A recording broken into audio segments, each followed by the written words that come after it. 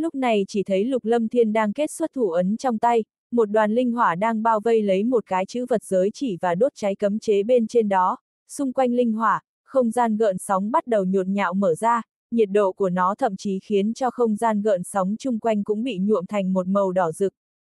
Độc Long ca ca, ca ca của ta là linh vũ song tu, còn là vũ giả toàn hệ, người cũng không được tiết lộ ra ngoài đó, nếu người dám nói ra ngoài thì ta sẽ không cho người tinh huyết nữa.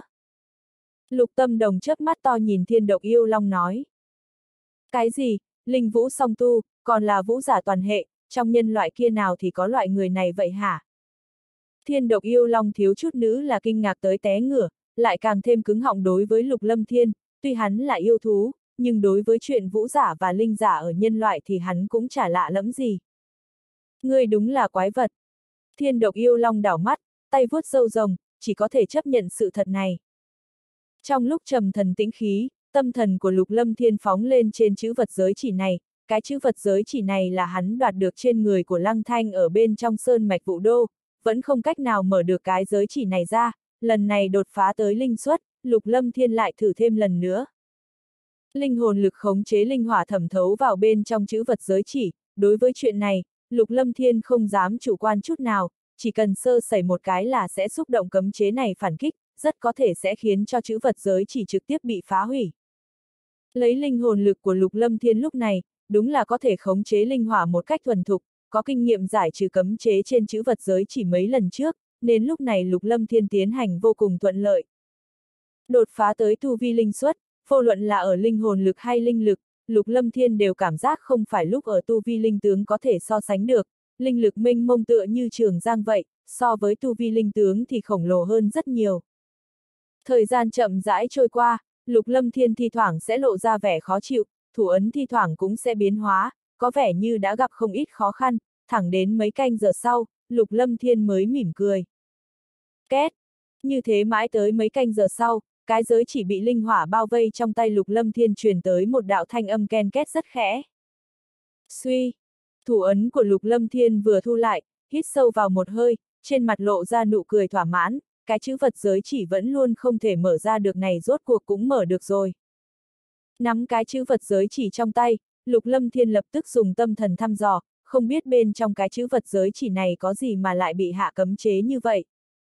Tâm thần xâm nhập vào bên trong không gian của chữ vật giới chỉ, thứ đầu tiên Lục Lâm Thiên tìm được trinh là vài bộ y phục, đều là vật của nữ tử, trong đó còn có vài cái tiết y và tiết khố của nữ tử, điều này khiến cho Lục Lâm Thiên hơi buồn bực, phỏng chừng đây đều là đồ của Lăng Thanh. Sau đó Lục Lâm Thiên lại tìm được hơn 10 bộ vũ kỹ, trong đó có 3 bộ vũ kỹ, xem từ năng lượng thuộc tính tỏa ra thì đều là vũ kỹ huyền cấp sơ giai, còn lại đều là vũ kỹ tu vi hoàng giai, cuối cùng còn có không ít kim tệ linh tinh. Cuối cùng bên trong cái chữ vật giới chỉ nay cũng chỉ còn lại một khối lệnh bài cùng một khối ngọc bài mà Lục Lâm Thiên cảm thấy cực kỳ bình thường. Suy! Lục Lâm Thiên cầm lệnh bài kia và ngọc bài trong tay, cẩn thận cảm nhận hai vật này, trên lệnh bài có từng tia năng lượng ngập tràn, phỏng chừng là một khối lệnh bài đơn thuần mà thôi, Lục Lâm Thiên đoán đây có lẽ chính là lệnh bài trong linh vũ giới, thân phận ngũ hệ vũ giả của Lăng Thanh, ở trong linh vũ giới, phỏng chừng là có địa vị không hề thấp. Còn khối ngọc bội kia, bên trên có khắc đồ án tinh mỹ, chất lượng ngọc bài cũng thuộc hàng thượng thừa, trong suốt long lanh mang theo vẻ sáng bóng của phỉ thúy, có vẻ như giá trị rất xa xỉ. Sau khi Lục Lâm Thiên xem xét cẩn thận xong thì không thấy ngọc bài này có điểm nào bất phàm cả. Lục Lâm Thiên cảm thấy kinh ngạc, tốn không ít thời gian để mở cái không gian giới chỉ này, ngoại trừ ba bộ vũ khí huyền cấp sơ giai là có giá trị ra, những vật khác đối với mình mà nói thì không có tác dụng gì cả.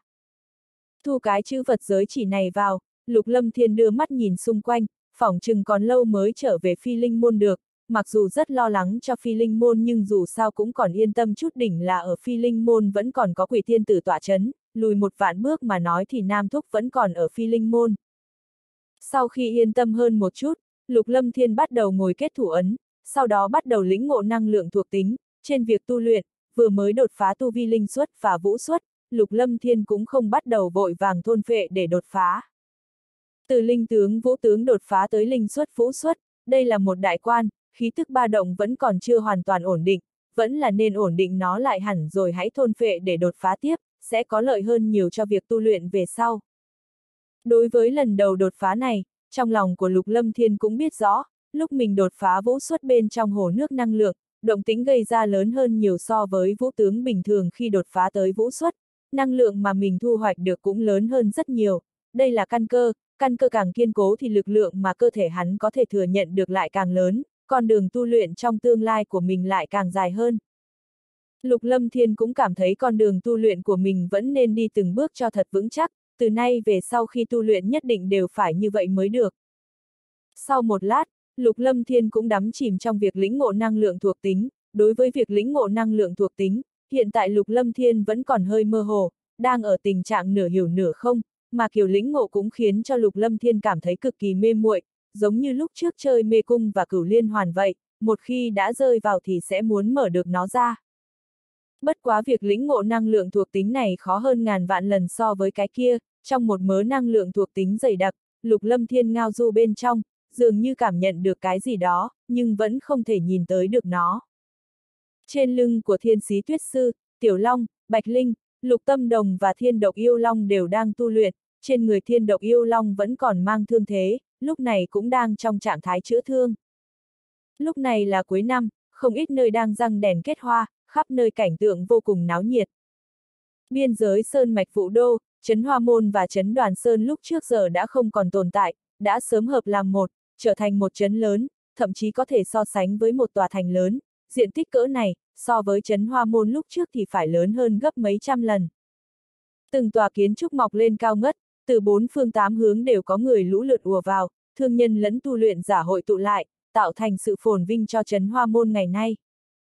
Lúc này, bên trong Trấn Hoa Môn, không thể nghi ngờ đã trở thành nền kinh tế quan trọng nhất ở biên giới Sơn Mạch Vũ Đô, còn có cả trung tâm binh khí, dược liệu, đan dược các thứ, sự náo nhiệt của Trấn Thiên Tinh vốn thuộc thành quỷ vũ lúc trước sợ là cũng khó mà sánh nổi với Trấn Hoa Môn hiện tại.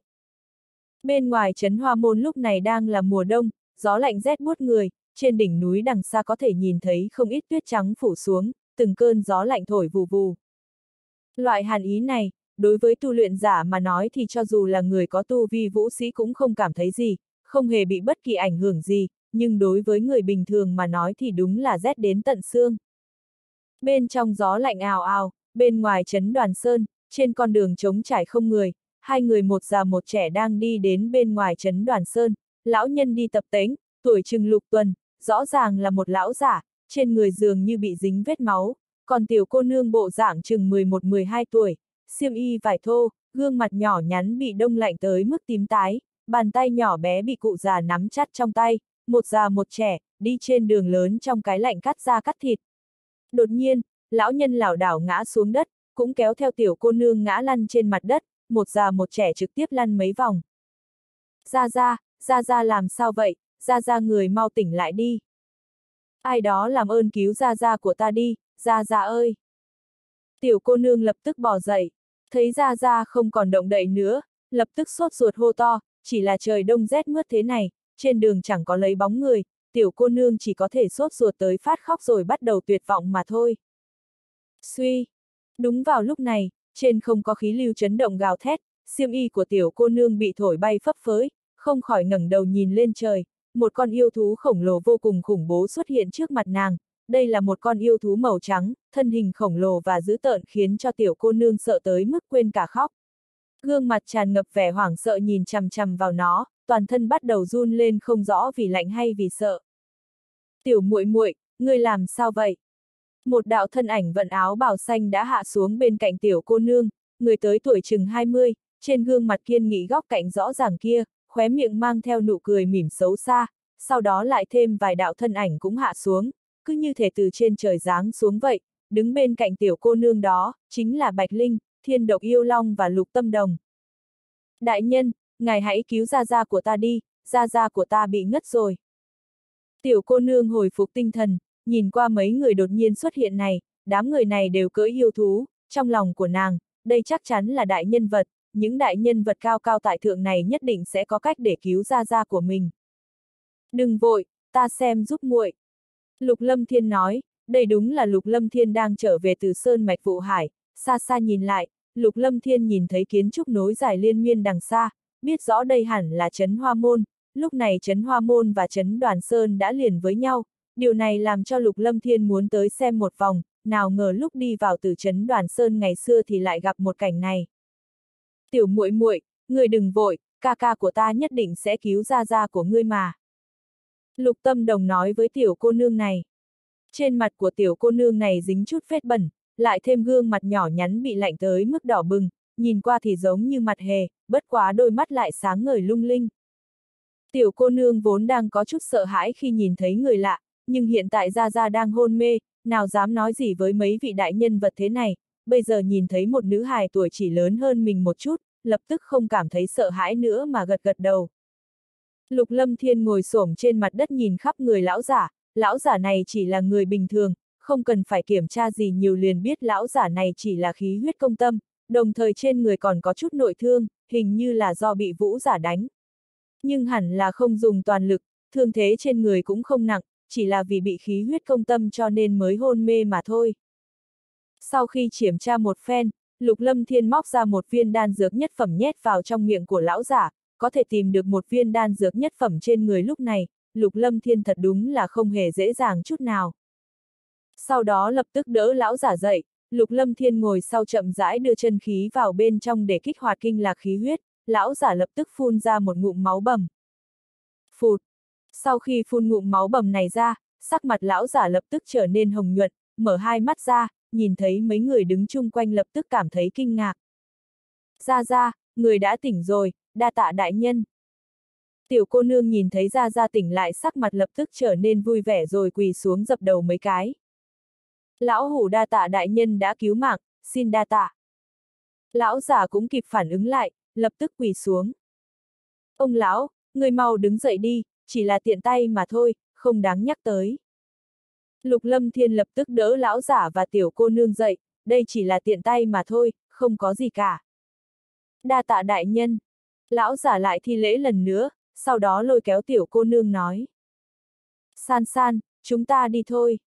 Một già một trẻ mang theo vẻ cảm kích rời đi, tiểu cô nương kia lại quay đầu nhìn Lục Lâm Thiên và Lục Tâm Đồng, vẻ mặt muốn nói lại thôi. Ca ca, bọn họ thật là đáng thương. Lục Tâm Đồng nhìn ông cháu hai người, nhớ tới trước kia mình và Lam bà bà lưu lạc bên trong sơn mạch vụ hải, cũng không chỗ nương tựa, hốc mắt lập tức đỏ hoe. Tiểu muội muội, cái này cho ngươi. Lục Tâm Đồng vừa dứt lời, trong tay lập tức móc ra một cái thẻ ngọc tinh đưa cho tiểu nữ hài kia. Bên trong này có một vạn kim tệ, các người cầm lấy đi. Một vạn kim tệ, đối với những người bình thường này mà nói đúng là một con số khổng lồ, nhìn thấy thẻ ngọc tinh này, ông cháu hai người cũng biết rõ, thẻ ngọc tinh này, nhất định phải là người có địa vị cực cao, thực lực vô cùng mạnh mẽ thì mới có được. Tỷ tỷ, ta không cần đâu, cái này nhiều lắm. Tiểu cô nương này có vẻ bị hù cho sợ quá mức, một vạn kim tệ, đây chính là con số khổng lồ mà nàng chưa từng nhìn thấy. Vị tiểu thư này, cái này rất nhiều, chúng ta không thể nhận. Lão giả cũng liên tục từ chối. Cho thì các người cứ cầm lấy đi, mau về đi, trời lạnh như vậy, cẩn thận cảm lạnh. Lục Lâm Thiên nói với hai ông cháu. Các người cứ cầm đi. Lục Tâm Đồng lập tức nhét cái thẻ ngọc tinh vào trong tay của tiểu cô nương. Tỷ tỷ, đại nhân, ta không cần kim tệ, các người có thể giúp ta tìm cha về có được không? Tiểu cô nương này nhìn qua đám người Lục Tâm Đồng và Lục Lâm Thiên rồi lập tức quỳ xuống lần nữa. San san, người của phi linh môn chúng ta không thể trêu vào, đừng rước thêm phiền toái cho đại nhân. Lão giả lập tức nói. Lão trưởng, chuyện gì mà có phi linh môn vậy? Lục lâm thiên đột nhiên nghe được ba chữ phi linh môn, trong lòng lập tức trầm xuống, nhưng trên mặt thì không để lộ chút dấu vết nào. Đại nhân, các người là người tốt, chúng ta sẽ không liên lụy tới các ngươi, thực lực của phi linh môn quá lớn, các ngươi cũng đừng đi tìm phiền toái, đây là mạng số của chúng ta, chúng ta không nên trêu chọc phi linh môn. Lão giả khẽ thở dài, mang theo chút bất lực. Tiểu muội muội, người mau nói cho ta biết rốt cuộc là đã xảy ra chuyện gì, chúng ta không sợ phi linh môn, ta sẽ bảo ca ca của ta giúp các ngươi. Lục tâm đồng cũng cảm thấy kinh ngạc, lập tức nói với tiểu nữ hài kia. Tỷ tỷ, các ngươi thật sự không sợ phi linh môn sao? Trong ánh mắt của tiểu cô nương mang theo kỳ vọng hỏi lục tâm đồng, nhìn thấy những người này cưỡi yêu thú phi hành, cộng thêm khí độ bất phàm, trong lòng của tiểu cô nương này liền tin là họ có thể giúp được cho nàng. Người cứ yên tâm đi, chúng ta không sợ phi linh môn, phi linh môn sợ chúng ta thì có. Lục tâm đồng nói với tiểu cô nương. Tỷ tỷ, xin ngươi hãy giúp ta tìm phụ thân trở về đi, cha của ta bị người của phi linh môn bắt đi rồi, bọn họ còn đánh ra ra của ta nữa. Tiểu cô nương lại nức nở lần nữa. Sắc mặt của lục lâm thiên lập tức hiện lên vẻ giận dữ, đè nén cỗ lửa giận trong lòng, lập tức nói với lão giả bên cạnh. Lão trưởng, người mau nói đi, rốt cuộc là xảy ra chuyện gì, có gì phiền toái, ta nhất định sẽ giải quyết giúp ngươi. Đại nhân, thế lực của phi linh môn này thật sự rất lớn, ngươi thật sự không sợ bọn họ sao?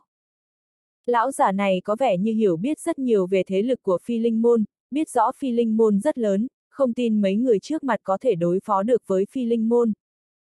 Lão trưởng, yên tâm đi, không thành vấn đề.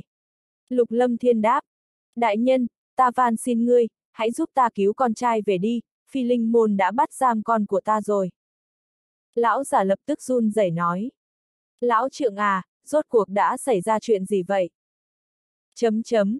Lão giả lập tức kể lại, trong lúc lão giả kể lại, lửa giận đè nén trong lòng của Lục Lâm Thiên ngày càng lớn, hóa ra lão giả này là cư dân bình thường sống trong trấn Đoàn Sơn, xây thành ở trấn Đoàn Sơn và trấn Hoa Môn chính là triệu tập hơn 10 vạn người ở xung quanh làm lao động, đã nói rõ mỗi một tháng sẽ trả nửa khối kim tệ. Đối với người bình thường mà nói thì cái giá này đã là rất cao rồi, xây thành tổng cộng tốn nửa năm, vốn phải trả cho mỗi người ba khối kim tệ, ai biết cuối cùng mỗi người chỉ nhận được có một khối mà thôi. Mọi người không phục, cuối cùng để cử ra con trai của lão giả này và vài người khác tới phi linh môn lý luận, ai ngờ lại bị người của phi linh môn bắt nhốt, sau khi lão giả biết được thì dắt theo cháu gái đi tìm người, kết quả lại bị người của phi linh môn đánh cho một trận ném ra ngoài cửa, tiếp theo chính là một cảnh mà Lục Lâm Thiên đã thấy ban nãy. Phi linh môn này đúng là khốn kiếp, ta đi tiêu diệt phi linh môn. Thiên độc yêu long nghe lão giả nói xong cũng vô cùng tức giận. Nhìn vào ánh mắt của thiên độc yêu long, lục lâm thiên lập tức câm nín, thiên độc yêu long còn không biết phi linh môn. Ca ca. Lão giả nói xong, lục tâm đồng nhìn qua lục lâm thiên mang theo vẻ mong chờ, đợi lục lâm thiên nói. Lão trưởng, vừa rồi các ngươi tới đâu đòi người, đưa ta tới đó, ta nhất định sẽ đưa con trai của ngươi về. Lục lâm thiên nói. Đa tạ đại nhân, chính là trong phi linh thương hành ở Trấn Hoa Môn, ta nghe nói người phụ trách chuyện này chính là Lục Tiểu Bạch Lục Đại Nhân cùng Lưu Nhất Thủ Lưu Đại Nhân, ta vốn muốn tới tìm bọn họ, nhưng ta vừa mới đi vào thì đã bị người của phi linh môn đuổi ra rồi, còn đánh cho ta một trận thừa sống thiếu chết. Lão giả đáp, nhìn thấy những người thật sự không sợ phi linh môn, trong lòng cũng có chút chờ mong, có lẽ những vị quý nhân này thật sự có thể giúp bọn họ cứu con về. Lục Tiểu Bạch, Lưu Nhất Thủ Ánh mắt của Lục Lâm Thiên lập tức trầm xuống, sau đó lóe lên, chuyện này không thể là do hai người bọn họ làm được, sợ là có kẻ ở bên dưới dở trò, chính là hai người này phụ trách xây thành và kim đường, quản lý không tốt, tuyệt đối không tránh khỏi liên quan. Hóa ra là do Lục Tiểu Bạch và Lưu Nhất Thủ, hai tên khốn kiếp này, hừ, ta nhất định sẽ không bỏ qua cho bọn họ. Lục Tâm Đồng hừ một tiếng. Nghe được lời Lục Tâm Đồng nói, Lão giả và tiểu cô nương kia cũng lập tức kinh ngạc nhìn lục tâm đồng, không ngờ tiểu cô nương này cư nhiên dám trực tiếp mắng hai vị đại nhân thanh danh hiển hách nhất của Trấn Hoa Môn hiện nay. Bị ánh mắt kinh ngạc của hai người nhìn chằm chằm, lục tâm đồng lập tức xấu hổ, thu hồi vẻ tức giận. Lão trưởng, chúng ta đi thôi, giúp ngươi đi tìm con trai. Lục lâm thiên nói, mang theo hai người một già một trẻ này leo lên lưng của thiên sĩ tuyết sư, một đạo hộ thân cương khí cũng lập tức bao phủ trên người của cả hai người, tốc độ của thiên sĩ tuyết sư cực nhanh, người thường ngồi lên, sẽ bị gió thổi cho lạnh tới mức không ai chịu nổi. Lão giả này và tiểu cô nương ngồi trên lưng của thiên sĩ tuyết sư, đều cảm thấy vô cùng khiếp sợ, hai người chưa từng ngồi yêu thú phi hành bao giờ. Đại nhân, trên chấn hoa môn này, hiện tại dường như có quy định là không cho yêu thú phi hành vào thành thì phải. Trên lưng của thiên sĩ tuyết sư, lão giả yếu ớt hỏi một câu. Lão ra ra, người cứ yên tâm đi, người của phi linh môn không dám ngăn cản bọn ta đâu. Lục tâm đồng lập tức cười nói. Hống! Tất cả mọi người đều ngồi trên lưng của thiên sĩ tuyết sư, thiên sĩ tuyết sư vỗ cánh bay lên, tốc độ nhanh như chớp, làm cho hai ông cháu này lại cảm thấy tâm linh rung động lần nữa. Trên lưng của thiên sĩ tuyết sư, Bạch Linh nhìn qua lục lâm thiên, ánh mắt lóe lên, nàng cảm thấy Lục Lâm Thiên đang áp chế cơn giận. Lục Lâm Thiên lúc này quả thực là đang vô cùng tức giận, từ khi phi linh môn phát triển tới nay, phi linh môn luôn ước thúc đệ tử của mình khá là lỏng lẻo, cũng có vài kẻ tới gia nhập phi linh môn, cậy thế dương oai diễu võ làm đủ chuyện xấu xa, lục lâm thiên ghét nhất chính là những kẻ như vậy, lúc này trong lòng không khỏi cảm thán, nếu như không sớm sửa đổi thì sau này nó sẽ biến thành một khối u nhọt của phi linh môn. Bên trong kiến trúc khổng lồ, mặc dù lúc này đang là giữa trưa, nhưng tiết trời rét lạnh, khiến cho màu trời có chút mờ mịt ảm đạm. Trên chấn hoa môn, một khối kiến trúc khổng lồ, sừng sững đứng giữa chấn hoa môn, kiến trúc này có màu vàng kim rực rỡ, đồ sộ và hùng vĩ, cửa lớn còn có một đôi sư tử đá cực lớn, cao chừng 5-6 thước, càng tăng thêm khí phách cho kiến trúc này. Trên xà ngang của kiến trúc này có viết bốn chữ phi linh thương hành thật lớn, nhưng dù không có cái biển hiệu này thì những thương nhân khác cũng thừa sức biết, đây chính là tổng bộ của phi linh thương hành, chỉ những vụ mua bán quy mô mới có thể giao dịch ở bên trong đây, mua bán nhỏ thì không thể vào được, bởi đây chính là tổng bộ của phi linh thường hành.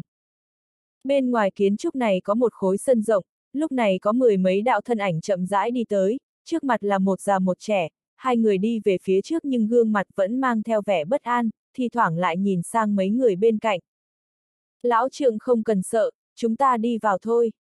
Lục Lâm Thiên nói nhỏ, đưa mắt nhìn kiến trúc khổng lồ này, mày hơi nhíu lại, hai tên Lục Tiểu Bạch và Lưu Nhất Thủ này đúng là phá sản mà. Đại nhân, chính là bọn họ, bọn họ không cho chúng ta vào. Lão giả bước lên phía trước, lúc này bên trong phi linh thương hành, liền có bảy đại hán đi ra, nhìn thấy mấy người này, lão giả và tiểu cô nương lập tức cảm thấy sợ hãi, tiểu cô nương khẩn trương tới mức siết chặt tay ra ra. Cái lão già này, người bị đánh chưa chết, còn dám vác mặt tới nữa à? Bảy tên đại hán này hét lớn lên rồi lập tức đi ra. a à, hóa ra là dẫn thêm người tới. Bảy tên đại hán nhìn thấy mấy người đứng sau lưng lão giả, ánh mắt lập tức rơi lên người Bạch Linh, cả đám không khỏi giật mình, đều tự động nuốt một ngụm nước bọt. Hóa ra đây chính là người của phi linh môn à, vậy thì trực tiếp giết chết là được. Thiên độc yêu long đã sớm nén giận, lúc này thấy đám kia đi ra thì lập tức nổi bão. Ngươi là ai hả, dám tới phi linh môn của ta kiếm chuyện, người muốn chết đấy hả?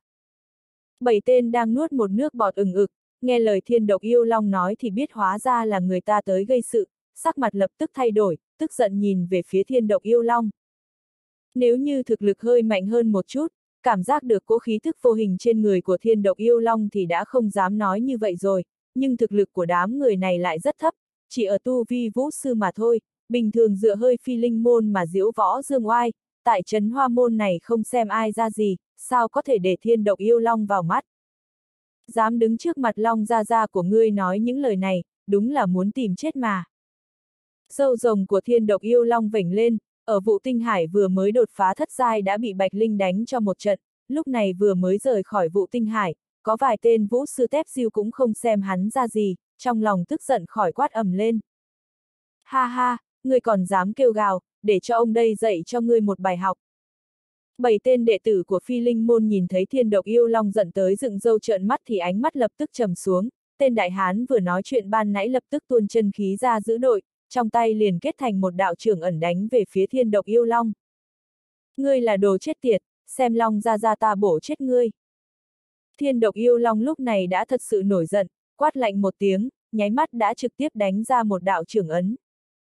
ầm, um, dưới thế tựa lôi đình kia, trưởng ấn của thiên độc yêu long trực tiếp vỗ lên người của tên đại hán nọ, đại hán kia căn bản chưa kịp phản ứng, trưởng ấn muốn đánh về phía thiên độc yêu long còn chưa kịp ngưng tụ ra thì trưởng ấn của thiên độc yêu long đã giáng xuống đầu của hắn rồi, một trường đánh xuống, lập tức vang lên tiếng tạc nổ ầm ầm. Mọi người có mặt ở đó đều cảm thấy kinh ngạc, chỉ thấy đại địa dưới chân của đại hán này trực tiếp nứt vỡ, lan ra tựa như mạng nhện, còn tên đại hán kia thì si ngốc nhìn thiên độc yêu long, sau đó lập tức hóa thành một đống máu rơi xuống đất. Suy! Kinh khí không hề lan ra ngoài, nhưng tên vũ sư kia đã trở thành một đống bầy nhầy. Nhìn thấy cảnh này, sáu đại hán kia lập tức xanh mặt cứng lưỡi, không khỏi hít vào một ngụm khí lạnh. Lúc này, lão giả cùng tiểu cô nương kia cũng bị dọa cho run lên cầm cập. Giết người, có người giết người. Sáu tên đại hán kia sau khi hoảng sợ qua đi liền kêu to lên, một tên địa hán lập tức móc ra một viên đạn tín hiệu rồi bắn ra. ầm, um, đạn tín hiệu nổ vang trên không, khắp cả chấn hoa môn cũng đều nghe rõ ràng. Hừ, Long gia gia của ngươi xem xem phi linh môn của các ngươi còn có ai, hôm nay ta sẽ giết cho bằng sạch. Nhìn thấy đạn tín hiệu nổ giữa không trung, thiên độc yêu long đương nhiên không thèm để trong lòng, tức giận hô lớn một tiếng. Trong mắt lục lâm thiên hiện lên hàn ý nhìn tất cả chuyện này, thế nhưng hàn ý trong lòng càng ngày càng đậm. Đây đâu phải là phi linh môn, quả thực là buồn cười, không đến còn không biết, lúc này tới đây quả thực là quá dọa người. Siêu siêu. Trong nháy mắt, chung quanh có tiếng xé gió vang lên. Đồng thời trong cửa hàng của phi linh môn tức thì có hơn 10 người nhanh chóng nhảy ra. Ai dám nháo sự trong phi linh môn ta, chẳng lẽ chán sống rồi sao? Một tiếng hét lớn vang lên, trong cửa hàng của phi linh môn có hơn 10 người nhảy ra, trong đó có mấy vũ tướng. Siêu siêu. Giữa không trung, lúc này trên lưng đầu yêu thú phi hành tam giai khổng lồ có hơn trăm người chạy qua đây, mà hơn trăm người này cũng tạo thành một vòng tròn vây quanh đám người lục lâm thiên. Lục trưởng lão, lưu trưởng lão, mấy người này dám tới cửa hàng của phi linh môn ta nháo sự, người của chúng ta đã bị bọn họ giết. Lúc này sắc mặt đại hán kia tức thì vui vẻ, nhanh chóng đi tới nghênh đón hơn 10 người từ trong cửa hàng phi linh môn ra. Hỗn đàn, là ai chán sống như vậy? Một tiếng hét lớn vang lên, lúc này hơn 10 người từ trong cửa hàng phi linh môn lập tức đi tới trước đám người lục lâm thiên, hơn trăm người từ trên lưng yêu thú phi hành cũng triệt để bao vây đám người lục lâm thiên. Lục lâm thiên đưa mắt nhìn tất cả chuyện này vẫn không nói gì, hàn ý trong mắt nhanh chóng nhìn về phía hai người trước mặt. Mà lúc này có nhiều người của phi linh môn đằng đằng sát khí tiến tới như vậy khiến cho lão giả và tiểu cô nương kia toàn thân run rẩy, theo bản năng sợ hãi. Lục trưởng lão, lưu trưởng lão, chính là bọn họ. Bọn họ giết người của chúng ta. Sáu người lúc này hung hăng chỉ vào đám người lục lâm thiên rồi nói. Nhìn thấy nhiều người tới như vậy khiến cho bọn họ vốn hoảng hốt lo sợ lúc này lá gan lại lớn lên. Tham kiến trưởng môn, tham kiến tiểu thư. Lúc này hơn trăm người từ yêu thú phi hành nhảy xuống đại bộ phận là đệ tử lâu năm của phi linh môn, lúc này ánh mắt đám người nhìn vào mấy người tới nháo sự, vừa rồi còn đằng đằng sát khí lúc này sắc mặt lập tức đại biến rồi quỳ xuống. Dẫn đầu chính là Hoàng Bắc Nhiên, sắc mặt nhanh chóng tái đi, hắn vỗ cái đầu bóng của mình, trong lòng không khỏi cảm thấy lạnh lẽo, hận không thể bổ đôi tên vừa mới phóng đạn tín hiệu. Tham kiến trưởng môn, tham kiến tiểu thư. Đám người trong cửa hàng phi linh môn nhảy ra, tất cả đám này đại bộ phận đều là đệ tử hạch tâm của phi linh môn, đương nhiên đã gặp trưởng môn, những người còn lại chưa được gặp thì mấy tháng trước trong đại chiến với hắc sát giáo cũng đã gặp được trưởng môn. Lúc này cả đám nhìn thấy trưởng môn có mặt, hai mắt nhìn nhau rồi lập tức quỳ xuống hành lễ. Lục Lâm Thiên ngẩng đầu, ánh mắt tức giận nhìn về phía Lục Tiểu Bạch và Lưu Nhất Thủ. Hai người Lục Tiểu Bạch và Lưu Nhất Thủ nhìn thấy trưởng môn đã trở về lập tức vui vẻ, lại đột nhiên nhìn thấy sự tức giận trong mắt Lục Lâm Thiên, nhìn bộ dáng này dường như hai người đã cảm nhận được cái gì, trong lòng không khỏi phát lạnh, đặc biệt là Lưu Nhất Thủ, toàn thân run rẩy quỳ xuống. Tham kiến trưởng môn, công tử. Lưu Nhất Thủ, Lục Tiểu Bạch nhanh chóng quỳ xuống đất hành lễ. Chuyện bên ngoài bọn họ cũng không biết, thế nhưng nhìn thấy trưởng môn tức giận, chỉ sợ là chuyện không nhỏ, trong lòng cả đám bắt đầu thấy lạnh lẽo. Trưởng môn, sáu đại hán kia lúc này có biểu tình vô cùng phong phú trên mặt, bọn họ vừa mới gia nhập phi linh môn không lâu mà thôi, chính là bởi vì thế lực của phi linh môn lớn bọn họ mới gia nhập vào. Cũng chưa từng diện kiến trưởng môn, lần này thấy lục trưởng lão và lưu trưởng lão đều quỳ xuống, bọn họ rốt cuộc cũng biết thanh niên áo xanh kia là ai. Sáu người sắc mặt bối rối, toàn thân run rẩy, đột nhiên hai chân như nhũn ra, quỳ gối trên mặt đất. Lục tiểu bạch, lưu nhất thủ, hai tên tiểu tử nhà ngươi, là ta chán sống hay các ngươi chán sống? Lục Lâm Thiên đưa mắt nhìn về phía Lục Tiểu Bạch và Lưu Nhất Thủ rồi nói. Trưởng môn, chúng ta đáng chết, chúng ta đáng chết, ta không biết là trưởng môn đã trở về, ta. Toàn thân Lưu Nhất Thủ run rẩy, cảm thấy trưởng môn tức giận, hắn không dám ngẩng đầu lên nữa.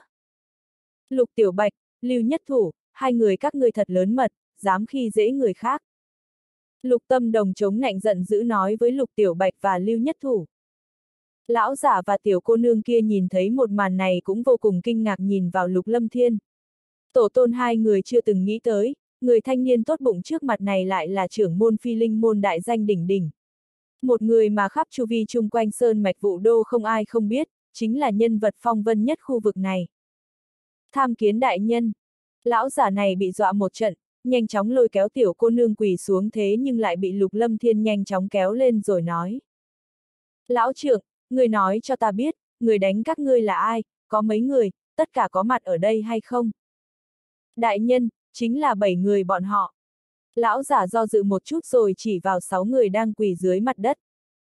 Hoàng Bác Nhiên, trói sáu tên này lại cho ta, chờ trở về rồi xử trí. Lục Lâm Thiên hít sâu một hơi, quay sang Hoàng Bác Nhiên rồi nói. Vâng, trưởng môn. Hoàng Bác Nhiên mờ mịt đáp một câu, rồi thở dài một hơi, xem ra trưởng môn không tức giận với hắn, sau đó hắn lập tức ra lệnh cho đám người bên cạnh nói. Nhanh, trói sáu tên vô liêm sỉ kia lại cho ta. Mọi người nhanh chóng tiến lên, sáu tên đại hán kia trực tiếp bị trói lại, vẻ mặt đám người lúc này vẫn vô cùng kinh ngạc. Hóa ra người chính là trưởng môn phi linh môn, khá lắm. Thiên độc yêu long cũng không khỏi kinh ngạc nhìn lục lâm thiên. Khiến độc long huynh chê cười rồi. Lục lâm thiên cười khổ một chút. Công tử, rốt cuộc là chuyện gì xảy ra, ta không biết. Lục tiểu bạch nhìn tất cả chuyện này thế nhưng cũng không hiểu ra sao. Hừ. Lục lâm thiên chừng mắt nhìn lục tiểu bạch rồi nói. Lão trượng này bị đệ tử của phi linh môn khi dễ. Các ngươi lập tức đi thăm dò cho ta, sau nửa canh giờ không tra ra thì đừng gặp mặt ta. Thuận tiện đem những người liên quan bắt tới đây cho ta. Vâng, công tử. Rõ, trưởng môn. Lục Tiểu Bạch và Lưu Nhất Thủ dường như đã hiểu ra cái gì đó, hai người vô cùng bối rối mang theo một đám người lui xuống, không dám chậm trễ. Lão trưởng, chúng ta vào trong chờ một lát đi. Lục Lâm Thiên nói với lão giả. Trong đại sảnh phi linh môn lúc này đã có đệ tử dẫn mọi người tiến vào trong đại sảnh. Chúng đệ tử phi linh môn ở sát đại sảnh không dám lên tiếng. Lục tê âm đồng còn phân phó người đi kiếm không ít đồ ăn vặt cho tiểu cô nương kia. Thế nhưng tiểu cô nương kia chỉ nhìn cũng không dám ăn. Thiên độc yêu long lại không chút khách khí, tự mình ăn. Không tới nửa canh giờ, ngoài đại sảnh hai người lục tiểu bạch và lưu nhất thủ mang theo mấy đạo thân ảnh vội vã đi tới. Cha! Trong đại sảnh, tiểu cô nương nhìn thấy một đạo thân ảnh rồi lập tức chạy tới. San san, sao con lại ở đây? Một đại hán chừng 30 tuổi nhìn thấy tiểu cô nương tức thì kinh hãi rồi nói. Trưởng môn, người đã tìm được rồi. Lục tiểu bạch, lưu nhất thủ đi tới trước người lục lâm thiên rồi nói. Lúc này bọn họ cũng đã hiểu rõ chuyện vừa mới xảy ra. Một lát sau, lão giả và tiểu cô nương nhanh chóng tạ ơn lục lâm thiên rồi mới rời đi. Trước khi rời đi lục lâm thiên còn phân phát cho mỗi người mấy trăm kim tệ. Biết chuyện gì xảy ra chưa? Những người này đi rồi, Lục Lâm Thiên liếc mắt nhìn Lục Tiểu Bạch và Lưu Thủ Đoạn, vẻ tức giận cũng bớt đi một chút. Hắn cũng biết hai người này còn nhiều chuyện bận tâm cho nên một ít chuyện bọn hắn có lẽ cũng không biết được. Trưởng môn, mấy đệ tử này đem mấy vạn kim tệ tiền công của công nhân chiếm làm của riêng.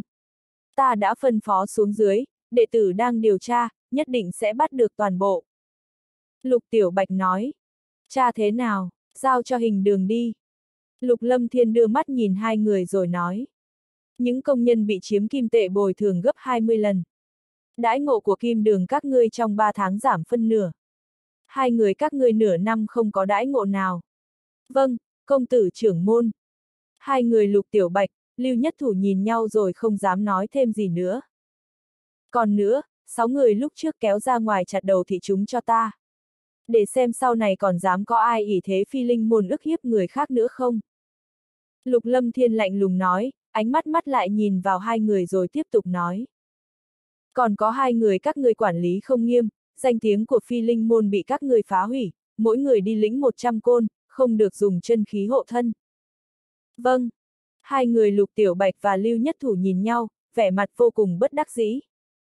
Mặt khác, thông báo cho người hình đường ngày hôm nay chấp hành, ta sẽ không mang các người tới sân rộng để chấp hành, ta cũng không muốn làm mất mặt phi linh môn. Thế nhưng các người phải chấp hành ở trước mặt tất cả đệ tử linh đường. Lục Lâm Thiên nói. Nghe thấy Lục Lâm Thiên nói vậy hai người càng thêm bất đắc dĩ, thế nhưng cũng không dám nói thêm điều gì. Loại nghiêm phạt này dù sao cũng đã nhẹ rồi. Sau khi phân phó vài câu, Lục Lâm Thiên nhanh chóng rời đi. Trước khi đi hắn cũng không quên phân phó hai người thông báo đường chủ các đường tối nay trực tiếp tới Phi Linh Môn. Sau khi Lục Lâm Thiên rời đi thì tới phiên Lục Tiểu Bạch và Lưu Nhất Thủ nổi bão. Vô duyên vô cớ bị xử phạt, quan trọng hơn là trưởng môn đã tức giận với bọn hắn, trong cơn giận giữ hai người trực tiếp đánh cho sáu người kia chết khiếp. Đám người kim đường cho rằng mấy người này bị phạt cả đám vô cùng giận dữ, trực tiếp tung ra quyền cước khiến cho cả người sáu người kia biến dạng. Lục Tiểu Bạch và Lưu Nhất Thủ còn chưa nguôi giận, hai người nhanh chóng kéo sáu người kia tới sân rộng của Trấn Hoa Môn, lúc này có không ít người tới xem. Hai người sau khi tuyên bố vài câu, lập tức giơ tay chém xuống. Tự mình động thủ, nhanh chóng chém đầu sáu người. Trên lưng thiên sĩ tuyết sư, Lục Lâm Thiên khẽ thở dài, xem ra muốn quản lý một sơn môn cũng không phải là chuyện dễ dàng, phi linh môn hiện tại cũng nên chỉnh đốn một chút. Từ chấn hoa môn trở lại phi linh môn cũng không mất bao lâu. Một mảnh núi non quen thuộc lúc này đã xuất hiện trong mắt lục lâm thiên. Nhìn thấy mảnh núi non này trong lòng lục lâm thiên không khỏi dao động. Cho dù là lục gia hay vân dương tông đều không khiến cho hắn có cảm giác này. Trong phi linh môn, đám đệ tử nhìn thấy thiên sĩ tuyết sư khổng lồ trên bầu trời lúc này đã biết là trưởng môn đã trở về. Ngoại trừ trưởng môn ra không có ai tỏa kỵ là thiên sĩ tuyết sư cả. Trong đình viện hậu sơn phi linh môn, quỷ thiên tử bạch oánh, thôi hồn độc suốt đông vô mệnh đều đang tu luyện, dường như đã cảm nhận được cái gì, lông mày không khỏi nhíu lại, nhanh chóng biến mất trong phòng. Thanh hỏa lão quỷ, lộc sơn lão nhân lúc này cũng bắn về phía trước. Cảm nhận được một cỗ khí thức cường hãn xa lạ khiến cho bọn hắn nhanh chóng đi tới cửa phi linh môn. Đây là phi linh môn sao? Nơi này cũng không lớn nha. Thiên độc yêu long nhìn phi linh môn phía dưới rồi nói. Nơi này so với địa bàn của nó trong vụ tinh hải còn bé hơn không ít. Lời còn chưa dứt, sắc mặt thiên độc yêu long tức thì biến đổi, dâu rồng run lên rồi nói. Ồ, một vũ vương, hai vũ xuất cửu trọng, một linh xuất cửu trọng. Siêu. Bốn đạo thân ảnh trong nháy mắt lăng không lao tới, chính là đám người quỷ tiên tử bạch oánh, thôi hồn độc suốt đông vô mệnh. Ánh mắt quỷ tiên tử bạch oánh và thôi hồn độc suốt đông vô mệnh nhanh chóng đảo qua trên người lục lâm thiên rồi chuyển sang người thiên độc yêu long. Khí tức cường hãn kia là từ trên người thiên độc yêu long tràn ra, người có tu vi thấp không thể cảm nhận được thực lực của nó. Thế nhưng đạt tới cấp bậc như quỷ tiên tử bạch oánh thì không thể giấu được cảm giác của nàng. Mà thôi hồn độc suốt đông vô mệnh đánh giá thiên độc yêu long dường như đã cảm nhận được cái gì đó, ánh mắt có chút nghi hoặc. Tham kiến trưởng môn. Phía dưới, đám người hoa mãn ngọc cùng chúng đệ tử nhanh chóng hành lễ. Oánh thị, đông lão, ta trở về các ngươi cũng không cần long trọng như vậy đâu. Lục lâm thiên khẽ cười, trong lòng đương nhiên biết đám người quỷ tiên tử bạch oánh là vì thiên độc yêu long mới xuất hiện. Tuy rằng thiên độc yêu long đã thu liếm khí tức, thế nhưng còn chưa thu liếm hết được, người có thực lực thấp không thể cảm nhận ra. Thế nhưng nó nhất định không thể giấu được cảm giác của thôi hồn độc suốt đông vô mệnh và quỷ tiên tử bạch oánh. Thôi hồn độc suốt đông vô mệnh tuy rằng không đạt tới linh vương, thế nhưng linh giả thường có linh hồn lực mạnh hơn một chút, đương nhiên có thể cảm nhận được một ít. Lâm Thiên, vị này chính là... Quỷ tiên tử Bạch Oánh không để ý tới lời bông đùa của Lục Lâm Thiên, ánh mắt không rời khỏi thiên độc yêu long. Thiên độc yêu long nhìn quỷ tiên tử Bạch Oánh, cường giả vũ vương nó cũng không dám làm cao, nói. Mấy người này gọi ta là độc long, sau này các ngươi cũng gọi ta là độc long đi, ha ha. Sư phụ, lục tâm đồng không quan tâm tới mọi người, nhanh chóng lao thẳng về phía thôi hồn độc suốt đông vô mệnh rồi lăng không mà đứng. Mấy tháng này không gặp sư phụ, trong lòng nàng cũng vô cùng nhớ. Sư phụ đối với nàng vô cùng tốt, nàng cũng biết được điều này cho nên trong lòng vô cùng ỉ lại với vị sư phụ này. Thế nhưng lục tâm đồng lăng không mà đứng khiến cho quỷ tiên tử bạch oánh, thôi hồn độc suốt đông vô mệnh, Lộc Sơn lão nhân và thanh hỏa lão quỷ nhíu mày rồi há hốc mồm. Tâm đồng, con đột phá tới linh suất rồi sao? Đông vô mệnh trợn mắt nhìn đồ đệ bảo bối trước mặt mình. Vốn hắn đang muốn nhìn xem đồ đệ bảo bối của mình mấy tháng nay có gầy đi không, ai ngờ nhìn thấy cảnh tượng này khiến cho hắn trợn mắt, trái tim không khỏi đập nhanh hơn vài phần. Vâng, con cũng không biết vì sao mà đột phá được tới linh suất nữa. Lục tâm đồng mỉm cười, dựa vào người thôi hồn độc suất đông vô mệnh rồi làm nũng nói. Sư phụ, con nhớ người muốn chết. Nghe lục tâm đồng nói vậy, quỷ tiên tử bạch oánh, thanh hỏa lão quỷ, lộc sơn lão nhân, còn có hoa mãn lâu, hoa mãn ngọc phía dưới dùng ánh mắt như gặp quỷ nhìn lục tâm đồng. Một người chưa tới 15 tuổi đã là linh xuất, loại thiên phú này so với yêu nghiệt còn yêu nghiệt hơn. Ha ha ha! Đông vô mệnh hít sâu một hơi, lập tức hưng phấn cười ha hả nói. Ha ha, ta xem từ sau có ai dám so đồ đệ với ta. Ta trà đạp chết hắn. Lục Lâm Thiên khẽ cười. Một linh suất chưa tới 15 tuổi chỉ sợ sẽ không có ai dám so sánh đổ đệ với lão độc vật. Huống chi bây giờ không chỉ là như vậy, còn có xích kim độc chu, thực lực của lục tâm đồng tuyệt đối không phải linh suất nhất trọng bình thường. Một lát sau, Tiểu Long mang theo thiên độc yêu long đi tới hậu sơn. Trong đình viện phía sau núi cũng đã không còn chỗ ở, chỉ có thể kiến tạo một lần nữa mà thôi. Lúc này trong đình viện phía sau núi, Lục Lâm Thiên, Thôi hồn độc suốt đông vô mệnh, quỷ tiên tử Bạch Oánh, còn có Lục Tâm Đồng và Bạch Linh đang ngồi đó. Oánh tỷ, Lữ Chính Cường của Linh Thiên Môn nói phi linh môn ta có phiền phức, rốt cuộc là có chuyện gì? Trong đình viện, Lục Lâm Thiên nhanh chóng hỏi. Dọc đường đi hắn luôn lo lắng chuyện này, sau khi về tới phi linh môn thì cũng an tâm một chút. Bên trong phi linh môn dường như cũng không có bộ dáng gặp phải phiền phức. Hóa ra là người đã biết, chúng ta đang chờ người trở về đây. Quỷ tiên tử Bạch Oánh nói, lập tức đem sự tình đại khái thuật lại cho Lục Lâm Thiên một lần. Từ trong miệng quỷ tiên tử Bạch Oánh Lục Lâm Thiên đã biết, hóa ra không phải phi linh môn có phiền phức mà là sát biên giới địa bàn của quỷ vũ tông xuất hiện một đạo cấm chế. Có lẽ bên trong là động phủ của một cường giả, mà địa phương kia lại giáp với thanh phong môn của Lan Lăng Sơn Trang. Thanh phong môn đương nhiên sẽ không bỏ qua, bọn chúng lại nhận đó là địa bàn của mình. Sự việc này đã kéo dài mấy tháng, song phương đã giao thủ mấy lần, nhân số tử thương cũng không ít. Trong cấm chế kia liệu có bảo vật hay không? Lục Lâm Thiên hỏi, việc đầu tiên Lục Lâm Thiên muốn biết chính là việc này. Ta đã tự mình đi xem qua, có thể là cấm chế do Vũ Vương lưu lại, có lẽ là Vũ Vương bát trọng, có khi còn hơn. Thời gian cũng không ngắn, có lẽ đã được mấy nghìn năm. Trong cấm chế này có lẽ là động phủ, một ít bảo vật hẳn là có, thế nhưng cụ thể là thứ gì ta lại không biết được. Quỷ tiên tử Bạch Oánh nói. Một động phủ của Vũ Vương cao giai, lại tồn tại mấy nghìn năm trung quy cũng có chút thứ tốt. Lục Lâm Thiên nhíu mày rồi nói. Nếu như có lợi thì phi linh môn chúng ta cũng muốn. Ngày mai ta thử đi tới đó xem sao. Cường giả của thanh phong môn dường như cũng đã từ vụ tinh hải trở về, cũng không thể để bọn chúng nhanh chân đến trước. Cho dù bọn chúng tới trước cũng vô dụng, ta đã xem xét kỹ, cấm chế này tuy rằng đã buông lỏng một chút. Thế nhưng chí ít cũng cần thực lực vũ vương tam trọng, tứ trọng mới có thể mạnh mẽ mở ra. Trong thanh phong môn căn bản không có loại cường giả như vậy cho nên cũng không thể mở ra cấm chế. Bằng không lần trước ta tới đó đã trực tiếp tiến vào rồi. Quỷ tiên tử Bạch Oánh nói. Như thế có chút phiền phức. Lục lâm thiên nhíu mày, chỉ có vũ vương tam trọng, tứ trọng mới có thể mạnh mẽ mở ra, điều này quả thực có chút phiền phức. Cũng không phiền phức cho lắm, nếu như ta đi, có lẽ chỉ cần cho ta thời gian nửa tháng là có thể đem cấm chế luyện hóa. Thôi hồn độc suất đông vô mệnh nói. Đông lão, ngươi còn chuyện quan trọng khác cần làm, chuyện này giao cho ta là được ôi. Thời gian nửa tháng là có thể luyện hóa cấm chế. Trong lòng lục Lâm Thiên đã có dự định. Lâm Thiên, chuyện này chỉ sợ không phải bình thường. Ta đã phân phó quỷ vũ tông tạm thời không nên có động tác. Thế nhưng mấy trường giao thủ đoạn thời gian vừa rồi cũng đã tử thương không ít. Quỷ tiên tử Bạch Oánh nói. Rất đơn giản, phía sau có người dở trò. Khóe miệng lục lâm thiên nhếch lên khẽ nở nụ cười. Đương nhiên là có người phía sau dở trò, nhưng tạm thời lại không tra ra được là người phương nào gây nên. Đây mới là trọng điểm, địch trong tối ta ngoài sáng. Điều này đối với chúng ta không có lợi một chút nào.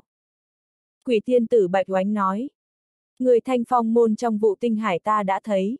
Cường giả đều tiến vào trong vụ tinh hải, người còn lại trong môn phái trốn phiền phức không kịp đương nhiên sẽ không cố tình khơi mào gây chiến. Chỉ biết chờ cường giả trong môn trở về. Mà vụ tinh hải mở ra, những thế lực bình thường đều tiến vào vụ tinh hải, những chuyện tình khác, các sơn môn bình thường cũng không có thời gian nhúng tay vào. Những sơn môn có thực lực nhàn rỗi chỉ sợ chỉ có nhất tông nhất giáo nhất trang nhất môn mà thôi. Lục Lâm Thiên khẽ nói. Linh Thiên môn hẳn sẽ không. Hắc sát giáo hẳn còn đang điều tra chuyện linh vũ giới trong địa bàn của mình, còn lại cũng chỉ có Lan Lăng Sơn Trang và Hóa Vũ Tông. Thanh Phong Môn là thế lực ngoại vi của Lan Lăng Sơn Trang. Lan Lăng Sơn Trang giúp Thanh Phong Môn cũng là chuyện danh chính ngôn thuật, thế nhưng sẽ phải chờ cường giả Thanh Phong Môn trở về thì mới có động tác. Lục Lâm Thiên nói xong, trong mắt hiện lên một đạo hàn ý, nói tiếp. cho nên người đứng phía sau dở trò cũng chỉ còn lại hóa vũ tông mà thôi. Nghe Lục Lâm Thiên nói vậy, quỷ tiên tử bạch oánh, thôi hồn độc suốt đông vô mệnh nhíu mày, ánh mắt kinh ngạc nhìn về phía Lục Lâm Thiên rồi nói. Người nói như vậy dường như cũng chỉ có hóa vũ tông, thế nhưng hóa vũ tông làm vậy dường như cũng không chiếm được chỗ tốt nào. Đông lão, thực lực hiện tại của phi linh môn và quan hệ với quỷ vũ tông chỉ sợ hóa vũ tông đã tra ra. Thế nhưng hóa vũ tông lại không hề có động tác nào, lẽ nào bọn hắn thực sự sẽ yên tâm sao? Đổi lại là ta ta cũng không an tâm, ta vẫn luôn bội phục sự nhẫn nại của công tôn hóa nhai, hiện tại xem ra, mượn cơ hội này bọn hắn đã không nhẫn nổi nữa rồi. Lục Lâm Thiên nói, chuyện này vốn là việc nhỏ, hiện tại bởi vì phi linh môn chúng ta mà khiến cho không ít thế lực rung động, chỉ cần chúng ta khẽ động một chút, rút dây động rừng là sẽ tạo thành ba động lớn phía sau. Quỷ tiên tử Bạch Oánh nói. Lục Lâm Thiên cúi đầu trầm tư một lát, lập tức trên khóe miệng hiện lên nụ cười quỷ dị nói. Oánh tỷ, đông lão, chuyện này ta đã có chủ ý. Các người cứ chờ xem náo nhiệt là được rồi. Hóa Vũ Tông chỉ đơn giản muốn đem thế lực của phi linh môn ta ra ngoài sáng, vậy thì ta đây trước tiên sẽ làm cho địa bàn của hắn xảy ra chuyện trước vậy. Hắc hắc. Được rồi, tiểu tử ngươi xảo trá, đương nhiên sẽ không bị thiệt thòi. Nhìn thấy tiếu ý trên mặt lục lâm thiên, thôi hồn độc suốt đông vô mệnh mở miệng cười, rốt cuộc cũng an tâm. Được rồi, lâm thiên, độc long kia rốt cuộc là người phương nào? Khí tức trên người hắn dường như là yêu khí. Quỷ tiên tử bạch oánh hỏi lục lâm thiên. Oánh tỷ, độc long ca ca chính là yêu thú, hắn chính là thiên độc yêu long thất giai sơ kỳ. Lục tâm đồng nói. Thiên độc yêu long thất giai. Quỷ tiên tử bạch oánh, thôi hồn độc suốt đông vô mệnh tức thì sắc mặt đại biến. Khó trách ta cảm nhận được độc khí, hóa ra là độc thú cường hãn. Thôi hồn độc suốt đông vô mệnh hít sâu một hơi. Đối với độc thú cường hãn như thiên độc yêu long này hắn cũng có chút lý giải. Đông lão, người cần máu của độc thú lục giai hậu kỳ để đoán thể mà ta lại không tìm được. Thế nhưng thiên độc yêu long đã đáp ứng có thể cung cấp máu tươi cho người đoán thể, không biết đông lão có thể dùng tạm không? Lục Lâm Thiên nói. Nói nhảm, có máu tươi của thiên độc yêu long đoán thể thì sẽ mạnh hơn nhiều. Thôi hồn độc suốt đông vô mệnh tức thì kích động nói. Hắc hắc, Lục Lâm Thiên mỉm cười nói. Đông lão, cây mã tiền 500 năm ta cũng không tìm được. Thế nhưng trong động thủ của thiên độc yêu long lại có mã tiền ngàn năm, không biết đông lão có dùng được không? Nói xong, trong tay lục lâm thiên nhanh chóng xuất hiện một đoàn quang mang. Trong đoàn quang mang có vài cây mã tiền, hắn cũng không dám dùng tay trực tiếp động vào. Đám độc khí này cũng khiến cho lục lâm thiên có chút kiêng kỵ. Mã tiền ngàn năm lại có bốn cây, tiểu tử ngươi thật tốt số A. Thôi hồn độc suốt đông vô mệnh vừa thấy mấy cây mã tiền trong tay lục lâm thiên tức thì hai mắt tỏa sáng, nhanh chóng đưa tay qua lấy, toàn thân vô cùng kích động nói. Mã tiền ngàn năm, máu của thiên độc yêu long thất giai, có hai vật này độc thể của ta tuy rằng kém tiên thiên độc thể, thế nhưng cũng không kém quá xa. Vậy thì đông lão ngày mai chuẩn bị bế quan đột phá đi thôi. Chờ sau khi đông lão đột phá linh vương thì thực lực của phi linh môn chúng ta sẽ lại tăng lên một bước lớn. Lục Lâm Thiên nói, hiện tại trong phi linh môn cường giả không ít, ta cũng có thể yên tâm bế quan. Được rồi, lần này các người đi vụ tinh hải có nhận được cơ duyên gì không? Thôi hồn độc xuất đông vô mệnh hỏi. Điều này, ha ha. Lục Lâm Thiên mỉm cười nói. Lần này vận khí không tồi chiếm được một ít cơ duyên. Tiểu Long và Bạch Linh cũng có thu hoạch. Cả bốn người các ngươi đều có thu hoạch. Thôi hồn độc xuất đông vô mệnh tức thì kinh ngạc rồi lập tức hứng thú. Hắn muốn biết cơ duyên của mọi người thế nào cho nên lập tức hỏi. Nói nhanh lên, các ngươi chiếm được cơ duyên gì? Tâm đồng, muội nói với sư phụ muội về cơ duyên của muội đi. Lục Lâm Thiên khẽ cười rồi nói với Lục Tâm Đồng. Sư phụ, con lấy được thiên độc kinh của sư tổ lưu lại. Lục Tâm Đồng nói với Thôi hồn độc suốt đông vô mệnh. Thiên độc kinh, sư tổ. Chuyện này khiến cho Thôi hồn độc suốt đông vô mệnh sững sờ, hắn cũng không biết cái gì là thiên độc kinh, hắn chỉ biết thứ mình tu luyện là địa độc kinh mà thôi. Sư phụ, địa độc kinh người tu luyện chính là một nửa trên thiên độc kinh, đều do sư tổ sáng chế ra. Trong một nơi thần bí ở vụ tinh hải con đã gặp được sư tổ đã chết, đồng thời nhận được thú hồn xích kim độc chu bát giai. Bởi vì năng lượng trên xích kim độc chu quá lớn cho nên đã giúp con trực tiếp đột phá tới linh suất. Lục tâm đồng nói xong lập tức kể lại tất cả mọi chuyện mình đã trải qua một lần. Nghe lục tâm đồng nói, lục lâm thiên cũng nhướng mày. Chuyện lục tâm đồng trải qua lục lâm thiên lần đầu nghe thấy, điều này càng khiến cho lục lâm thiên nhận định, địa phương quỷ quái kia tuyệt đối không đơn giản. Xích kim độc chu bát dai. Thôi hồn độc suốt đông vô mệnh nhìn vào mi tâm của đồ đệ bảo bối, ấn ký màu vàng kia khiến cho linh hồn hắn run động. Thú hồn xích kim độc chu bát dai, nếu như có thể toàn lực thi triển mà nói uy lực tuyệt đối sẽ tương đương với cường giả vũ tôn. Đây là thứ vô cùng kinh khủng. Đại cơ duyên A, ta cũng không biết có sự tồn tại của thiên độc kinh. Thôi hồn độc suốt đông vô mệnh cảm thán nói. Khi trước trong đại điện vụ tinh hắn cũng chỉ vô ý chiếm được một quyền địa độc kinh mà thôi, những chuyện khác hắn căn bản không biết được. Bạch Linh, ngươi chiếm được cơ duyên gì, ta có cảm giác dường như ngươi lại đột phá. Quỷ tiên tử Bạch Oánh dường như đối với cơ duyên của Bạch Linh cũng cực kỳ hứng thú. Trong vụ tinh hải ta đã đột phá tới thất giai trung kỳ, mặt khác còn nhận được một ít cơ duyên. Bạch Linh dường như cũng không muốn kể lại tỉ mỉ quá trình, ngay cả Lục Lâm Thiên cũng không có nhiều lời. Đã đột phá thất giai trung kỳ rồi sao? Quỷ tiên tử Bạch Oánh không khỏi kinh ngạc, thực lực Bạch Linh đột phá quá nhanh. Lâm Thiên, người thì sao? Quỷ tiên tử Bạch Oánh lập tức hỏi Lục Lâm Thiên. Lục Lâm Thiên vuốt mũi, chuyện vô tự thiên thư đương nhiên không thể tiết lộ, hiện tại, Lục Lâm Thiên cảm thấy vô tự thiên thư chính là cơ duyên tốt nhất của mình. Oánh tỷ, ta chiếm được một ít cơ duyên, thế nhưng đêm nay với nói cho các ngươi. Ta đã thông chi cho đường chủ sáu đường đêm nay tới đây. Đến lúc đó còn có chuyện ta muốn tuyên bố một chút. Lục Lâm Thiên nhanh chóng nói. Sau đó, Lục Lâm Thiên đem chuyện xảy ra trên chấn hoa môn nói với hai người quỷ tiên tử Bạch Oánh và thôi hồn độc suốt đông vô mệnh một chút, sắc mặt hai người không biến đổi, chỉ thở dài một chuyến. Ta đã trở về, ta sẽ ở bên cạnh thác nước kia. Hiện tại cạnh thác nước có một động phủ nhỏ, ta tùy tiện vận lộn một hồi là có thể tạo thành động phủ lớn hơn. Khi mọi người đang nói chuyện thì thanh âm của thiên độc yêu long truyền tới. Lúc này thiên độc yêu long và tiểu long đã đi tới đỉnh viện. Độc long huynh, để ta phái người kiến tạo một động phủ cho huynh là được. Sao huynh lại tự mình động thủ như vậy chứ? Lục lâm thiên mỉm cười nói. Ta tự mình làm là được rồi, đỡ phiền phức. Thiên độc yêu long nhanh chóng đặt mông ngồi xuống một cái ghế trống. Đã biết thân phận của thiên độc yêu long, ánh mắt thôi hồn độc suốt đông vô mệnh và quỷ tiên tử bạch oánh không khỏi nhìn về phía thiên độc yêu long. Thiên độc yêu long thất giai, cho dù là vừa đột phá, thế nhưng thực lực của nó lúc này cũng đủ để chống lại vũ vương nhất trọng đỉnh phong.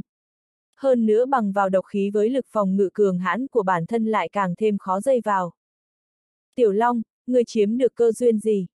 Thôi hồn độc suốt đông vô mệnh sau khi thở dài vì cơ duyên của đồ đệ mình, lập tức nhìn Lục Lâm Thiên rồi hỏi. Ta! Tiểu Long chớp chớp mắt rồi nói. Không nói, ta kiên quyết không nói. Tránh cho các người chê cười ta. Thôi hồn độc suốt đông vô mệnh, quỷ tiên tử bạch oánh lập tức ngạc nhiên. Đông lão, oánh tỷ, đừng hỏi nữa. Cơ duyên của tiểu long chúng ta hỏi nửa ngày nó cũng không nói. Lục lâm thiên cười nói. Trong lòng đối với cơ duyên của tiểu long cũng vô cùng hiếu kỳ, thế nhưng hiện tại hắn cũng không hỏi ra được. Được rồi, độc long huynh, dù sao đi nữa người cũng nhàn rỗi, phi linh môn ta đang muốn thành lập một yêu đường, thế nhưng lại chưa tìm thấy người thích hợp tọa chấn, không bằng ngươi cố làm giúp ta một chút, được không? Sắc mặt lục lâm thiên giấu giếm vết tích rồi nói với thiên độc yêu long. Thiên độc yêu long cũng không ngốc, nó chớp mắt một cái nhìn lục lâm thiên rồi cầm một trái cây cắn một cái rồi nói. Ta cũng không nghĩ tới chuyện gia nhập phi linh môn, hay là thôi đi. Không phải là gia nhập phi linh môn, ta chỉ muốn thành lập yêu đường lại không tìm được người tỏa chấn. Nghĩ tới nghĩ lui cũng chỉ có độc long huynh là người có đủ thực lực và quyết đoán. Nếu như ngươi không tỏa chấn vậy thì không có ai có thể giúp ta rồi. Sắc mặt lục lâm thiên không biến đổi, khẽ thở dài nói. Thiên độc yêu long nhìn lục lâm thiên, ánh mắt khẽ xoay chuyển rồi nói. Ít vỗ mông ngựa đi, chiêu này với ta vô dụng, ta không dễ bị lừa đâu. Hắc hắc, độc long huynh, ta muốn vỗ thì cũng là vỗ mông rồng nha. Người cố gắng đi, không gia nhập phi linh môn, chỉ giúp ta chấn thủ một đoạn thời gian là được. Ánh mắt lục lâm thiên khẽ đảo rồi hắc hắc nói. Độc long ca ca, nể mặt ta người đáp ứng đi. Lục tâm đồng kéo tay thiên độc yêu long rồi nói. Đại trùng tử, lão đại ta nói mà ngươi dám không nghe, cẩn thận lúc thực lực ta mạnh ta sẽ đánh ngươi. Tiểu long trừng mắt nhìn thiên độc yêu long nói. Nhìn lục tâm đồng và tiểu long, thiên độc yêu long bất đắc dĩ nói với lục lâm thiên. Được rồi, ta sợ các ngươi, vậy thì ta sẽ giúp ngươi tỏa trần yêu đường một thời gian. Thế nhưng ta không gia nhập phi linh môn, tới lúc đó cũng không được ra lệnh cho ta. Bảng Long Vương muốn tự do tự tại. Ngươi còn cho rằng mình ra Long Vương sao? Ngươi không sợ hoàng tộc Long tộc giết ngươi sao? Bạch Linh liếc mắt nhìn thiên độc yêu Long, hàm răng khẽ mở rồi nói một tiếng. Hắc hắc, tốt xấu gì ta cũng là yêu tộc, so với tiểu bất điểm này còn tốt hơn, lớn lên lại rõ giống rắn. Thiên độc yêu long cười hắc hắc, cũng không dám to tiếng với Bạch Linh. Đại trùng tử, người dám chọc ta, sớm muộn ta cũng không để yên cho ngươi. Tiểu Long ngẩng đầu chừng mắt nhìn thiên độc yêu Long rồi cả giận nói. Dù sao đi nữa hiện tại ta cũng không sợ ngươi, trước tiên ngươi nên tăng cường thực lực đi. Thiên độc yêu Long quay đầu nhìn Tiểu Long rồi lại tiếp tục cắn một miếng. Dường như mình nói không sai vậy. Hai người quỷ tiên tử Bạch Oánh và Thôi hồn độc suốt đông vô mệnh bất đắc dĩ nhìn nhau. Ánh mắt nhìn vào Bạch Linh, thiên độc yêu Long cùng với Tiểu Long, ba đầu yêu thú này không hề dễ chọc. Cuối cùng mùa đông cũng tới, gió đêm mang theo chút lạnh lẽo thổi qua. Quần sơn phi linh môn bao phủ dưới bóng đêm, ánh trăng mông lung lá khô bay tứ tung giống như trong đêm đen vắng vẻ đột nhiên có vô số bàn tay quỷ xuất hiện. Trong đại điện phi linh môn lúc này đèn sáng trưng, những đệ tử bình thường đã được phân phó không tới gần. Chỉ có hộ pháp mới có thể tiến vào đại điện, những người khác nếu dám tiếp cận thì trực tiếp giết không tha. Trong đại điện lúc này đã có ba mươi mấy người đang ngồi. Ngồi gần chủ vị nhất chính là đường chủ sáu đường hiện tại của Phi Linh Môn. Tỷ muội quỷ ảnh La Sát Diệp Phi, Hoàng Phủ Kỳ Tùng, Âu Dương Lãnh Tật, Lý Chỉ Chính, còn có khí vương Úc Khánh của Linh Đường và Khang Tử Vân. Mà phía sau thì còn không nhiều trưởng lão của Phi Linh Môn hiện tại, sau đó là chúng hộ pháp, hộ pháp vốn cũng không nhiều. Thế nhưng theo số lượng dòng binh đoàn trong Sơn Mạch Vụ Đô gia nhập, đội trưởng các dòng binh đoàn lúc này cũng đã được sắp xếp chức vị hộ pháp trong Phi Linh Môn. Lúc này Lục Tiểu Bạch và Lưu Nhất Thủ cũng đang ngồi đó. Cái mông hai người rõ ràng so với bình thường lớn hơn không ít, ngồi ở trên ghế vô cùng khôi hài. Không dám ngồi xuống toàn bộ, cơ mặt co quắp, có vẻ vô cùng đau đớn, thế nhưng cũng không dám kêu lên thành tiếng. Trong đại điện, nhìn Lục Tiểu Bạch và Lưu Nhất Thủ như vậy, tất cả mọi người muốn cười thế nhưng người dám người cũng chỉ có đường chủ sáu đường mà thôi. Chúng trưởng lão và hộ pháp tuy rằng biết sự tồn tại của đám người quỷ ảnh la sát Diệp Phi, Hoàng Phủ Kỳ Tùng, Âu Dương lãnh tật trong phi linh môn, nhưng đối với thân phận của bọn họ lại không biết nhiều lắm, mọi người cũng không dám hỏi nhiều. Đặc biệt là mấy người trưởng lão, bằng vào thực lực của phi linh môn hiện tại mà có thể để cho bọn họ yên vị ở chức vị trưởng lão là đủ biết trưởng môn coi trọng những lão nhân của phi linh môn như bọn họ. Cho nên cả đám không dám hỏi cái gì, chỉ một mực làm tốt nhiệm vụ của mình là được rồi, những chuyện khác hiện tại đều do Hoa Mãn Ngọc, Hoa Mãn Lâu làm chủ. Âu Dương đường chủ, người hạ thủ thực độc A, cái mông của ta, ai ui. Lục Tiểu Bạch trừng mắt nhìn Âu Dương lãnh tật, hình phạt này Âu Dương lãnh tật tự mình ra tay, một trăm trọng côn hắn không nhẹ tay một cái nào. Tương phó đường chủ hạ thủ cũng độc, cái mông của ta nở hoa rồi. Có lẽ một tháng tới phải nằm sấp mà ngủ, lần sau ngươi đừng mơ ta mời ngươi uống rượu. Lưu Nhất Thủ cũng chừng mắt nhìn tương viễn quan, cái mông của hắn là do tương viễn quan động thủ, không có chút lưu tình nào. Hình phạt của hai người vốn là do hình đường phụ trách, thế nhưng nhìn thấy người thụ phạt là hai vị đường chủ kim đường cho nên những người bình thường trong kim đường không dám động thủ. Cuối cùng đành phải do Âu Dương lãnh tật và tương viễn quan tự mình hạ thủ. Mãi đến khi Lục Tiểu Bạch và Lưu Nhất Thủ gào khóc thì mới thôi.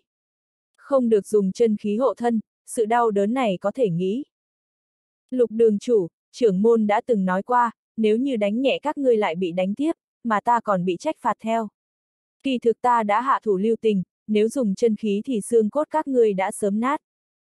Âu Dương lãnh tật vẫn vô cùng lạnh lùng như vậy, nhưng ánh mắt lại có chút đồng tình với hai người lục tiểu bạch và lưu nhất thủ. Sau khi đánh xong, cố ý chuẩn bị đan dược chữa thương cho hai người. Lục tiểu bạch ít ra còn đỡ, dưới sự dạy bảo của Nam Thúc, gân cốt toàn thân đều vô cùng rắn chắc, thế nhưng lưu nhất thủ thì thảm rồi, cái mông trực tiếp nở hoa. Dám thí, Ngươi không dùng chân khí ta cũng không dùng chân khí hộ thân nha. Hình đường các ngươi mau chóng tìm ra những kẻ liên quan, ta muốn đánh toàn bộ đánh người kia thành đầu heo mới hả giận được. Để xem sau này còn có kẻ nào trong kim đường dám làm bậy nữa không.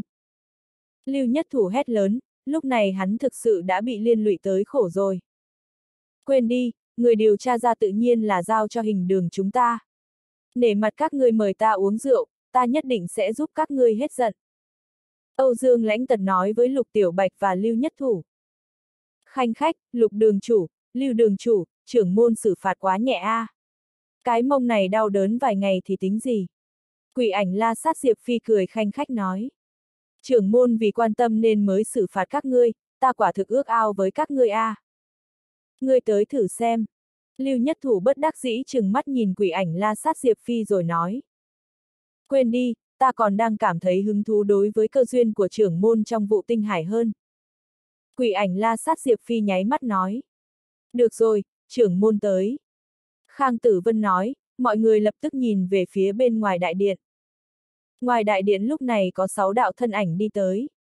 Chính là đám người lục lâm thiên, đông vô mệnh, quỷ tiên tử, thanh hỏa lão quỷ, lộc sơn lão nhân, còn có thiên độc yêu long. Tham kiến trưởng môn công tử. Tham kiến chư vị cung phụng. Mọi người nhanh chóng đứng dậy hành lễ. Ồ, còn có mấy vũ xuất, linh xuất, rốt cuộc cũng được coi là thế lực nhị lưu. Thiên độc yêu long nhìn thấy đám người trong đại điện lập tức nói với Lục Lâm Thiên. Ha ha! Lục Lâm Thiên mỉm cười rồi lập tức nói với mọi người. Tất cả miễn lễ đi. Mọi người nghe thấy thiên độc yêu long nói vậy ngược lại có chút hiếu kỳ nhìn qua. Hôm nay trưởng môn lại mang một người ngoài tới, trưởng môn còn đối với người này vô cùng khách khí, có lẽ người này không đơn giản chút nào. Lục lâm thiên đảo qua đám người, ánh mắt lập tức nhìn vào lục tiểu bạch và lưu nhất thủ. Nhìn thấy cái mông hai người sưng lên là biết hai người đã đi tiếp nhận hình phạt. Hắn biến, hai người bọn họ cũng bị liên lụy, thế nhưng vì muốn làm kinh sợ mọi người cho nên cũng chỉ có thể nắm thân tín hắn tín nhiệm nhất ra làm gương, người ở địa vị cao có đôi khi thân bất do kỷ. Nhìn hai người, Lục Lâm Thiên chậm rãi tiến lên rồi nói. Lục Tiểu Bạch, Lưu Nhất Thủ, hai người các người biết sai chưa? Công tử trưởng môn chúng ta biết sai rồi, không quản lý tốt người dưới. Hai người cúi đầu, không dám có một câu oán hận. Biết sai là tốt rồi, cầm lấy đan dược này, sau khi ăn vào là không có chuyện gì nữa. Lần này chú ý hơn một chút. Lục Lâm Thiên móc ra mấy viên đan dược giao cho hai người. Tạ ơn công tử trưởng môn. Hai người nhìn thấy trưởng môn dường như không tức giận lập tức vui vẻ. Trong lòng bọn họ khi trước chỉ sợ trưởng môn sau này không còn tín nhiệm bọn họ nữa, lúc này cảm giác cái mông dường như cũng không còn quá đau đớn nữa. Hai tỷ muội quỷ ảnh la sát Diệp Phi, Diệp Mỹ nhìn vào cảnh này, trong lòng hai nàng đều hiểu rõ. Trong lòng trưởng môn đối với hai người Lục Tiểu Bạch và Lưu Nhất Thủ tuyệt đối tín nhiệm. Tuy rằng là nghiêm phạt, thế nhưng chỉ sợ cũng là giết gà dọa khỉ, sau này nếu các đường khác xảy ra chuyện cũng dễ xử phạt hơn. Hai nàng nhìn nhau, đối với tâm kế của trưởng môn đều cảm thán không ngớt. Lập tức mọi người ngồi vào chỗ của mình. Dưới sự an bài của Lục Lâm Thiên, thiên độc yêu Long An vị bên người quỷ tiên tử Bạch Oánh, điều này khiến cho mấy đường chủ đối với thân phận của thiên độc yêu Long càng thêm hiếu kỳ. Thế nhưng huynh muội hoa gia đã biết một chút, người này dường như cũng có quan hệ với trưởng môn không tồi. Chư vị, mấy tháng này ta không có mặt, khổ cực mọi người rồi. Nhìn mọi người, Lục Lâm Thiên nói. Đây là chuyện chúng ta nên làm, trưởng môn khách khí rồi. Mọi người sợ hãi lập tức trả lời. Những lời khách khí ta cũng không nói ra nữa. Hôm nay gọi chư vị tới đây là có ba chuyện cần nói. Lục Lâm Thiên dừng lại một chút rồi nói. Chuyện thứ nhất, hiện tại phi linh môn ngoài sáu đường, ám đường, hình đường, kim đường, vũ đường, linh đường, ngoại đường ra thì tăng thêm một đường nữa là yêu đường. Do độc long huynh tạm thời làm đường chủ. Yêu đường. Tất cả mọi người có chút nghi hoặc. Yêu đường quản lý tất cả yêu thú của phi linh môn, do hoa phó đường chủ hiệp trợ. Lục Lâm Thiên nói. Vâng, trưởng môn. Mọi người đáp, trưởng môn nói tự nhiên có dụng ý của mình, cho nên mọi người cũng không dám hỏi nhiều. Mặt khác, sau này độc long huynh chính là cung phụng của phi linh môn. Lục Lâm Thiên nói, ánh mắt khẽ nhìn về quỷ ảnh la sát Diệp Phi rồi nháy một cái. Ta! Thiên độc yêu long đang muốn nói gì, từ lúc nào mà hắn đã trở thành cung phụng của phi linh môn cơ chứ? Thế nhưng lúc này quỷ ảnh la sát Diệp Phi đã tiến lên hành lễ. Tham kiến độc long cung phụng. Tham kiến độc long cung phụng. Trong đại điện, mọi người lập tức đứng dậy hành lễ. Độc long cung phụng, chúng mừng, sau này chúng ta là người một nhà rồi. Quỷ tiên tử bạch oánh nhìn qua lục lâm thiên dường như đã biết là chuyện gì, sắc mặt không chút biến đổi lập tức nói với thiên độc yêu long bên cạnh. Thiên độc yêu long vốn muốn nói cái gì đó, thế nhưng lúc này thấy mọi người cung kính hành lễ, trong lòng cũng có chút ngứa ngáy, lập tức chừng mắt nhìn lục lâm thiên rồi nói với mọi người. Tất cả miễn lễ, sau này chính là người một nhà rồi.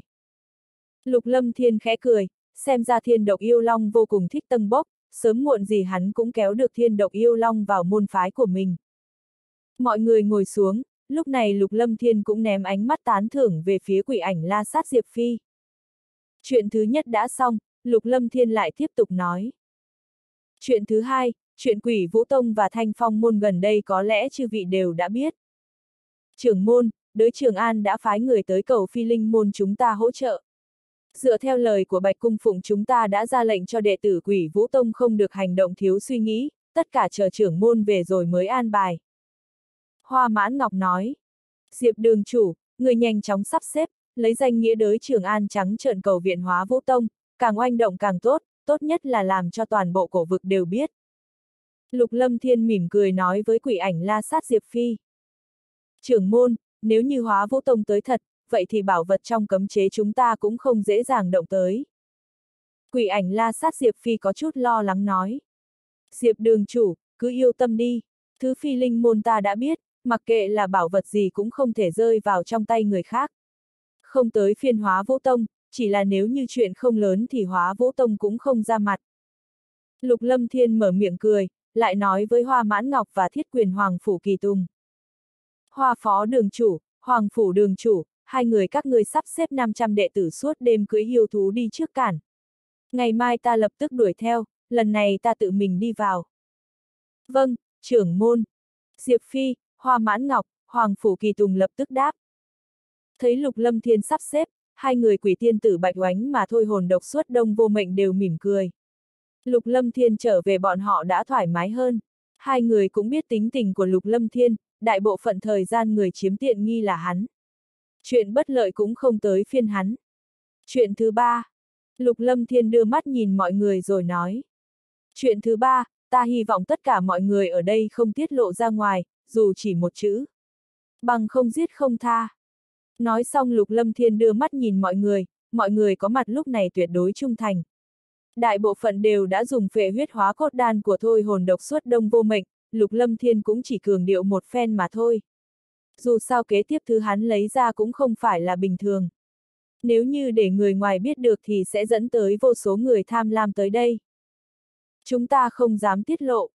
Mọi người biến sắc rồi đáp, nhìn thấy lục lâm thiên nghiêm túc như vậy lúc này đám người thôi hồn độc suốt đông vô mệnh, quỷ tiên tử bạch oánh, thanh hỏa lão quỷ, lộc sơn lão nhân vô cùng nghi hoặc nhìn về phía lục lâm thiên.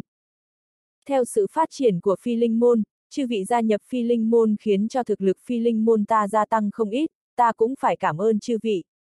Ta có chút vũ kỹ, tất cả vũ xuất có thể lựa chọn hai bộ, người còn lại đều có thể chọn một bộ. Lục lâm thiên nhàn nhạt nhìn mọi người, tâm thần rót vào trong nhẫn chữ vật. ầm, um. Lục lâm thiên nói xong, cánh tay khẽ phất một cái, tức thì một đám tiếng ầm ầm vang lên. Lập tức có một đám khí tức năng lượng thuộc tính tràn ra, đột nhiên từ trong nhẫn chữ vật của Lục Lâm Thiên có từng đạo lưu quang hiện lên, lập tức trong đại điện xuất hiện một đống ngọc giản. Trên đống ngọc giản này đậm đặc năng lượng các thuộc tính. Toàn bộ đại điện lúc này tràn ngập năng lượng thuộc tính. Nhìn đống lớn ngọc giản trên mặt đất, ánh mắt mọi người lập tức nhìn chằm chằm vào. Sắc mặt quỷ tiên tử bạch oánh, thôi hồn độc suốt đông vô mệnh, thanh hỏa lão quỷ, lộc sơn lão nhân lập tức đại biến, sau đó đám người còn lại cũng biến sắc. Là vũ kỹ huyền cấp sơ giai, toàn bộ đều là vũ kỹ huyền cấp sơ giai. Quỷ ảnh la sát Diệp Phi, thiết quyền hoàng phủ kỳ tùng lúc này cảm nhận của khí thức nhanh chóng đứng lên. Cả đám lập tức ngồi xuống cầm một khối ngọc giản lên trên tay rồi kiểm tra. Mấy trưởng lão và hộ pháp lúc này cũng đứng dậy thấp thỏm đi tới giữa đại điện. Cầm lấy ngọc giản, khí thức nồng đậm trên ngọc giản lúc này tuyệt đối là vũ khí bọn họ chưa từng được tiếp xúc qua. Vũ khí huyền cấp sơ giai, trong đại môn đại phái đều là vũ khí cấm truyền ra ngoài. Mà lúc này một đống lớn trong đại điện đều là vũ khí huyền cấp sơ giai, chỉ ít cũng 4-500 bộ. Một bộ vũ khí huyền cấp sơ giai đã là vật vô giá. Thế nhưng hiện tại lại có 4-500 bộ vũ khí huyền cấp sơ giai ở trước mặt, quang mang chói mắt, thuộc tính lan tràn ra chung quanh. Hai người thanh hỏa lão quỷ lộc sơn lão nhân cũng nhìn không dám đi xuống. Bởi vì lưu ý tới chức vị cung phụng của mình, hai người thu hồi vẻ kinh ngạc, nếu như là trước đây hai người bọn họ chỉ sợ đã sớm trợn mắt líu lưỡi, há hốc mồm rồi. Thế nhưng lúc này hai người khi cầm một khối ngọc giản toàn thân không khỏi run rẩy một chút. Trưởng môn, đây đều là vũ khí huyền cấp sơ giai, có. Khang Tử Vân và mấy linh giả lúc này tuy rằng kích động, thế nhưng sau khi tìm kiếm một hồi lại không nói gì. Đám vũ khí huyền cấp sơ giai này tuy rằng đều là thứ tốt. Thế nhưng đối với linh giả bọn hắn lại vô dụng a. À. Khang đường chủ, tất cả linh giả đều có thể lựa chọn một bộ linh kỹ. Trưởng lão có thể chọn hai bộ. Lục lâm thiên cắt đứt lời Khang Tử Vân, cánh tay vung lên. Trong nhẫn chữ vật lại có một đống ngọc giản bay ra. Một cỗ năng lượng tràn ngập không gian, sắc mặt đám người Khang Tử Vân, Úc Khánh đại biến. Đây là linh kỹ huyền cấp sơ giai, có trên trăm bộ linh kỹ huyền cấp sơ giai. Tất cả linh giả nhìn nhau đều kích động không ngớt mà cầm vào ngọc giản. Bọn họ chưa từng nhìn thấy một đống lớn linh kỹ huyền cấp như vậy. Hoa mãn ngọc thực ra cũng đã được nhìn thấy linh kỹ huyền cấp sơ giai. Trong bách thú cốc cũng có linh kỹ huyền cấp sơ giai, thế nhưng không có nhiều như vậy. Chỉ sợ ngay cả đại môn phái trong chốc lát cũng khó có thể lấy ra được nhiều như vậy. Trưởng môn, chẳng lẽ là... Thôi hồn độc suốt đông vô mệnh há hốc mồm nhìn lục lâm thiên, dường như nhớ tới cái gì đó. Không sai. Lục lâm thiên khẽ gật đầu, ý tứ của thôi hồn độc xuất đông vô mệnh hắn hiểu, đây đều là thứ đoạt được trong vụ tinh hải. Hít. Thôi hồn độc xuất đông vô mệnh hít sâu một hơi, nhiều vũ kỹ huyền cấp sơ giai như vậy, còn có linh kỹ huyền cấp sơ giai, quả thực quá dọa người. Trên người ngươi không ngờ lại có nhiều vũ kỹ huyền cấp sơ giai tới như vậy. Thiên độc yêu long cũng mở to mắt, nhìn một đống vũ kỹ linh kỹ trên mặt đất cũng vô cùng kinh ngạc. Thế nhưng những thứ này đối với hắn cũng vô ích. Tất cả mọi người lựa chọn vũ kỹ và linh kỹ thích hợp với mình đi. Lục Lâm Thiên nói với đám người đang kích động, hưng phấn phía dưới. Lúc này mọi người đâu cần Lục Lâm Thiên phân phó, đã sớm chọn lựa. Một lát sau cả đám đều chọn được vũ kỹ và linh kỹ của bản thân mình. Người có tu vi vũ xuất đều có hai bộ vũ kỹ huyền cấp trong tay. Người khác thì đều có một bộ vũ kỹ huyền cấp sơ giai, thế nhưng ánh mắt vẫn nhìn chăm chú vào đống vũ kỹ huyền cấp sơ giai trên mặt đất. Đám linh giả cùng với Khang Tử Vân đều chọn được linh kỹ của mình, tất cả mọi người đều vô cùng hưng phấn. Đặc biệt là đám đội trưởng còn chưa gia nhập phi linh môn bao lâu. Lúc này cầm trong tay vũ kỹ huyền cấp sơ giai, cả đám hận không thể gia nhập phi linh môn sớm một chút. Phúc lợi của phi linh môn này vô cùng tốt, nếu như gian nhập thời gian càng dài nhất định sẽ càng được trưởng môn coi trọng. Tới lúc đó chỗ tốt cũng càng lớn. Ngay từ đầu đám đội trưởng dòng binh này gian nhập phi linh môn là do uy hiếp, tuy rằng ít nhiều bọn hắn cũng không muốn, thế nhưng sau khi gia nhập phi linh môn ít nhiều bọn họ cũng cảm nhận được chỗ tốt. Thế nhưng cũng có chút ít khúc mắc. Lúc này đám đội trưởng dòng binh đoàn sau khi nhìn thấy cảnh tượng này không còn chút khúc mắc gì nữa. Hiện tại bọn họ lại sợ bị trưởng môn đuổi ra khỏi phi linh môn. Nói dẫn sao, gia nhập phi linh môn là có thể nhận được đan dược xa xỉ, tài nguyên tu luyện, còn có thể nhận được vũ kỹ huyền cấp sơ giai. Đừng nói là bọn họ có tu vi vũ tướng, đám tán tu vũ xuất trong cổ vực sau khi biết được chỉ sợ cũng sẽ lao đầu tới gia nhập phi linh môn, đâu còn tới phiên bọn họ. Đa tạ trưởng môn trọng thưởng. Mọi người thu hồi vũ kỹ và linh kỹ rồi lập tức hành lễ. Lộc Sơn cung phụng, Thanh Hỏa cung phụng, hai vị cũng tìm lấy ba bộ đi. Lục Lâm Thiên nhìn Lộc Sơn lão nhân và Thanh Hỏa lão quỷ rồi nói. Hai người này dường như ngại thân phận cung phụng của mình, muốn lấy thế nhưng lại sợ mất thân phận. Vậy thì đa tạ trưởng môn, chỉ cần hai bộ là được rồi. Còn lại trưởng môn để cho những đệ tử có công lao đi. Lúc này nghe thấy Lục Lâm Thiên nói vậy, hai người cười hắc hắc, cũng không chút khách khí, lập tức thu lấy hai bộ vũ kỹ, dường như đã sớm nhận định được mục tiêu của mình. Lục Lâm Thiên mỉm cười, lập tức đứng dậy rồi đem vũ kỹ linh kỹ trong đại điện thu lại, sau đó nói với quỷ tiên tử Bạch Oánh. Oánh tỷ, đông lão, những thứ này giao cho hai vị trông coi. Nhìn Lục Lâm Thiên, quỷ tiên tử Bạch Oánh và thôi hồn độc suốt đông vô mệnh không nói gì. Tiếp nhận nhẫn chữ vật, ánh mắt có chút biến hóa. Vật quan trọng như vậy lại giao cho bọn họ. Đây là một loại tín nhiệm tuyệt đối, tất cả đều không đáng nhắc tới. Nhìn mọi người, ánh mắt lục lâm thiên lại quét qua đám người rồi nói. Vũ kỹ này mọi người đều đã cầm, còn có một vật cũng nên chia cho mọi người. Mỗi người một phần, tự mình tiến lên đây. Lục lâm thiên nói xong, nhìn nhân số rồi nhanh chóng móc ra 34 hộp ngọc.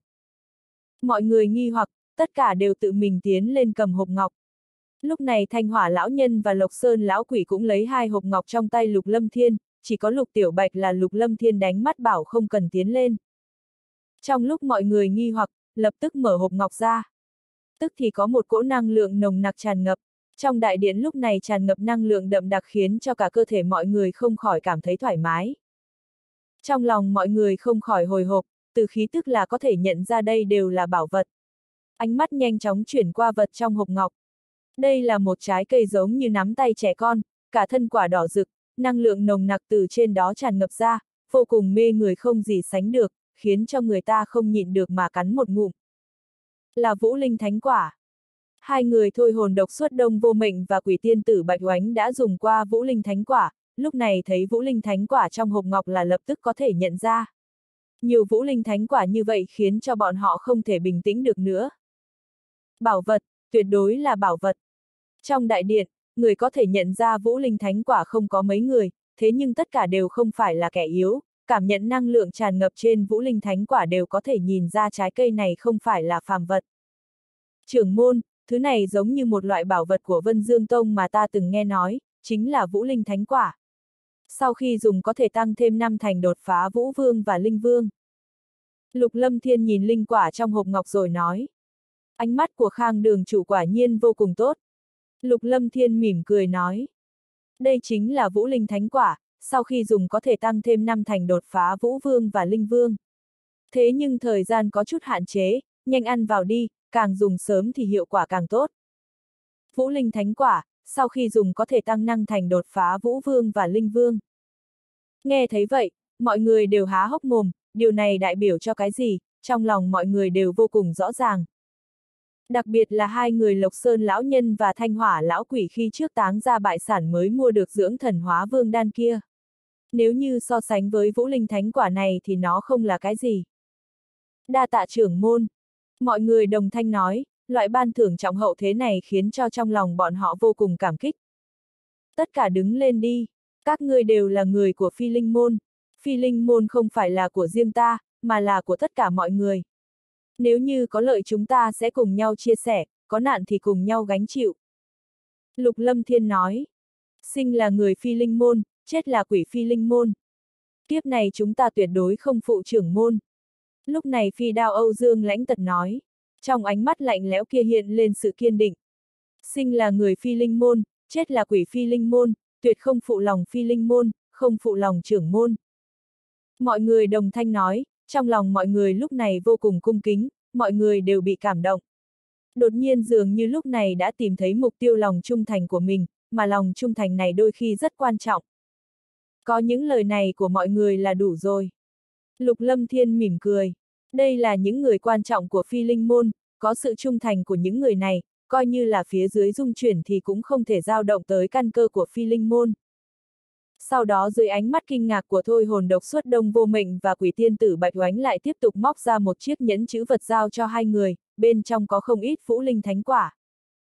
Dùng tâm thần xem xét một chút, thôi hồn độc suốt đông vô mệnh lập tức biết bên trong có vật gì.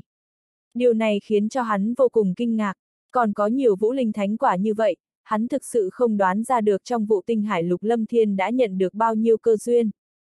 Lục Lâm Thiên sau khi nói xong vài câu lúc này đám người mới tản đi. Mỗi người đều vô cùng kích động, hưng phấn. Nếu không gia nhập phi linh môn thì không thể nhận được những thứ này. Mà đối với sự phát triển của phi linh môn sau này mọi người vô cùng chờ mong. Mọi người tản đi, Lục Lâm Thiên, Thiên Độc Yêu Long, Thôi Hồn Độc Suốt Đông Vô Mệnh cũng đã đi tới mật thất phía sau núi. Một lát sau, Lục Lâm Thiên và Thiên Độc Yêu Long mới rời khỏi mật thất. Thôi hồn độc suốt đông vô mệnh đã lập tức bế quan. Có máu tươi của Thiên Độc Yêu Long và cây mã tiền ngàn năm, đột phá linh vương là chuyện trong khả năng. Sau khi Lục Lâm Thiên và Thiên Độc Yêu Long rời khỏi mật thất cũng không đi về ngay mà trực tiếp rời khỏi phi linh môn. Nửa canh giờ sau, hai người dưới bóng đêm xuất hiện trong mọt hồ nước ở quần sơn phi linh môn. Hồ nước này diện tích vô cùng lớn, bốn phía là núi non vây quanh, bình thường có cực ít người tới đây. Nhìn hồ nước lớn này, thủ ấn trong tay Lục Lâm Thiên khẽ kết. Lập tức vỗ vào thú nàng dưới eo, tức thì có hơn 10 đạo lưu quang bắn ra. Tham kiến yêu vương, tham kiến chủ nhân. Hơn 10 đạo lưu quang thu liếm, tất cả đều thu nhỏ thân hình, chính là hơn 10 đầu yêu thú lục giai trong vụ tinh hải bị lục lâm thiên thu phục. Tổng cộng có hơn 60 đầu yêu thú lục giai, trong đó có yêu thú lục giai bên cạnh thiên độc yêu long, còn có 5 đầu yêu vương khác trong vụ tinh hải có chút cửu oán với thiên độc yêu long trong vụ tinh hải. Bên người những yêu vương này cũng có không ít yêu thú lục giai, toàn bộ đều được lục lâm thiên đem ra ngoài. Trường ngao yêu giải, hổ bối yêu quy, thiết sĩ yêu ngạc, xà cảnh bạch sa, cự đầu yêu giao, các ngươi lưu lại, những người khác tạm thời đặt chân ở đây đi, đừng gây ra động tính quá lớn. Sâu thiên độc yêu long run lên, một cỗ khí tức vô hình tràn ra khiến cho trong lòng lũ yêu thú không khỏi run lên, vô luận là huyết mạch hay thực lực đều bị nó áp chế. Trong phương diện huyết mạch những yêu thú này không thể so sánh với thiên độc yêu long. Cho dù là phương diện thực lực, vốn khi thiên độc yêu long còn ở lục giai hậu kỳ năm yêu vương kia chỉ liên thủ mới có thể khắc chế thiên độc yêu long. Cũng vì như vậy mới khiến cho thiên độc yêu long oán hận không ngớt. Mỗi một lần giao thủ đều là năm đầu yêu vương này cùng tiến lên khiến cho nó không có cách nào chiến thắng được. Vâng. Lũ yêu thú đáp, thân thể run lên rồi lập tức chui vào trong hồ nước. Trong hồ nước to lớn lúc này có không ít sinh vật bị kinh hãi.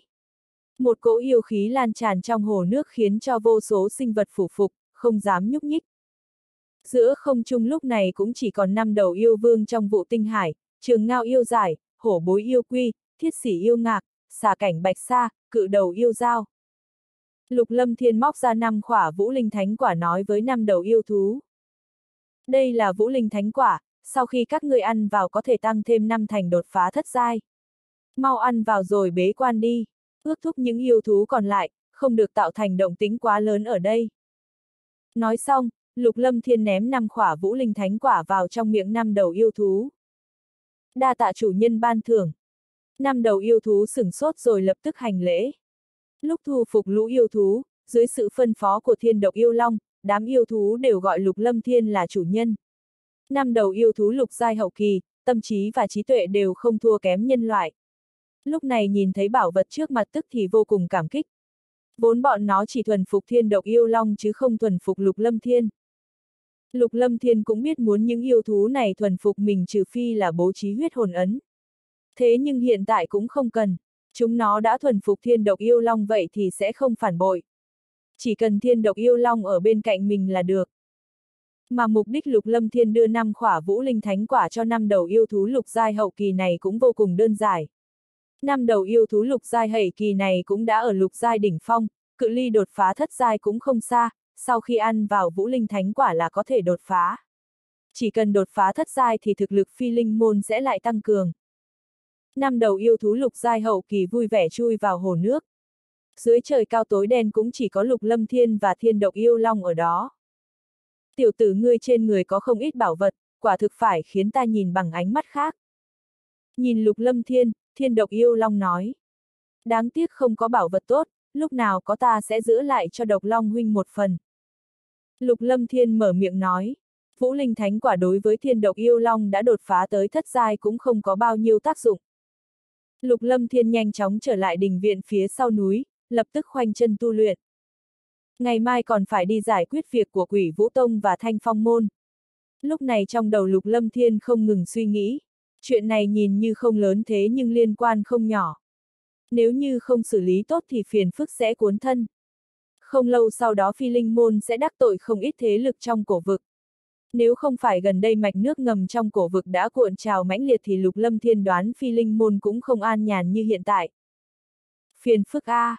Lục lâm thiên hít sâu một hơi, cũng chỉ đành binh đến tường ngăn. Hy vọng tới lúc đó sự sắp xếp của hắn không có sai sót, có thể giảm phiền phức tới mức thấp nhất. Một lát sau, Lục Lâm Thiên tiến vào trạng thái tu luyện, quanh thân được bao phủ bởi một vòng quang mang. Đêm khuya, tại một nơi trong sơn mạch vụ đô, có mấy trăm người cưỡi yêu thú phi hành thừa dịp bóng đêm còn chưa tan hết nhanh chóng biến mất giữa không trung. Một đêm tĩnh lặng trôi qua, khi mặt trời ló dạng, phi linh sơn như được bao phủ bởi một chiếc khăn trắng. Một mảnh sương mù bao phủ ngọn núi, toàn bộ kiến trúc như ẩn như hiện dưới màn sương. Trên lá cây chung quanh ngọn núi cũng ướt đẫm sương, đồng thời không khí vô cùng mát mẻ. Phù! Lục lâm thiên thở ra một ngụm chọc khí. Một đêm tu luyện, cảm nhận thực lực vũ xuất nhất trọng đỉnh phong của mình lúc này cũng có tiến bộ, tuy rằng lại tiến bộ này nhỏ bé không đáng kể. Thế nhưng thực lực được củng cố khiến cho Lục Lâm Thiên có cảm giác tiến bộ. Mà đối với loại biến hóa này Lục Lâm Thiên đã sớm trải qua một lần. Sau khi đột phá vũ xuất, cuối cùng dựa vào năng lượng trong hồ nước vẫn đủ để hắn đột phá tới vũ xuất nhất trọng đỉnh phong và linh xuất nhất trọng đỉnh phong, tốc độ đột phá vô cùng nhanh, lúc này tu luyện chỉ củng cố tu vi mà thôi. Đối với chuyện này Lục Lâm Thiên không khỏi mỉm cười. Tu vi dưới sự củng cổ, thực lực của hắn vô hình chung cũng có tăng cường.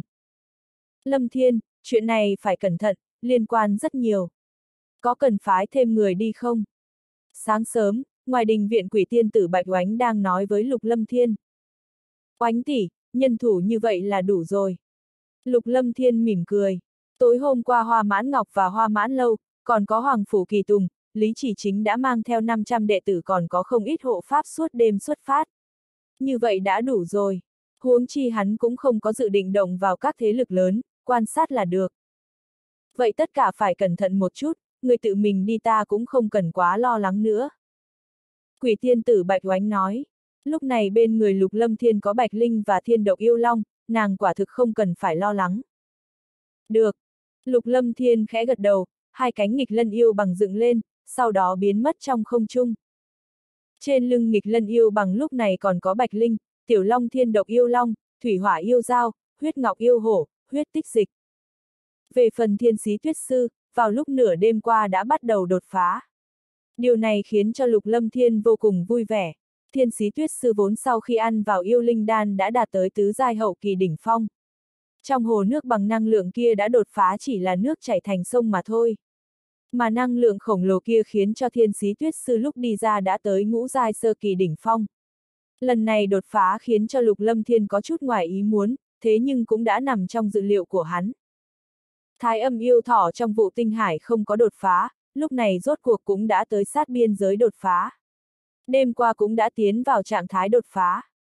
Thiên sĩ tuyết sư đột phá, Lục Lâm Thiên cũng chỉ có thể cưỡi nghịch lân yêu bằng, ba người cùng với Tiểu Long và chúng thú lập tức đi về phía trước. Lục Lâm Thiên vốn muốn mang Lục Tâm Đồng đi theo. Thực lực của Lục Tâm Đồng hiện tại đã có thể đi ra bên ngoài tôi luyện nhiều hơn. Thế nhưng chiều ngày hôm qua, Lục Lâm Thiên đã sắp xếp cho Lục Tâm Đồng bế quan, đương nhiên cũng đã ăn vào một khỏa vũ linh thánh quả. Từ quỷ thiên tử Bạch Oánh, Lục Lâm Thiên đã biết chỗ giao nhau của địa bàn quỷ Vũ Tông và Thanh Phong Môn. Nơi đó chỉ là một ngọn núi vô danh, nếu không phải gần đây xuất hiện một đạo cấm chế bị người ta phát hiện, nơi này căn bản cũng không có ai chú ý tới. Càng không bị quỷ Vũ Tông và Thanh Phong Môn tranh đoạt. Từ phi linh môn tới đây, Lục Lâm Thiên phỏng đoán bằng vào tốc độ hiện tại của nghịch lân yêu bằng, một ngày đêm tuyệt đối đủ. Có khi còn không tới một ngày đêm, đêm qua đám người hoa mãn ngọc đã xuất phát, tới lúc đó có lẽ cũng kịp chạy tới. Trên lưng nghịch lân yêu bằng, Lục Lâm Thiên đang lĩnh ngộ năng lượng thuộc tính.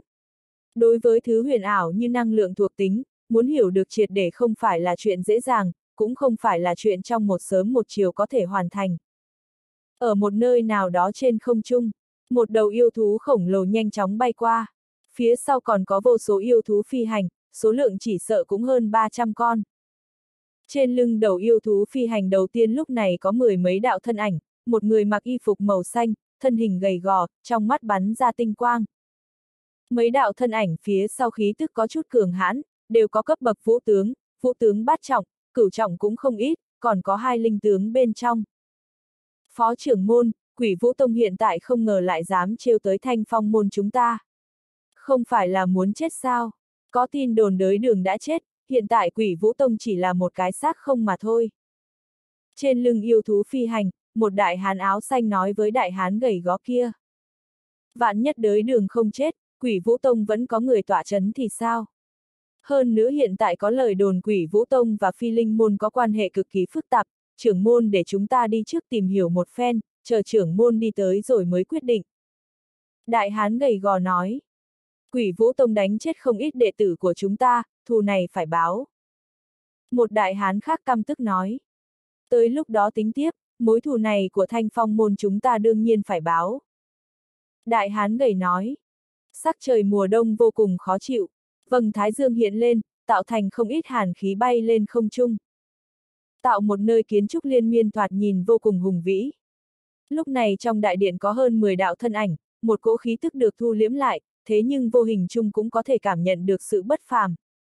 Lúc này trong chủ vị ở đại điện có một đại hán không tới 50 tuổi đang ngồi ngay ngắn, khuôn mặt cương nghị, góc cạnh phân minh, đôi mắt thâm thúy, lông mày rậm, vô cùng nho nhã. Quanh thân vô hình nổi lên ba động, khí tức trên người trong lúc vô hình tạo thành áp chế. Từ khí tức cũng có thể biết được người này tuyệt đối là cường giả vũ vương. Mà người này chính là trang chủ Lan Lăng Sơn Trang Gia Cát Tây Phong. Một nhân vật phong vân tuyệt đối trong cổ vực, lấy sự nho nhã dương danh trong cổ vực. Lúc này Gia Cát Tây Phong ngồi trong đại điện, sắc mặt có chút khó coi, cái quạt trong tay không ngừng vỗ vào tay, ánh mắt nhìn vào mọi người phía dưới đại điện, cuối cùng nhìn một người rồi nói. Phụng trưởng môn, quỷ vũ tông và thanh phong môn các ngươi tranh chấp, người muốn lan lăng sơn trang chúng ta nhúng tay vào là hơi sớm. Nếu như chuyện này truyền ra ngoài, chỉ sợ sẽ khiến mọi người chê cười thanh phong môn các ngươi, cũng chê cười lan lăng sơn trang chúng ta. Gia Cát Trang chủ, có chút chuyện người không biết, ta thu được tin tức, quỷ vũ tông và phi linh môn đã sớm liên thủ đánh chết không ít đệ tử của thanh phong môn ta. Nghe nói trong phi linh môn có quỷ tiên tử Bạch Oánh đã đạt tới vũ vương, còn có thanh hỏa lão quỷ và lộc sơn lão nhân, còn có thôi hồn độc suốt đông vô mệnh, những người này đều là người không dễ chọc. Vì vậy ta chỉ có thể tới nhờ Lan Lăng Sơn Trang ra tay mà thôi. Ở giữa đại điện lúc này một đại hán áo xanh nói, từ khí tức trên người hắn là có thể biết được người này cũng không kém chút nào. Mà người này chính là trưởng môn phụng tiên hành của thanh phong môn. Chỉ là, vẻ mặt Gia Cát Tây Phong khẽ biến đổi. Gia Cát Trang chủ, thanh phong môn ta từ trước tới nay đều vì lan lăng sơn trang như thiên lôi sai đâu đánh đó. Lần này nếu như thanh phong môn ta tổn thất, tới lúc đó sẽ đánh mất mặt mũi của lan lăng sơn trang. Cha, để con đi đi. Không ngờ quỷ vũ tông lại có liên quan tới phi linh môn. Con cũng muốn tới phi linh môn kia xem một chút. Trong đại điện, lúc này có một thanh âm vang lên. Một thanh niên đứng dậy, trên người mặt cẩm bào, tuổi chừng 24-25. dáng người gầy, khuôn mặt góc cạnh, chính là Gia Cát Tử Vân kia. Ánh mắt Gia Cát Tử Vân khẽ biến đổi, hắn muốn tới phi linh môn không phải là giả, điều quan trọng là hắn muốn nhìn lục lâm thiên của phi linh môn kia. Tử Vân, con đi chuẩn bị tham gia đào hoa yến của Linh Thiên Tông đi, thời gian cũng không còn sớm. Nhíu mày, Gia Cát Tây Phong lập tức nói với Gia Cát Tử Vân. Gia Cát Trang Chủ, nếu như thiếu Trang Chủ có thể tự mình đi là hay nhất. Phi linh môn kia tuyệt đối không dám lộn xộn. Ánh mắt Phụng Tiên Hành biến đổi, nhanh chóng nói. Gia Cát Tây Phong do dự, trong lòng nghĩ gì không ai biết được. Cha, con tự có chừng mực, để con đi tới đó. Gia Cát Tử Vân lại nói. Được rồi, con đi cũng tốt, mặt khác bảo phí lan trưởng lão mang theo một ít đệ tử đi theo. Gia Cát Tây Phong ngẩng đầu rồi nói. Vâng, trưởng môn. Một lão phụ lên tiếng. Lập tức ba người rời khỏi đại điện trong ánh mắt phức tạp của Gia Cát Tây Phong. Sau khi ba người rời khỏi đại điện hai hàng lông mày của Gia Cát Tây Phong nhíu lại. Trang chủ, Phụng Tiên Hành này không ngờ lại dám có ý tứ uy hiếp trang chủ, thực sự càng lúc càng lớn mật. Một đại hán ánh mắt âm lệ nói. Phụng Tiên Hành này sợ phi linh môn, lại không muốn đánh mất mặt mũi cho nên mới tới Lan Lăng Sơn Trang chúng ta. Nghe nói quỷ tiên tử bạch oánh của phi linh môn đã là vũ vương, còn có cường giả vũ vương khác cho nên hắn không dám trêu chọc. Mà Lan Lăng Sơn Trang chúng ta không thể không đi, nếu như không đi sẽ bị người khác chê cười. Nếu như đi, không thể lấy được vật trong cấm chế kia thì cũng bị chê cười. Gia Cát Tây Phong thở dài nói. Trang chủ, sao lại không phái thêm một ít trưởng lão đi trước? Vật trong cấm chế kia có rất nhiều người vọng tưởng, chỉ phái phí lan trưởng lão và thiếu trang chủ tới đó, vạn nhất xảy ra điều gì ngoài ý muốn thì chúng ta phải làm sao? Trong đại điện, một lão giả dường như là trưởng lão của Lan Lăng Sơn Trang nói. Quên đi, chuyện này liên quan không ít, dường như cũng không phải đơn giản. Nhẫn một chút sóng yên biển lặng, phi linh môn kia cũng không cần sợ. Ta chỉ sợ thế lực đứng phía sau phi linh môn. Lần này ta cũng muốn nhìn xem phi linh môn kia có dám động tới lan lăng sơn trang của chúng ta hay không. Gia Cát Tây Phong nói.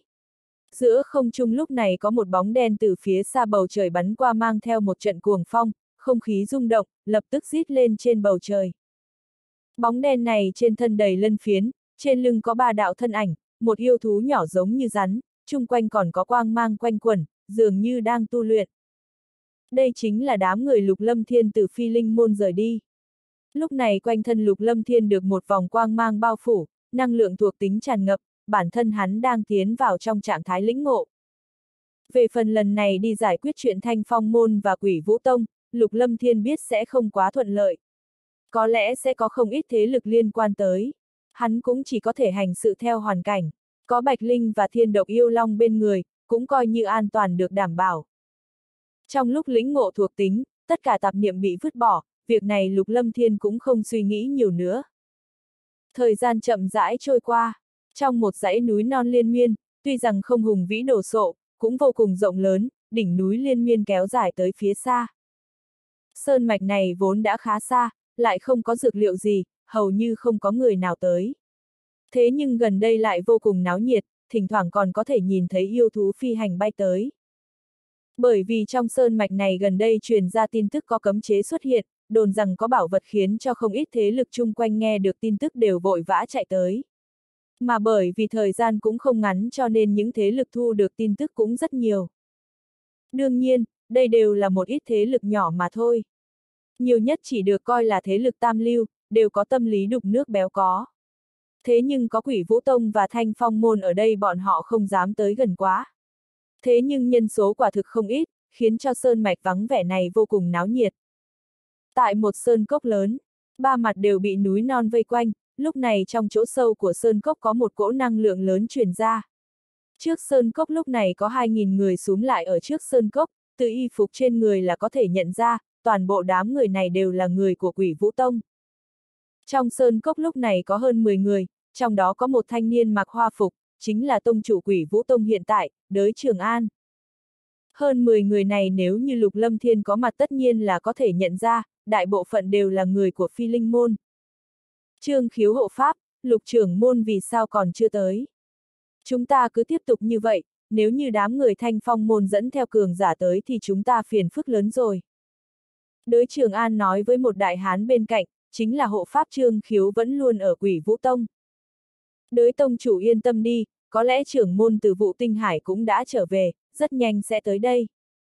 Trương khiếu nói, không hay rồi tông chủ, người của thanh phong môn tới. Bên ngoài cốc có một tiếng bối rối truyền đến, một đệ tử có tu vi vũ sư của quỷ vũ tông vội vã chạy tới. Chúng ta ra nhìn xem. Ánh mắt trương khiếu trầm xuống, cũng không đợi đới trường an, lập tức đi ra ngoài sơn cốc, đám người xung quanh đi theo sát. Đới Trường An đi cuối cùng. Ngoài sơn cốc lúc này trên đỉnh núi lớn có 2.000 người đang hùng hổ đi tới. Phía trước có không ít người, khí tức cực kỳ cường hãn. Trương khiếu từ trong sơn cốc đi ra, đệ tử quỷ vũ tông lúc này đã vô cùng căng thẳng nhìn vào đám người phía trước. Nhìn đám người thanh phong môn tới, sắc mặt trương khiếu biến sắc, từ khí tức trên người hắn có thể nhận ra, người tới có cường giả vũ xuất, không phải là người mà hắn có thể đối phó. Tông chủ quỷ vũ tông có ở đây không? Một đạo thanh âm vang lên, thanh âm mang theo chân khí khiến cho tất cả mọi người đều có thể nghi được. Chính là ta. Một thanh âm từ trong đoàn người vang lên, chính là đới trường an đang vội vã tới. Đới trường an chậm rãi đi ra, ánh mắt nhìn về đám người thanh phong môn lúc này có chút bối rối. Đại hán gầy gò của thanh phong môn nhìn vào đới trường an, sắc mặt sửng sốt, dường như không nghĩ tới đới trường an lại chỉ là vũ phách nhất trọng. Nơi này chính là địa bàn của thanh phong môn chúng ta, các người mau đi cho ta. Bằng không đừng trách thanh phong môn chúng ta đối với các ngươi không khách khí. Đại hán gầy gò nhìn đám người quỷ vũ tông rồi nói. Hắn không đặt đám người trước mặt này trong mắt, thế nhưng dường như cũng có chút bận tâm cho nên không có lập tức động thủ. Đới Trường An nhìn Trương Khiếu, những trường hợp như thế này hắn luôn lấy Trương Khiếu làm chủ. Lúc này cũng vậy, cảm thấy bộ dáng hùng hổ của đám người thanh phong môn, còn người trước mặt khí tức mạnh mẽ, hắn cũng không dám trêu chọc. Các hạ, đây là địa bàn của quỷ vũ tông, từ khi nào đã trở thành địa bàn của thanh phong môn các ngươi rồi. Hai hàng lông mày của Trương Khiếu nhíu lại, nhìn đám người rồi nói. Trong thanh phong môn, lúc này có mấy người cúi đầu thấp giọng nói với đại hán gầy gò kia, ánh mắt đại hán này lập tức có chút biến hóa. Ngươi không phải người quỷ vũ tông. Đại hán gầy gò lập tức hỏi Trương Khiếu.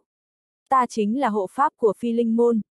Trương Khiếu nhanh chóng nói, giọng nói mang theo chút ngạo khí.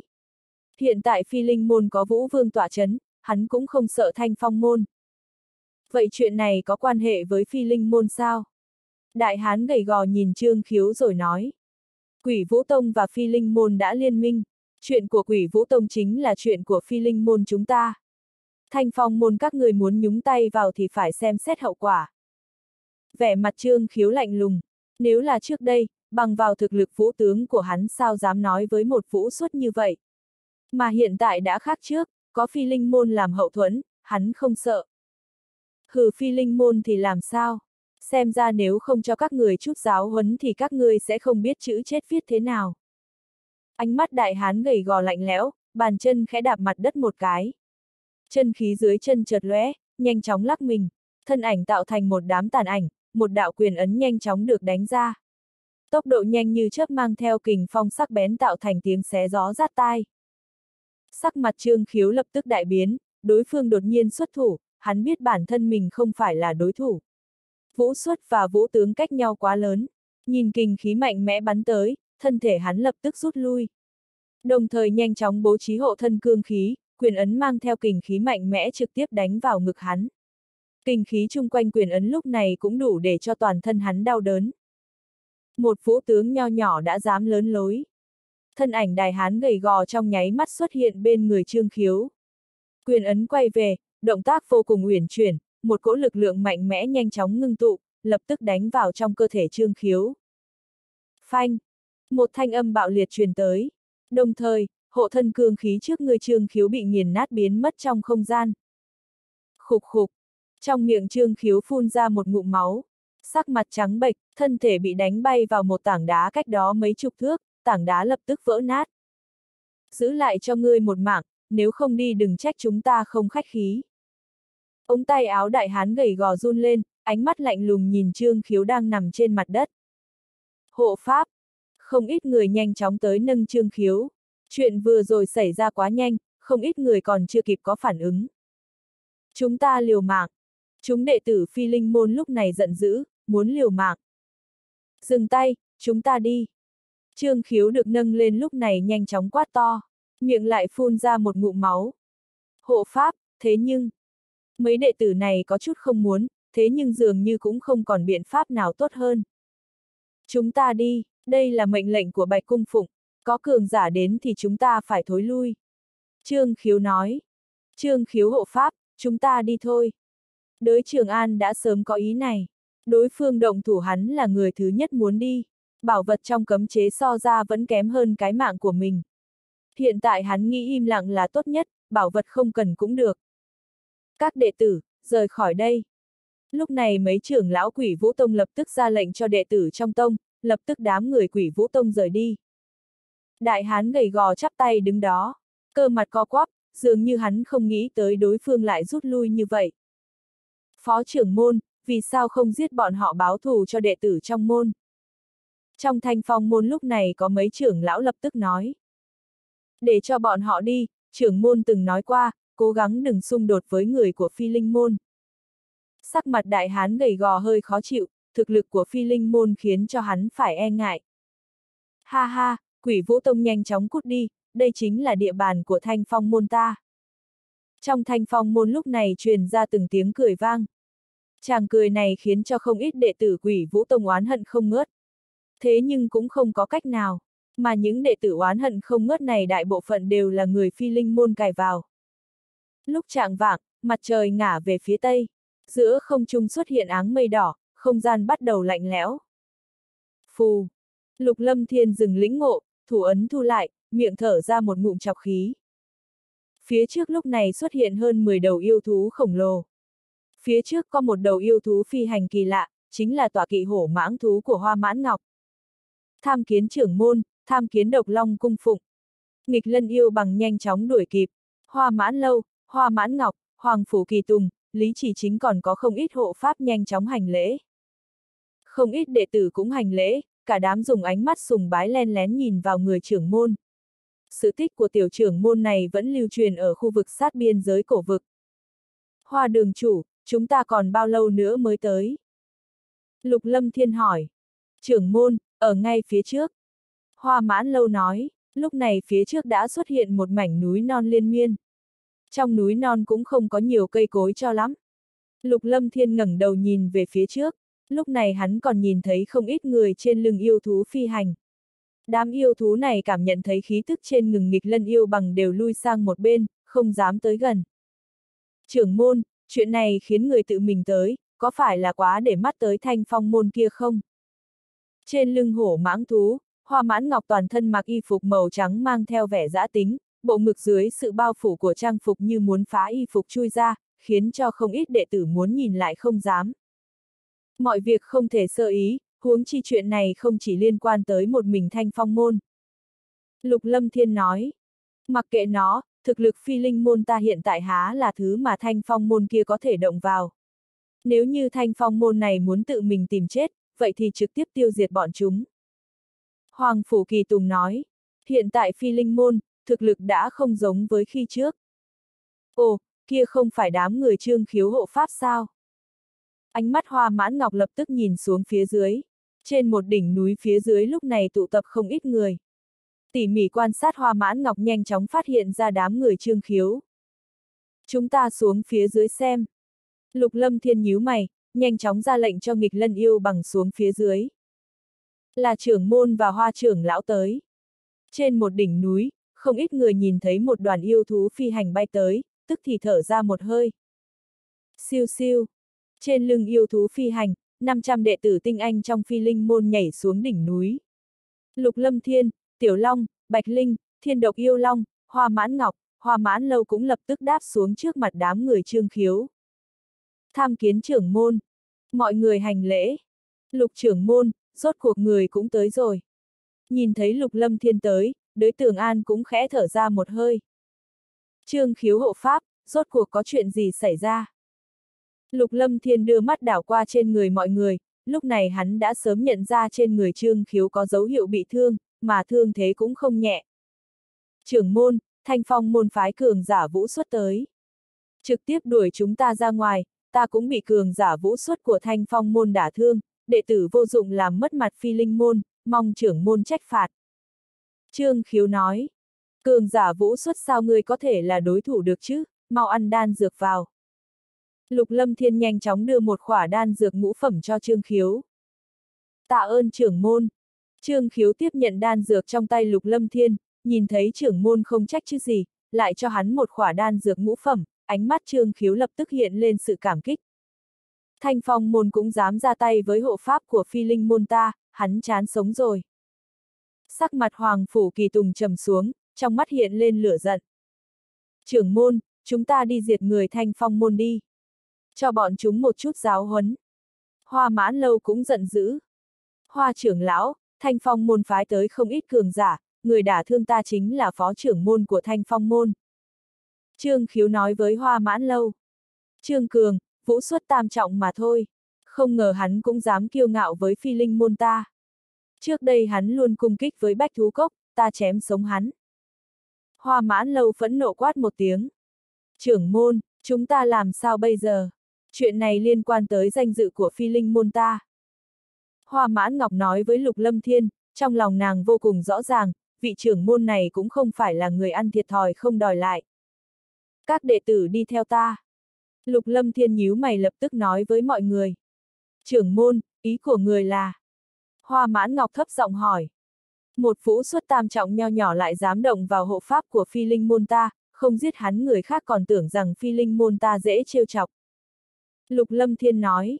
Lục Lâm Thiên nói khiến cho không ít đệ tử chung quanh hưng phấn. Nghẹn khuất vừa rồi hiện tại trưởng môn tới đã có thể đòi lại. Đi, chúng ta đi diệt thanh phong môn.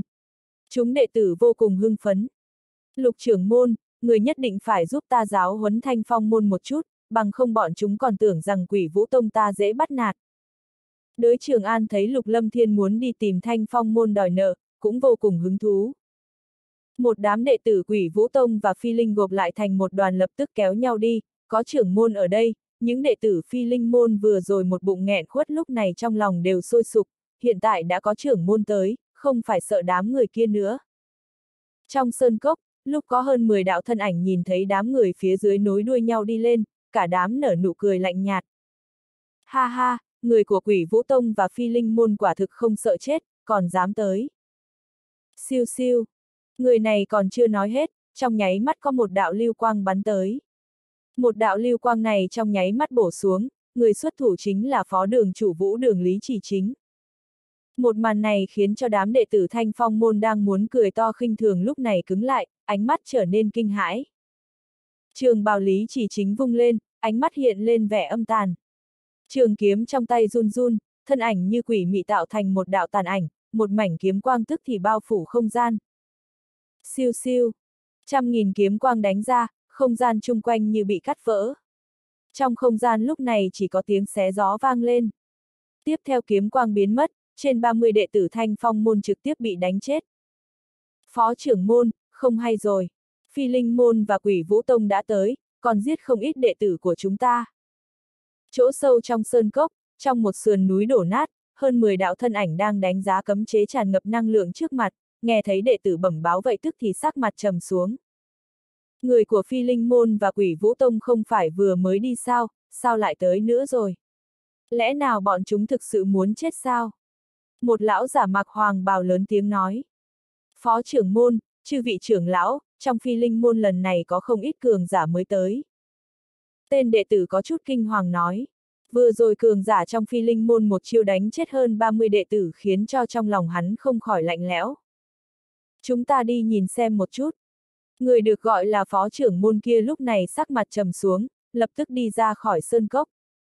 Ta muốn nhìn xem phi linh môn có cường giả gì, lẽ nào bọn chúng cho rằng thanh phong môn ta không giết được bọn chúng sao? Mấy trưởng lão thanh phong môn nổi giận, sát khí bùng lên. Đám thanh phong môn này có một vũ xuất tam trọng, một cái tát của ta cũng đủ chết. Nhìn vào sơn cốc, thiên độc yêu long nhíu mày, tâm thần hắn đã sớm bao phủ không gian chung quanh. Đại trùng tử, đừng nói là ngươi, một ngụm của ta cũng có thể nuốt hắn. Tiểu Long ở trên vai Lục Lâm Thiên lắc lư cái đầu nói. Vũ xuất tam trọng nó không đặt vào trong mắt. Lục Lâm Thiên đưa mắt nhìn vào trong sơn cốc, năng lượng từ trên cấm chế truyền tới, thế nhưng cấm chế này vẫn không ai có thể mở được. Mà đối với chuyện thanh phong môn lần này Lục Lâm Thiên vốn không muốn gây chiến. Dù sao chuyện này không hợp với kế hoạch của hắn, thế nhưng có một số việc lại vượt quá dự liệu của hắn. Giống như là người thanh phong môn đả thương hộ pháp trương khiếu. Đuổi người phi linh môn và quỷ vũ tông ra khỏi sơn cốc. Đây chính là một cái tát đánh vào mặt phi linh môn. Nếu như phi linh môn mặc kệ mà nói thì sau này sẽ bị người khác chê cười. Tuy rằng hiện tại thực lực phi linh môn không mạnh, có một số việc cần nhẫn nại, thế nhưng điểm này không thể tỏ ra yếu kém.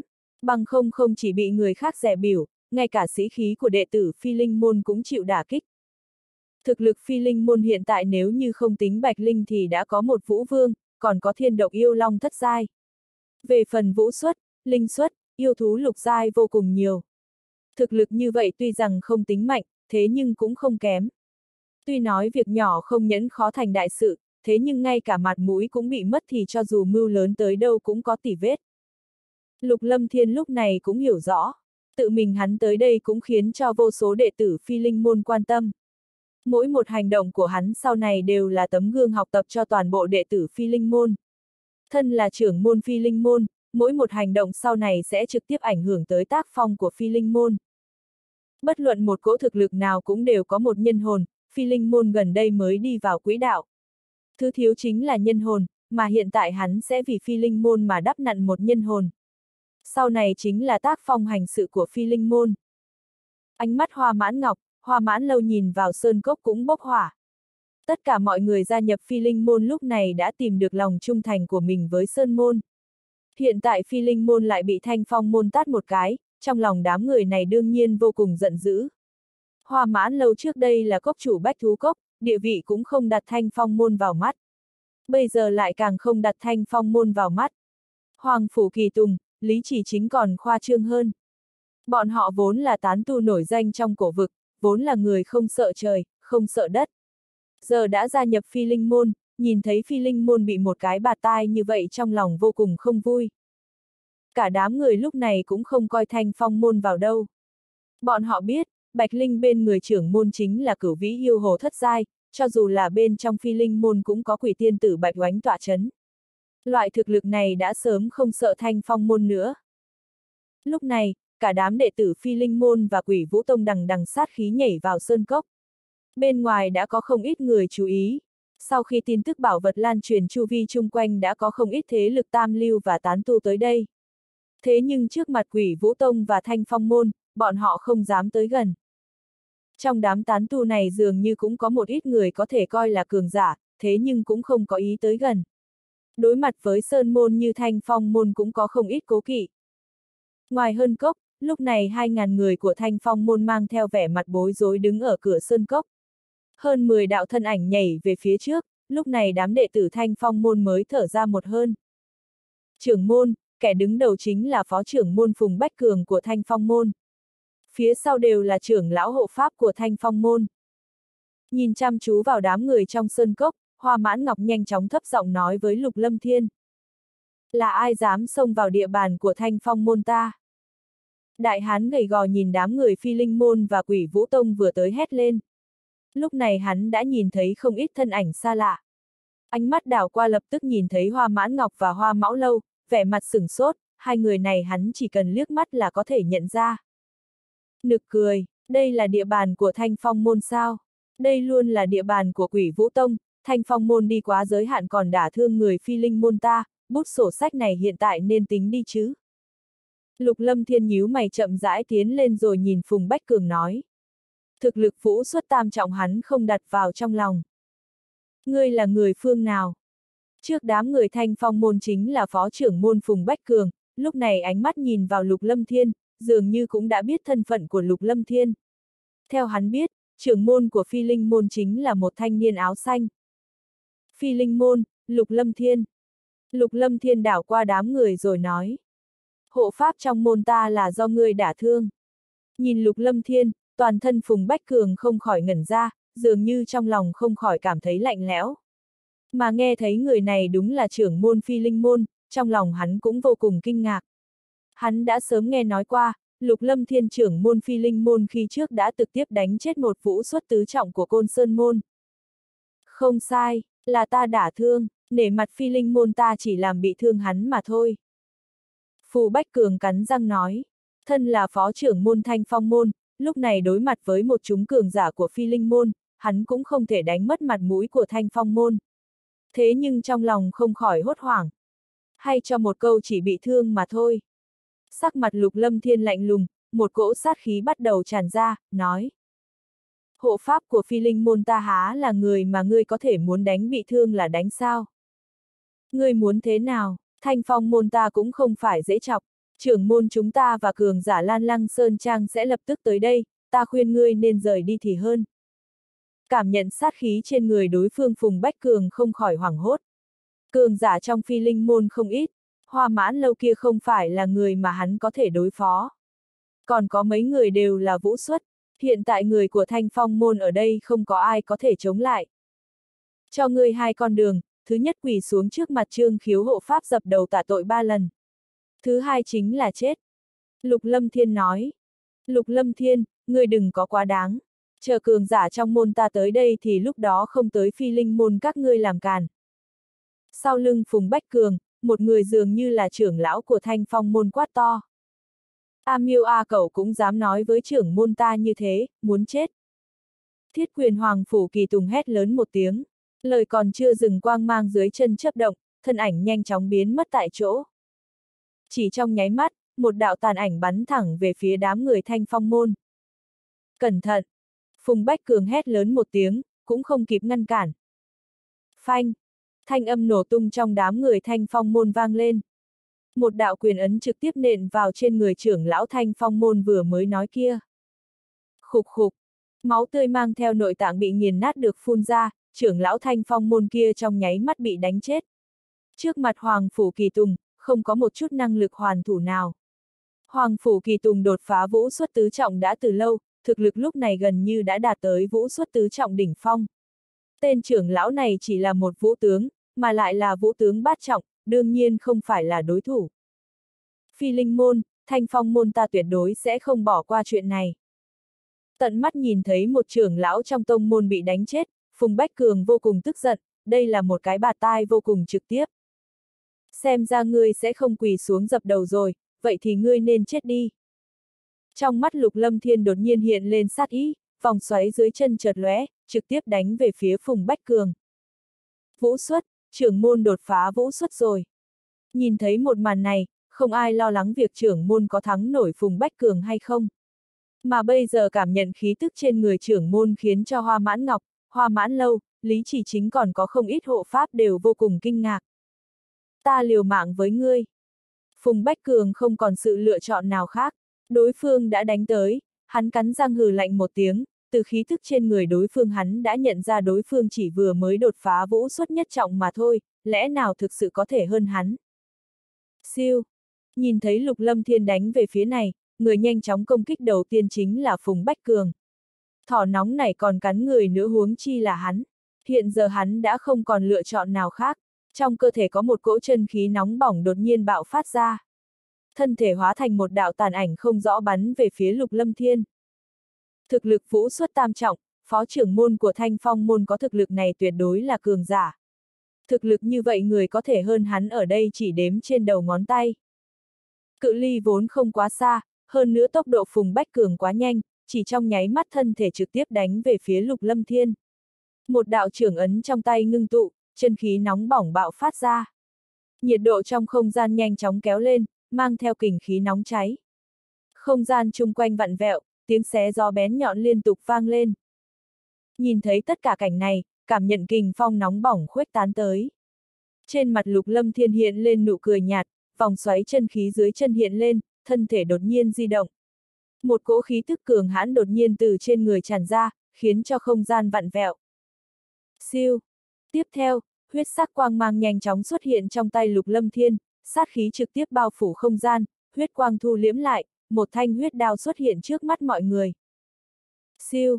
Chân khí được rót vào, lúc này lục lâm thiên không thi triển bất kỳ vũ kỹ đao pháp nào, huyết lục trong tay nhanh chóng chém ra, một đạo huyết sắc quang mang nhanh chóng bắn về phía trước. Ngao! Khi đao mang bổ ra mang theo một tiếng gầm gừ vang vọng giống như long ngâm. Đao mang đánh ra khiến cho sóng gợn trong không gian giống như màn nước tách sang hai bên rồi lan tràn, một cỗ khí thức kinh khủng xuất hiện, khiến cho tim mọi người không khỏi đập nhanh hơn. Khí tức thật là kinh khủng. Đám người hoa mãn lâu, hoa mãn ngọc, hoàng phủ kỳ tùng nhìn vào một đao của trưởng môn trên bầu trời không khỏi kinh hãi. Khí tức kinh khủng này khiến cho trong lòn bọn họ cũng cảm giác được khí tức nguy hiểm. Sắc mặt Phùng Bách Cường đại biến, ánh mắt đầy vẻ hoảng sợ, trong lúc kinh hãi thì đao mang đã trực tiếp bắn tới, hung hăng va chạm với trưởng ấn hắn ngưng tụ. Đả thương hộ pháp phi linh môn ta, ta sẽ lấy mạng của ngươi. Một tiếng quát lạnh vang lên giữa không trung, trong sát khí lan tràn, toàn bộ không trung được bao phủ bởi sát khí kinh khủng này. Siêu! Đao mang cùng với tiếng xé gió bằng vào mắt thường cũng có thể thấy được, đao mang trực tiếp bổ đôi trường ấn bằng hỏa diễm khổng lồ của Phùng Bách Cường rồi lập tức đánh vào hộ thân cương khí của hắn. Dưới một đao này, ngay cả thanh giáp yêu giải lục giai cũng không thể chống lại, lúc này hộ thân cương khí của Phùng Bách Cường cũng lập tức bị bổ ra. Trong lúc kinh hãi, Phùng Bách Cường muốn chạy trốn cũng không còn kịp. Đao mang đã đánh vào thiên linh cái của hắn, một cỗ kình phong kinh khủng nhanh chóng cắt vào. Cạch cạch, mọi người có thể thấy được, dưới một đao này thân thể Phùng Bách Cường bị bổ đôi. Dưới kình khí cuồng bạo, thân thể hóa thành hai nửa ngã xuống mắt đất. Máu tươi chảy ra không ngừng. Một vũ xuất tam trọng không ngờ lại bị đánh chết đơn giản như vậy, một đao cũng không ngăn được. Lúc này chung quanh có không ít người đang xem xét, mọi người còn đang chờ đợi một hồi náo nhiệt, nói không chừng song phương sẽ đại chiến, bọn họ có thể nhận được một ít chỗ tốt. Thế nhưng không ai ngờ tới, thứ bọn họ nhìn thấy lại là cảnh tượng này. Phó trưởng môn thanh phong môn không ngờ trong một chiêu đã bị trưởng môn phi linh môn đánh chết. Điều này tất cả mọi người đều sợ hãi và kinh ngạc. Không biết là kinh hãi thực lực của lục lâm thiên hay là kinh ngạc phi linh môn thực sự dám động vào thanh phong môn. Cứ như vậy có lẽ thanh phong môn và phi linh môn sẽ thành kẻ thù không đội trời chung. Đệ tử phi linh môn nghe lệnh, chu sát đám người thanh phong môn, một người cũng không buông tha. Lục lâm thiên lăng không mà đứng, tỏa sát ý ngập trời. Huyết lục trong tay, quanh thân có một cỗ sát khí vô hình tràn ngập. Tới bước này, trong lòng lục lâm thiên vô cùng rõ, phi linh môn và thanh phong môn đã trở thành kẻ thù sống chết. Giữ lại người thanh phong môn chính là giữ lại đối thủ của phi linh môn. Lần này có thể đánh chết bớt một chút cũng là giảm bớt một chút lực lượng của thanh phong môn. Giết! Đệ tử phi linh môn nhìn thấy trưởng môn một đao bổ sống phó trưởng môn của thanh phong môn đã sôi sục, cả đám xoa xoa tay. Lúc này nghe thấy mệnh lệnh của trưởng môn, cả đám giống như sói đói nhanh chóng đánh về phía trước. Tức thì tiếng chém giết ngập trời, quanh quẩn trong sơn cốc. Đệ tử thanh phong cốc mắt thấy phó trưởng môn bị một đao chém chết trong lòng đã lạnh lẽo, đâu còn dám kiêu ngạo như trước nữa. Bọn chúng còn chưa kịp phản ứng thì đệ tử phi linh môn và quỷ vũ tông đã trực tiếp chém giết tới. Cả đám không khỏi cảm thấy hoảng sợ. Chạy, chạy mau. Không biết là ai lớn tiếng hô một câu, tức thì đệ tử thanh phong môn hoảng loạn, bắt đầu liều mạng chạy trốn. Thế nhưng dưới sự vây công của 500 đệ tử tinh anh của phi linh môn, hơn nữa lại thêm chúng cường giả của phi linh môn, có thể chạy được mới là lạ. Chết đi! Phanh phanh! Từng thanh âm bạo liệt vang lên trong sơn cốc, Hoàng Phủ Kỳ Tùng, Lý Chỉ Chính, Hoa Mãn Ngọc đã xuất thủ. Mấy người bọn họ xuất thủ, mấy trưởng lão còn lại của thanh phong môn chỉ có thể chờ bị tàn sát mà thôi. Hai vị hoa đường chủ, Hoàng Phủ đường chủ đi theo ta. Lý đường chủ, người bảo vệ sơn cốc, bất luận kẻ nào cũng không được tới gần. Giữa không trung, nhìn chiến cuộc, Lục Lâm Thiên thu hồi huyết lục, đệ tử Thanh Phong Môn không phải là đối thủ của đệ tử Phi Linh Môn và Quỷ Vũ Tông. Ánh mắt đảo qua, Lục Lâm Thiên nhìn Bạch Linh và Thiên Độc Yêu Long, thân ảnh lập tức tiến vào trong sơn cốc. Trên một sơn cốc to lớn lúc này có một phần ngọn núi đổ nát. Rộng chừng nghìn thước, đất đá chung quanh bao phủ một vòng quang mang, trên quang mang tràn ngập năng lượng thuộc tính phong. Ngoài quang mang này, bằng mắt thường cũng có thể thấy được không gian gợn sóng. Từng tia năng lượng hùng hậu không ngừng khuếch tán ra khiến cho mấy người nhìn vào trong lòng không khỏi khiếp sợ. Đây là cấm chế của một vũ vương phong hệ bố trí, bởi vì ngọn núi đổ nát cho nên cấm chế này mới dao động. Bạch Linh nhìn vào quang mang màu trắng kia rồi nói. Bạch Linh, nàng có thể mạnh mẽ mở cấm chế ra được không? Lục Lâm Thiên nhìn cấm chế trên bầu trời, chỉ ít hiện tại hắn cũng không thể mở ra được. Nếu như cấm chế không buông lỏng thì ta quả thực không phá giải được. Thế nhưng cấm chế đã buông lỏng, hơn nữa lại thêm độc long muốn mạnh mẽ phá vỡ nó cũng không khó. Chỉ là không biết bên trong có thủ đoạn khác hay không. Rất có khả năng nếu như mạnh mẽ mở cấm chế ra thì những vật bên trong sẽ bị phá hủy. Đôi mắt xinh đẹp của Bạch Linh chợt lóe lên, nhìn cấm chế khổng lồ phía trên rồi nói. Cũng có thể bên trong không có thủ đoạn khác, nàng cứ mạnh mẽ mở ra đi. Lục Lâm Thiên do dự một chút rồi quyết định, có lẽ thanh phong môn và những sơn môn khác cũng đang trên đường tới. Hắn phải nhanh chóng lấy bảo vật bên trong cấm chế, bằng không, nếu như bên trong có thủ đoạn khác, coi như là bản thân mình không chiếm được thì cũng tốt hơn so với việc mở to mắt nhìn kẻ khác chiếm lấy bảo vật. Độc Long, ta cần người trợ giúp một tay. Bạch Linh quay đầu nói với thiên độc yêu Long. Không thành vấn đề. Thiên độc yêu Long nói, ánh mắt nhìn vào cấm chế bên trên, yêu nguyên trên người bùng ra. Siêu! Thân ảnh Bạch Linh lăng không đứng lên, cổ tay dương lên, y phục bay phất phới. Trên cánh tay đột nhiên có một đạo quang trụ màu trắng bắn ra mang theo một cỗ năng lượng cực kỳ cuồng bạo. Trong nháy mắt đánh vào trên cấm chế tràn ngập năng lượng kia. Một kích của Bạch Linh mang theo năng lượng cuồng bạo đánh vào cấm chế vô hình kia, trên cấm chế không biết từ khi nào có một cỗ năng lượng cuồng bạo nhanh chóng xuất hiện. Siêu siêu. Cỗ năng lượng cuồng bạo này trong nháy mắt khuếch tán ra toàn bộ sơn cốc, giống như cuồng phong bạo vũ khuếch tán. Toàn bộ sơn cốc lúc này rung động giống như sơn băng địa lị ê. Phá! Dâu thiên độc yêu long run lên, thân thể tiến lên một bước, yêu nguyên quanh người hội tụ. Trong bầu trời đột nhiên được khí thức cuồng bạo bao phủ. Trong tay hắn có một trường ấn màu lam nhanh chóng đánh vào cơn lốc khổng lồ giống như cuồng phong bạo vũ kia. Phanh phanh. Thanh âm bạo liệt vang lên liên tục, cơn lốc giống như cuồng phong bạo vũ kia bị một trưởng của thiên độc yêu long đánh nát. Kinh khí bàng bạc đột nhiên khuếch tán. Một cỗ năng lượng cuồng bạo tràn ngập, kinh phong bắn ra bốn phía trong sơn cốc, mặt đất lúc này rung chuyển giống như địa chấn. Hoa mãn ngọc, hoa mãn lâu lần đầu tiên nhìn thấy thiên độc yêu long xuất thủ, hai người đối với thực lực của thiên độc yêu long vốn rất hiếu kỳ, có thể khiến cho trưởng môn khách khí như vậy, lại trở thành cung phụng của phi linh môn, thực lực có lẽ sẽ không yếu. Mà lúc này thấy thiên độc yêu long xuất thủ, tự yêu khí tràn ngập quanh người lúc này hai huynh muội hoa ra lập tức biết được đó chính là yêu nguyên của độc long cung phụng, mà vị cung phụng này chính là yêu thú thất giai. Là cường giả yêu thú thất giai. Trong lòng hai người cả kinh, thảo nào trưởng môn lại thành lập một yêu đường, hóa ra là có yêu thú thất giai tỏa chấn. Ta đến trợ giúp một tay. Thiên độc yêu long một trưởng đánh tan vòng xoáy kia, lập tức đem một đạo quang trụ khác đánh vào mặt cấm chế lớn phía trước. Cấm chế màu trắng bằng năng lượng kia đem không gian bên trong phòng bế lại. Lúc này dưới sự gia nhập của quang trụ màu lam của thiên độc yêu long, trong chốc lát, không gian vốn đang gợn sóng lúc này kịch liệt ba động. Ba cỗ năng lượng dây dưa với nhau, đương nhiên năng lượng bên trong cấm chế kia là hùng hậu nhất. Loại năng lượng của cấm chế này cực kỳ mạnh mẽ. Dưới sự liên thủ của Bạch Linh và Thiên Độc Yêu Long cũng không bị bài trừ ngay lập tức. Lục Lâm Thiên ngẩng đầu nhìn tất cả chuyện này thầm nghĩ, xem ra người bố trí cấm chế ít nhất cũng là Vũ Vương bát trọng. Thậm chí còn là Vũ Vương cửu trọng. Loại cấm chế mà cường giả cấp bậc này bố trí, có lẽ bên trong sẽ có một chút bảo vật. Đối với cấm chế này, trong lòng Lục Lâm Thiên nghĩ tới hai điểm. Thứ nhất, đây là nơi ở của một cường giả Vũ Vương. Thứ hai, khi trước ở đây có cường giả Vũ Vương đột phá, bằng không Vũ Vương tuyệt đối sẽ không nhàn rỗi bố trí cấm chế ở nơi này. Phá cho ta! Giữa không trung, Bạch Linh quát khẽ một tiếng, thủ ấn tiếp tục biến hóa. Quang trụ màu trắng càng thêm chói mắt, năng lượng yêu nguyên bàng bạc mang theo khí thế bài sơn hải đảo hung hăng đánh vào trên cấm chế bằng năng lượng kia. Cấm chế này tuy rằng mạnh mẽ, thế nhưng dưới sự gia tăng lực lượng của Bạch Linh, tức thì nổi lên từng đợt ba động gấp gáp, giống như sóng biển cuồn cuộn vậy. Cấm chế rốt cuộc cũng được buông lỏng, bỗng nhiên có một cỗ kình phong mạnh mẽ bắn ra, tức thì âm hưởng nặng nề vang vọng toàn bộ sơn cốc. Phanh phanh, thanh âm nổ tung, trên cấm chế, không gian ba động kịch liệt, từ trên cấm chế xuất hiện từng cái khe nhỏ, trong nháy mắt cái khe tràn ngập trên quang cháo, cuối cùng dưới một tiếng nổ vang trực tiếp vang tung tóe.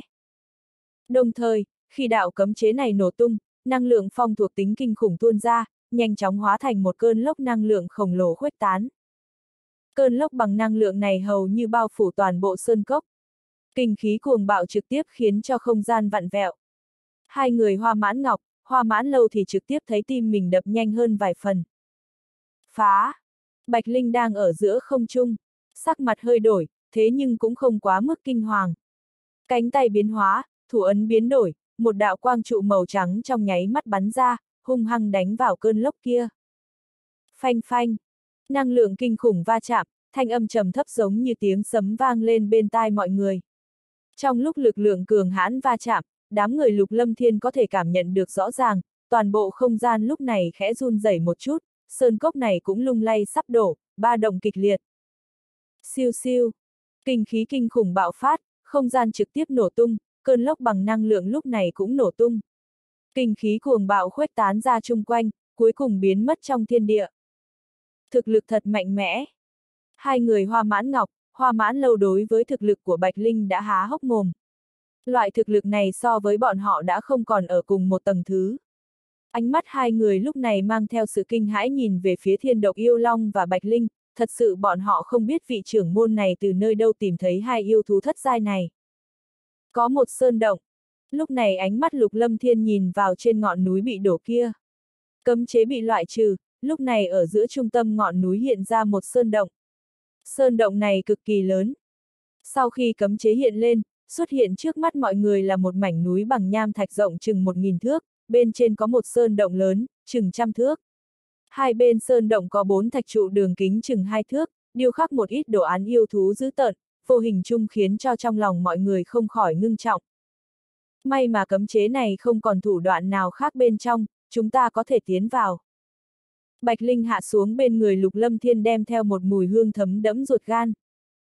Khổ cực cho nàng nồi. Lục Lâm Thiên nhìn Bạch Linh nói. Nói câu này với ta vô dụng, nhanh đi vào bên trong nhìn xem. Bạch Linh trừng mắt nhìn Lục Lâm Thiên. Trong động này nhất định có chút quỷ dị, chúng ta vào xem.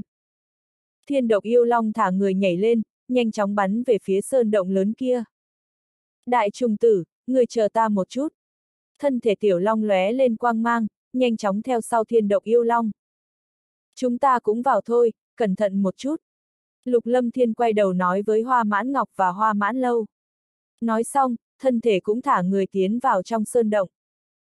Trong sơn động vô cùng vắng vẻ, hai bên đều là nham thạch trơn tuột, dường như đã mấy nghìn năm không có ai tới đây. Lục Lâm Thiên đã nghe quỷ tiên tử Bạch Oánh nói qua, cấm chế này đã có ở đây mấy nghìn năm, xem ra quả thực mấy nghìn năm nay không có người tiến vào trong này. Lão đại, huynh mau tới đây nhìn. Lúc này, thanh âm của Tiểu Long từ bên trong đem theo sự kinh ngạc vang lên. Nghe vậy Lục Lâm Thiên và Bạch Linh nhanh chóng đi tới. Một lát sau, tại một động thiên khác có một đại sảnh xuất hiện trong mắt Lục Lâm Thiên. Đại sảnh này ở ngay trong ngọn núi, diện tích không nhỏ, có không ít ghế đá. Mà trên chủ vị có một bộ xương khô hình người, trên xương trắng có không ít bụi bặm, dường như đã chết nhiều năm. Lão đại, ở đây hình như không có gì, cũng chỉ có chiếc nhẫn chữ vật trên bộ xương khô này mà thôi. Tiểu Long đáp xuống vai thiên độc yêu Long rồi nói với Lục Lâm Thiên. Nó đã quan sát qua đại sảnh này, không hề có thứ gì khác. Ta đi xem. Hoa mãn lâu nói. Chậm đã, không thể sơ ý.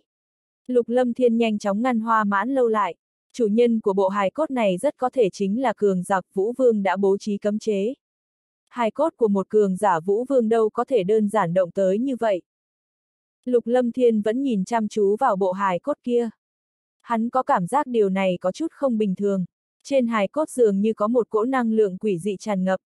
Năng lượng này người khác không cảm giác được, ngay cả Lục Lâm Thiên cũng vô pháp cảm giác được. Thế nhưng lúc này Lục Lâm Thiên có cảm nhận huyết lục trong đan điền có chút dị dạng, dường như đã phát hiện được thứ gì đó. Cạch cạch. Thế nhưng vào lúc này, trên bộ xương đột nhiên lay động, thân thể bộ xương chậm rãi lay động một chút. Sau đó, trong hốc mắt kia mơ hồ hiện lên ánh mắt, một cỗ khí tức chậm rãi ba động. Cẩn thận! Nhìn thấy cảnh tượng này, trong lòng mọi người không khỏi trầm xuống, thân thể lùi lại, lập tức đề phòng. Mấy nghìn năm rồi, rốt cuộc cũng có người tới. Lúc này, trong miệng bộ xương khô kia truyền ra thanh âm. Cái miệng xương kia lúc nói không ngừng đóng mở, vô cùng quỷ dị. Tiền bối là người phương nào? Lục lâm thiên nhanh chóng lui về phía sau mấy bước, nhìn vào bộ xương quỷ dị kia rồi nói. Trong lòng hắn không khỏi cảm thấy lạnh lẽo. Cỗ năng lượng bàng bạc từ trên người bộ xương tràn ra, khí tức này chỉ sợ còn trên cả Bạch Linh. Ta là người phương nào sao? Ta nhớ trước đây mọi người thường gọi ta là truy phong tôn giả. Trong hốc mắt của bộ xương lúc này dường như có ánh mắt thâm thúy nhìn về phía lục lâm thiên. Trong nháy mắt lục lâm thiên có cảm giác lạnh lẽo. Người chính mà truy phong tôn giả của mấy ngàn năm trước sao? Lúc này, sắc mặt hai người hoa mãn ngọc và hoa mãn lâu đại biến. Ồ, các ngươi là người phương nào? Không ngờ lại biết danh hào của bản tôn giả. Xương sọ của bộ xương kia quay lại, trong hốc mắt trống rỗng dường như có ánh mắt nhìn về phía huynh muội hoa ra, vô cùng quỷ dị. Chúng ta chính là môn hạ của Bách Thú Cốc, trong cốc có ghi chép về những việc trước đây. Hoa mãn lâu đáp. Bách Thú Cốc, hình như ta đã từng nghe qua, dường như là thánh linh giáo. Bộ xương khô lúc này dường như đang nhớ lại, lập tức nói. Ta và thánh linh giáo có chút giao tình nho nhỏ, trong các người có một vũ giả phong hệ, mới có tu vi vũ xuất, không ngờ lại thảm như vậy. Bộ xương khô này nói xong, ánh mắt dường như nhìn về phía lục lâm thiên rồi nói. Tiểu tử, người coi như có duyên với ta, các ngươi và thánh linh giáo cũng có chút quan hệ, ngươi vừa vặn là vũ giả phong hệ, như vậy đi. Ta đưa cho ngươi một kiện bảo vật, để xem ngươi có chịu đựng được không. Thế nhưng trước tiên ngươi phải đáp ứng với ta một điều kiện. Tiền bối, mời nói. Lục lâm thiên nhìn về phía bộ xương khô, có bảo vật là tốt thế nhưng chỉ sợ điều kiện cũng không dễ. Các ngươi có thể phá vỡ cấm chế của ta cũng coi như có chút thực lực. Thế nhưng đạo tàn hồn này của ta cũng không thể kiên trì được bao lâu nữa, vô pháp rời khỏi đây. Ngươi phải đáp ứng ta. Sau này nếu như có cơ hội thì thay ta đánh chết phá vân tôn giả của thành ma vân, ta sẽ đem linh khí tặng cho ngươi. Bộ xương khô này nói với Lục Lâm Thiên. Không biết phá vân tôn giả kia có thực lực như thế nào? Lục Lâm Thiên hỏi. 5.000 năm trước là vũ tôn nhất trọng, về phần hiện tại ta cũng không biết. Bộ xương khô kia nói. Vãn bối chỉ có thể đáp ứng tiền bối, chờ tương lai nếu như có đủ thực lực vãn bối nhất định sẽ thay tiền bối giết phá vân tôn giả. Lục Lâm Thiên nói. Không được, nếu như ngươi không đồng ý chắc chắn thì linh khí của ta tuyệt đối cũng không cho ngươi. Bộ xương khô nói, dường như đã có chút tức giận. Coi như là vãn bối đáp ứng người, đến lúc đó không thể làm được thì sao? Nhưng vãn bối có thể bảo đảm, vãn bối có thể cố gắng làm được. Chỉ là, cũng phải nhìn xem linh khí tiền bối cho ta là cấp bậc gì. Nếu là linh khí bình thường vãn bối cũng không để vào trong mắt. Nói không dễ nghe một chút, tiền bối chỉ là một đạo tàn hồn, chỉ sợ tiêu hao cũng đã gần hết, bằng không tiền bối đã sớm ra ngoài đoạt xá, hà tất phải ở lại chỗ này. Đến lúc đó tàn hồn của tiền bối tiêu tán, bảo vật là của ta. Mặt khác cấm chế bên ngoài của tiền bối chỉ là vũ vương mà thôi. Khi trước có lẽ tiền bối bị thương nặng mới bố trí ra nó, bằng không chúng ta cũng không vào được. Lục Lâm Thiên nói, nếu như là linh khí hoàng cấp mà hắn lại đáp ứng thì thiệt lớn. Về phần bộ xương khô nói hắn là truy phong tôn giả, hoa mãn lâu dường như đã nghe qua người này, cho nên Lục Lâm Thiên phỏng đoán người này không phải là Vũ Vương mà là Vũ Tôn, cấm chế bên ngoài chỉ là cấp bậc Vũ Vương, có lẽ lúc người này bị thương nặng mới bố trí ra, bằng không sẽ không còn giải thích nào hợp lý hơn nữa. Ha ha, hảo tiểu tử, dám xem thường bản tôn. Năm đó không ai dám không cho ta ba phần mặt mũi, tiểu hoa nhi như ngươi không ngờ lại không dám đặt ta vào trong mắt. Bộ xương khô cười nhạt một tiếng, quanh thân có một cỗ khí tức âm trầm nói. Nếu là khi trước, ta dựa vào kiện bảo vật này, dù là giữa vòng vây các vũ tôn khác cũng có thể trở ra như thường. Chỉ tiếc vận khí không tốt có kết cục như hiện tại. Thế nhưng cho dù như vậy, nếu như bảo vật ta hủy diệt nó, thì ngươi làm sao lấy được? Nếu tiền bối đã có bảo vật như thế vì sao lại ngã xuống? Lục Lâm Thiên nói. Đó là phá vân tôn giả kia cũng có một kiện bảo vật giống như vậy. Ta lại tin tưởng hắn cho nên mới có kết cục như hiện tại. Thế nhưng dựa vào bảo vật này ta cũng có thể chạy thoát, bọn chúng cũng không chiếm được bảo vật của ta. Bộ xương khô than thở. Bảo vật của tiền bối không biết là loại bảo vật gì. Lục Lâm Thiên vô cùng hiếu kỳ, nếu như đúng theo lời bộ xương này nói thì bảo vật này tuyệt đối vô cùng kinh khủng. Sao nào, động tâm rồi sao, vậy thì đáp ứng điều kiện của ta, bằng không thì bảo vật này dù ta hủy đi cũng không cho ngươi. Bộ xương khô dường như đang nhìn Lục Lâm Thiên rồi nói. Ta chỉ có thể đáp ứng tiền bối, nếu ta có thực lực đó vậy thì sẽ nhất định giúp tiền bối giết phá vân tôn giả kia. Lục Lâm Thiên nói. Ha ha, tiểu tử ngươi quả thực không đáp ứng. Nếu như ngươi giả vờ đáp ứng ta cũng không biết được thực hư. Thế nhưng như vậy ta mới yên tâm, chỉ ít ngươi nói chuyện sẽ giữ lời. Hiện tại ta sẽ đem bảo vật cho ngươi. Bộ xương khô nhìn Lục Lâm Thiên rồi nói. Kỳ thực ta cũng không sợ ngươi không đi giết phá vân tôn giả. Nhớ kỹ, bảo vật ta đưa cho ngươi chính là thứ mà ta và phá vân tôn giả khi trước đoạt được trong mật địa thượng cổ, chính là một kiện linh khí phi hành phong hệ. Vốn là một kiện bảo vật chúng ta đồng thời sở hữu cho nên chia thành hai nữa. Nếu như ngươi giết phá vân tôn giả dung hợp được với nửa kia của hắn uy lực sẽ tăng lên gấp bội.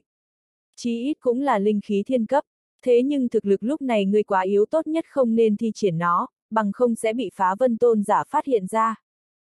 Bộ xương khô nói xong, xương cốt trên người bắt đầu rung động. Siêu siêu. Lúc này phía sau bộ xương khô đột nhiên có một đạo lưu quang bắt đầu lan tràn, lưu quang càng lúc càng chói mắt, năng lượng bàng bạc đáng sợ bắt đầu lan tràn ra. Siêu siêu. Trong khi mấy người cảm nhận cỗ năng lượng đáng sợ này thì đột nhiên có một tiếng kỳ dị vang lên trong đại sát. Khí tức bàng bạc này xuất hiện khiến cho trái tim đám người lục lâm thiên giống như ngừng đập. Năng lượng bàng bạc áp chế mọi người. Ngay cả Bạch Linh và Thiên Độc Yêu Long cũng bị áp chế. Cạch cạch. Khí tức quỷ dị này lan tràn, bốn phía chung quanh lúc này trên vách tường bắt đầu nứt nẻ. Tiểu tử, huyễn ảnh thanh vũ này giao cho ngươi. Có thể khiến nó đồng ý nhận ngươi làm chủ hay không thì phải nhờ vào chính ngươi. Huyễn ảnh thanh vũ đã có linh tính của mình, nếu ngươi là hạng người tầm thường thì nó sẽ không nhận ngươi làm chủ. Nhớ kỹ chuyện đã đồng ý với ta. Thanh âm vừa dứt bộ xương khô hóa thành cho tàn, chỉ để lại một chiếc nhẫn chữ vật trên mặt đất. Dường như hắn cố ý làm vậy, xương cốt của cường giả vũ tôn tuyệt đối để mấy vạn năm không tiêu tán. Bị người gặp được còn có thể luyện chế thành bảo vật không tồi. Mà truy phong tôn giả này hẳn là cố ý phá hủy thi cốt của mình, không muốn trở thành tài liệu luyện chế bảo vật trong tay người khác. Bộ xương khô hóa thành cho tàn, lưu quang quay xung quanh thi cốt một vòng, dường như đang tiễn biệt chủ nhân, sau đó lập tức huyền phù trong không trung.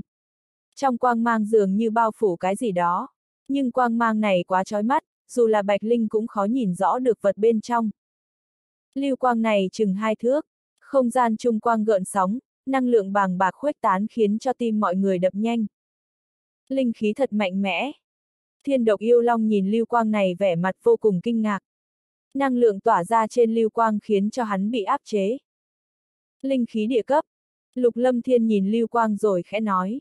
Lúc này hắn đã biết được cấp bậc của linh khí này, khí thức của đạo lưu quang này so với khí thức trên cửu long xích viêm đỉnh của Nam Thúc còn yếu hơn một chút, cũng không kém quá nhiều, thế nhưng khí thức của nó so với huyết lục trên hơn rất nhiều. Bạch Linh, phiền nàng giúp ta hộ pháp. Lục Lâm Thiên hít sâu một hơi, bảo vật này hắn nhận định phải khiến nó nhận chủ thành công. Bạch Linh nhìn lưu quang kia không nói gì, thân thể lập tức lui về phía ngoài đại sảnh. Thiên độc yêu long, tiểu long, huynh muội hoa mãn ngọc, hoa mãn lâu cũng lùi lại tới bên người Bạch Linh. Nhìn lưu quang màu xanh, lục lâm thiên đứng bật động.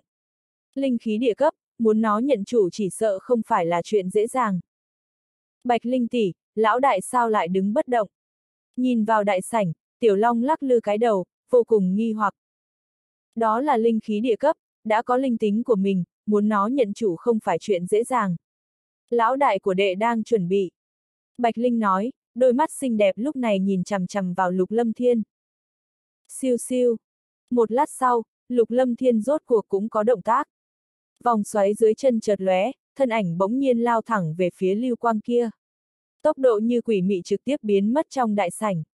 Lúc thân thể xuất hiện thì đã đứng ở trước mặt lưu quang màu xanh. Siêu. Trong sát na, khi thân ảnh lục lâm thiên xuất hiện, lưu quang màu xanh trong nháy mắt cũng biến mất mang theo âm hưởng giống như sấm rền, tạo thành vài đạo tàn ảnh trong đại sảnh. Ồ!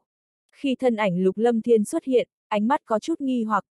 Đối với tốc độ của mình lục lâm thiên vô cùng hiểu rõ. Dưới tốc độ của hắn, vũ xuất tứ trọng cũng khó có thể thoát khỏi, mà lưu quang màu xanh này không ngờ có thể trực tiếp tránh thoát. Ánh mắt trầm xuống, thân ảnh lục lâm thiên tiếp tục lao thẳng tới, vòng xoáy dưới chân chợt lóe, không gian quanh thân giờ phút này vặn vẹo.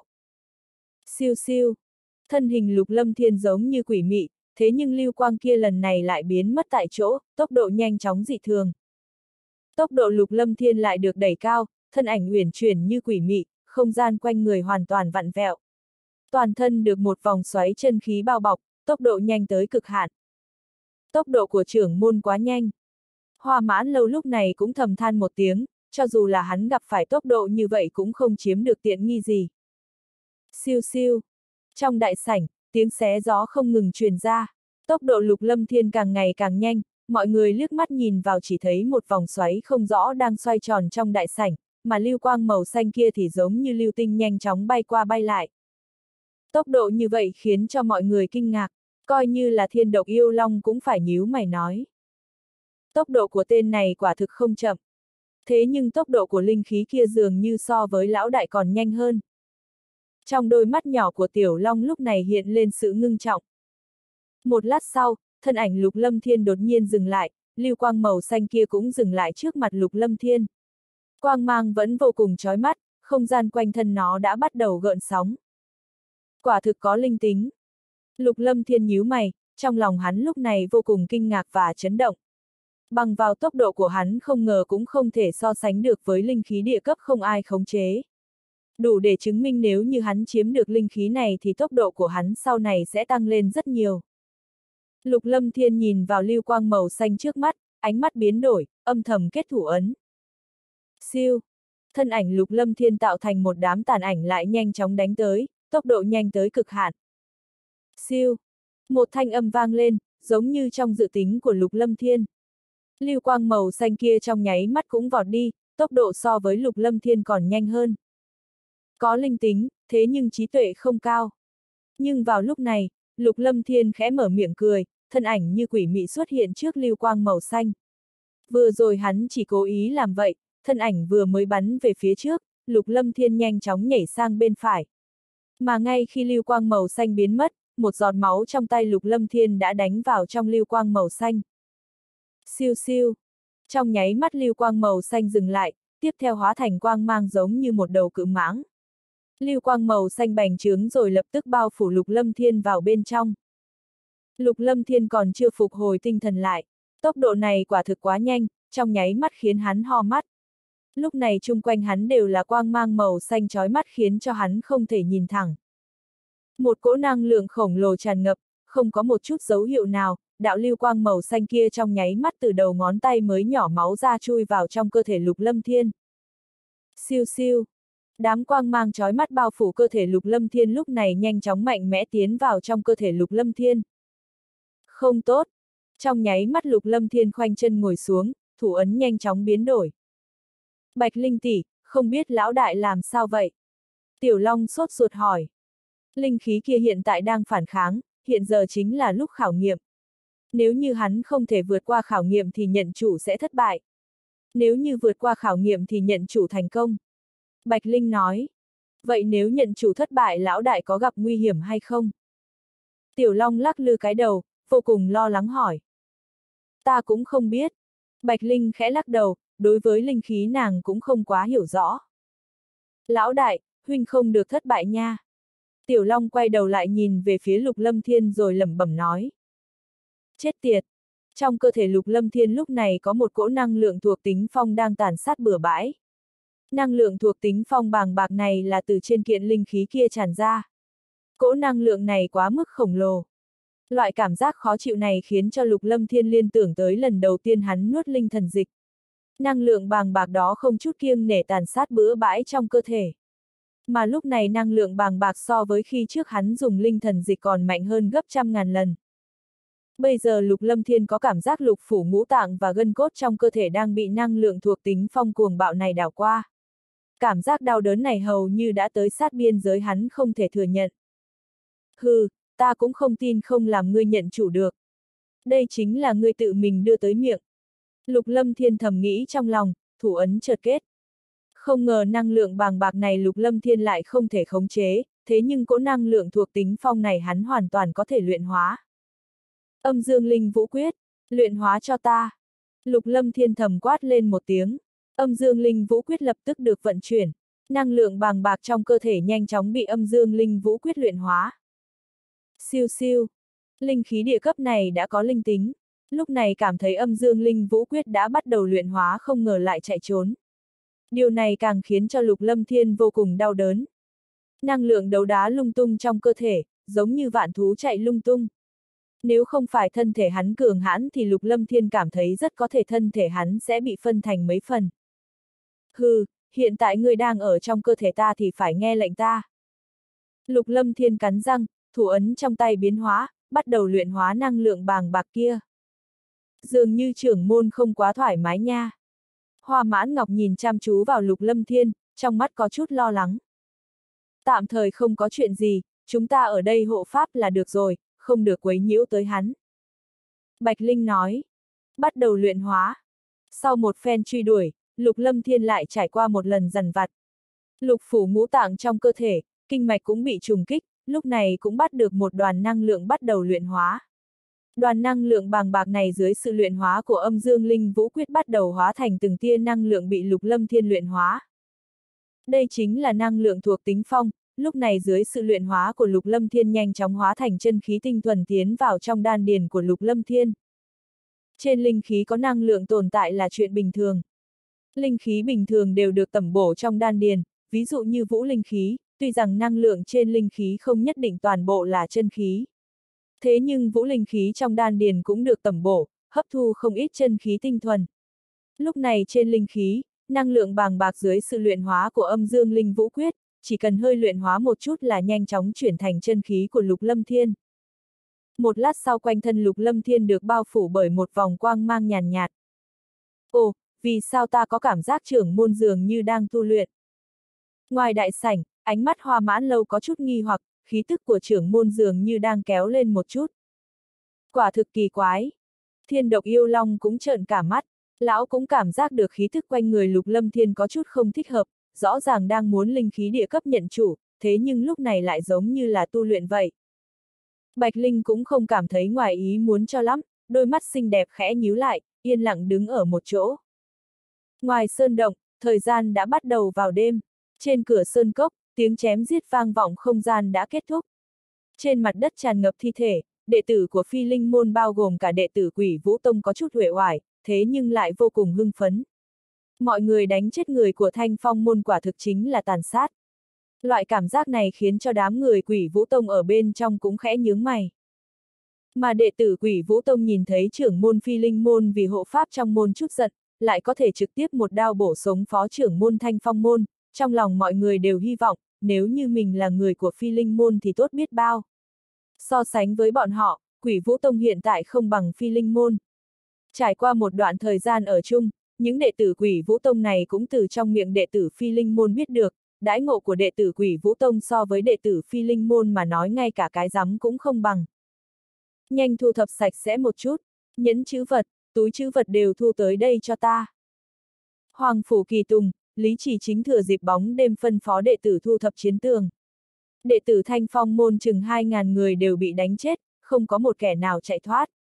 Tuy rằng đệ tử phi linh môn đều có thương vong, thế nhưng loại thương vong này đối với tổn thất của Thanh Phong môn hoàn toàn không đáng kể. Chỉ là đệ tử quỷ vũ tông chết đi và bị thương không ít. So với đệ tử tinh anh của phi linh môn, đệ tử của quỷ vũ tông kém hơn một chút. Đám người vây xem chung quanh lúc này cực kỳ chấn động. Bọn họ chỉ mới nghe nói qua phi linh môn mà thôi, còn chưa nhìn thấy người của phi linh môn hành động, bây giờ bọn họ mới nhìn thấy tác phong hành sự của phi linh môn. Mấy đạo nhân mã phía ngoài sơn cốc không tự chủ được mà lui về phía sau một ít. Tránh trêu chọc phải đám người phi linh môn rồi dẫn đến tai ương ngập đầu. Phi linh môn hiện tại ngay cả đệ tử thanh phong môn cũng dám đánh chết, bọn họ không thể trêu vào. Phong tỏa sơn cốc, một con vật cũng không cho tiến vào. Hoàng Phủ Kỳ Tùng quát lớn một tiếng, chuyện trưởng môn đã phân phó vậy thì nhất định phải làm theo. Hiện tại vị trí trưởng môn trong lòng hắn vô cùng lớn. Có nhiều khi hắn nghĩ lại, gia nhập phi linh môn, trở thành một trong những đường chủ, lại trở thành thân tín của trưởng môn thật là tốt, nếu như gia nhập muộn một chút thì chỉ sợ đã không tới phiên hắn rồi. Thời gian chậm rãi dần trôi, một đêm yên tĩnh trôi qua, cũng không xuất hiện bất cứ chuyện gì. Đám người vây xem phía xa cũng không dám tới gần.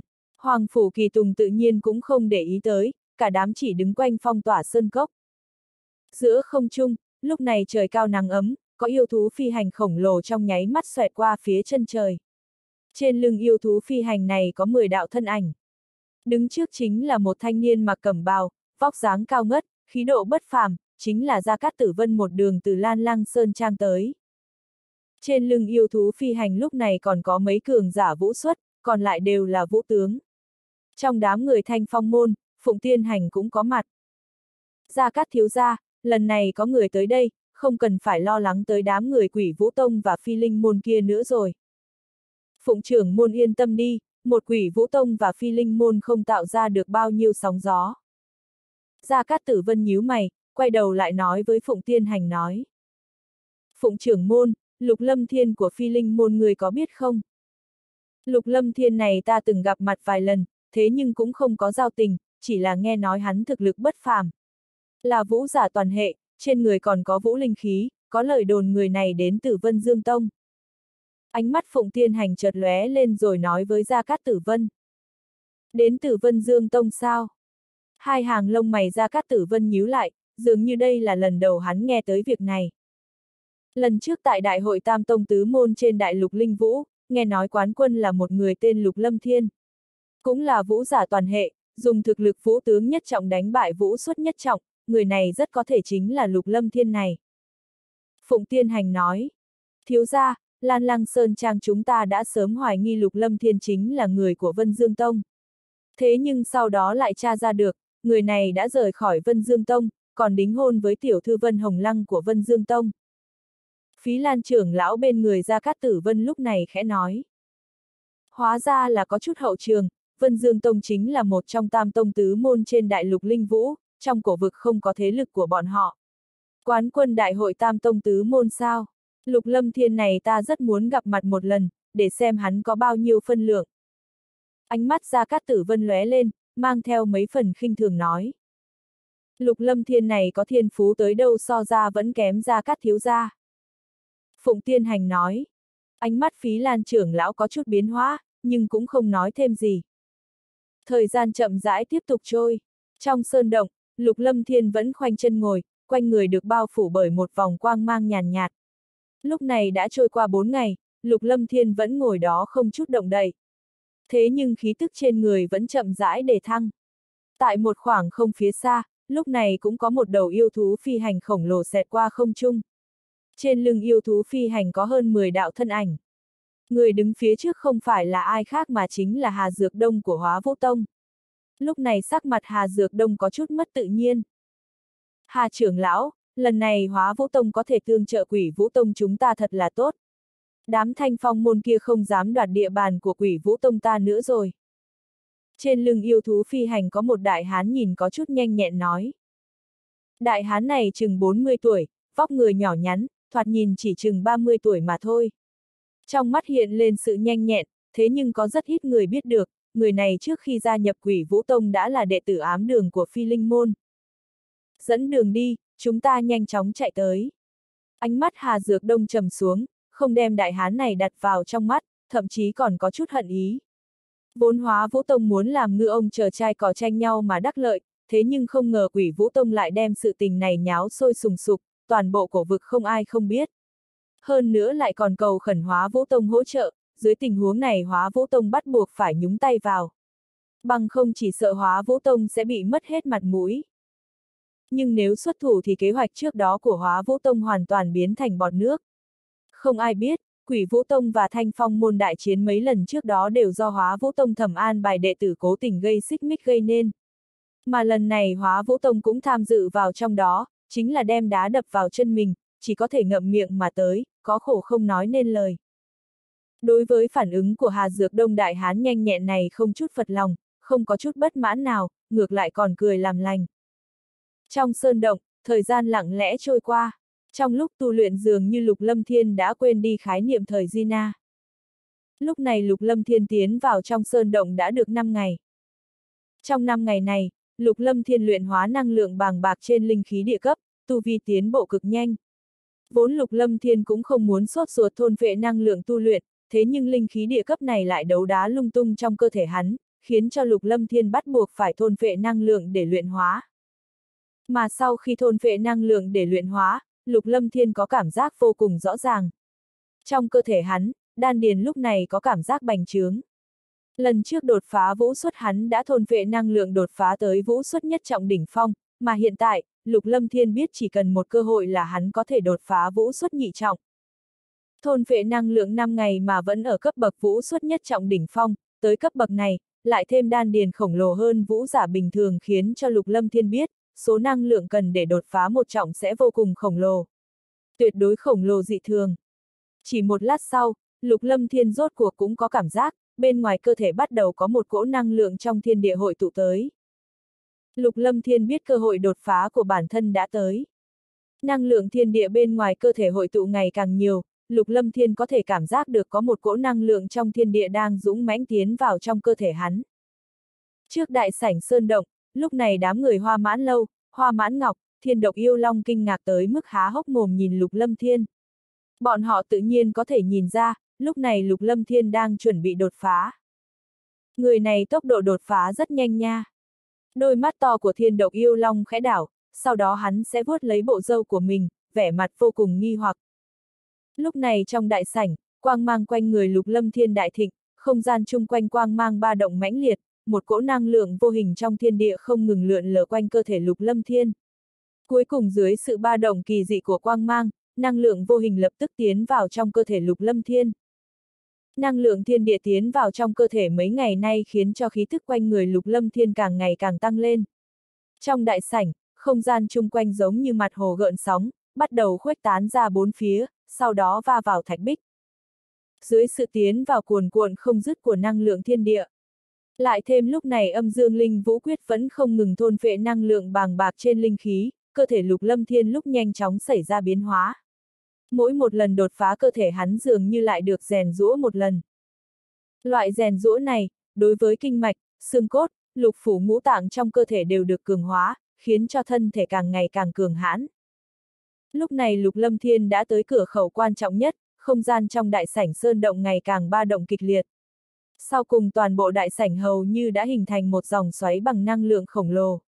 Mà thân hình Lục Lâm Thiên tràn ngập quang mang chói mắt, giống như là một hắc động giữa vòng quang mang, tham lam thôn phệ năng lượng thiên địa đang tiến vào trong cơ thể. Phanh! Một tiếng trầm muộn rất nhỏ truyền tới, khí tức lục lâm thiên càng lúc càng thêm mạnh mẽ. Trong nháy mắt này lục lâm thiên cũng không quên đem kiện linh khí kia nhận chủ. Lúc này, thủ ấn trong tay lục lâm thiên được kết. Một cỗ lực lượng mạnh mẽ áp xuống, cùng với năng lượng thiên địa do đột phá mang lại khiến cho lục lâm thiên rốt cuộc cũng có thể khống chế năng lượng của linh khí trong cơ thể. Ha ha, không nghĩ tới một vũ suất nho nhỏ lại có thể khiến cho linh khí địa cấp nhận chủ. Không ngờ thân thể lại cường hãn tới mức độ này, thực sự là hiếm thấy. Đoạt xá ngươi tuy rằng không phải là ý muốn ban đầu của ta. Thế nhưng hiện tại ta đã không còn lựa chọn nào khác. Trên người ngươi cũng có chút quỷ dị, hẳn là có thể thừa nhận linh hồn của ta. Ngay khi năng lượng của linh khí nhanh chóng tiến vào đan điền, trong cơ thể lục lâm thiên có một thanh âm vang lên. Lập tức một cỗ linh hồn bàng bạc từ năng lượng bên trong linh khí bắn thẳng vào trong đầu lục lâm thiên. Tàn hồn truy phong tôn giả không bị diệt. Trong lòng lục lâm thiên tức thì kinh hãi. Thế nhưng lúc này chính là thời khắc quan trọng đột phá, lục lâm thiên hầu như đã bất lực. Quan trọng hơn chính là, cỗ năng lượng linh hồn này quá mức kinh khủng. Kinh khủng giống như là phán quan đòi mạng vậy, linh hồn thể của hắn gặp phải cỗ năng lượng linh hồn này chính là đệ tử gặp sư phụ. Bị lừa rồi. Trong nháy mắt này, Lục Lâm Thiên mới biết được mình bị lừa. Thảo nào vừa rồi hắn vẫn mơ hồ có cảm giác không quá bình thường. Hóa ra tàn hồn của truy phong tôn giả không bị diệt, vẫn trốn ở trong linh khí địa cấp này. Mà lúc này truy phong tôn giả sắp đoạt xá hắn. Bị linh hồn thể của cường giả vũ tôn đoạt xá, trong lòng lục lâm thiên vô cùng kinh hãi. Đồng thời một đạo linh hồn thể trong nháy mắt bắn vào trong đầu hắn. Mà lúc này, năng lượng bàng bạc trong thiên địa vẫn đang run động, không có một ai phát hiện ra, ngay cả Bạch Linh lúc này cũng không cảm giác được dị dạng trên người lục lâm thiên. Chỉ là, ngay lúc này khi đạo linh hồn thể của truy phong tôn giả tiến vào trong đầu lục lâm thiên thì có một thanh âm giả nua từ trong đầu lục lâm thiên truyền ra. Truy phong tôn giả, người dám đoạt xá đệ tử của ta. Người có tư cách sao? Ở trước mặt ta ngươi chỉ là một con kiến hôi, nhưng hôm nay cũng không cần thu thập ngươi, huyễn ảnh thanh vũ đưa cho đệ tử của ta quả thực chính là lựa chọn đúng đắn. Thanh âm già nua, yếu ớt, dương dương tự đắc không biết là từ đâu truyền ra. Tất cả chuyện này Lục Lâm Thiên cũng không nghe được, thanh âm này dường như thi triển thủ đoạn gì đó, có thể cắt đứt sự nhận biết của tâm thần Lục Lâm Thiên. Là ai? Ngươi là ai? Đạo thanh âm này quá mức quỷ dị, linh hồn thể mới tiến vào bắt đầu vặn vẹp, lập tức hóa thành một thân ảnh màu trắng. Thân ảnh như ẩn như hiện, hiện ra một thân hình không rõ. Trong nháy mắt sắc mặt đại biến, kinh hãi nói. Là ngươi, vì sao ngươi lại ở trong này, ta không dám nữa. Ta lập tức đi, ngươi tha cho ta đi. Không còn kịp nữa rồi, nhìn phía sau của ngươi đi. Thanh âm già nua lần thứ hai truyền tới. Đạo thân ảnh màu trắng như ẩn như hiện kia tức thì quay đầu lại phía sau, sắc mặt lập tức đại biến. Siêu! Ngay lúc này, trong không gian trong đầu của Lục Lâm Thiên, phía sau thân ảnh màu trắng đột nhiên có tiếng xé gió vô cùng quỷ dị xuất hiện. Một đám kim quang tràn ngập, trong kim quang có một cỗ sát khí ngập trời. Tiếp theo, trong ánh mắt kinh hãi của thân ảnh màu trắng, một đạo đao mang màu vàng bắn ra. Đao mang xuất hiện chiếu sáng toàn bộ không gian trong đầu, mang theo một cỗ sát khí ngập trời. Đây là thứ gì? Sát khí thật mạnh mẽ. Lúc này sắc mặt thân ảnh màu trắng đại biến, lập tức chạy trốn. Thế nhưng lúc này có một cỗ khí tức khiến cho hắn không thể chạy trốn ập tới. Ở trước khí tức này hắn có cảm giác mình chính là một con kiến hôi. Thân ảnh màu trắng bằng linh hồn thể này muốn chạy trốn, thế nhưng lại không thể động đậy. Dưới kim quang bao phủ, toàn thân hắn đứng sừng sững ở đó, hoàn toàn không có năng lực phản kháng. Siêu!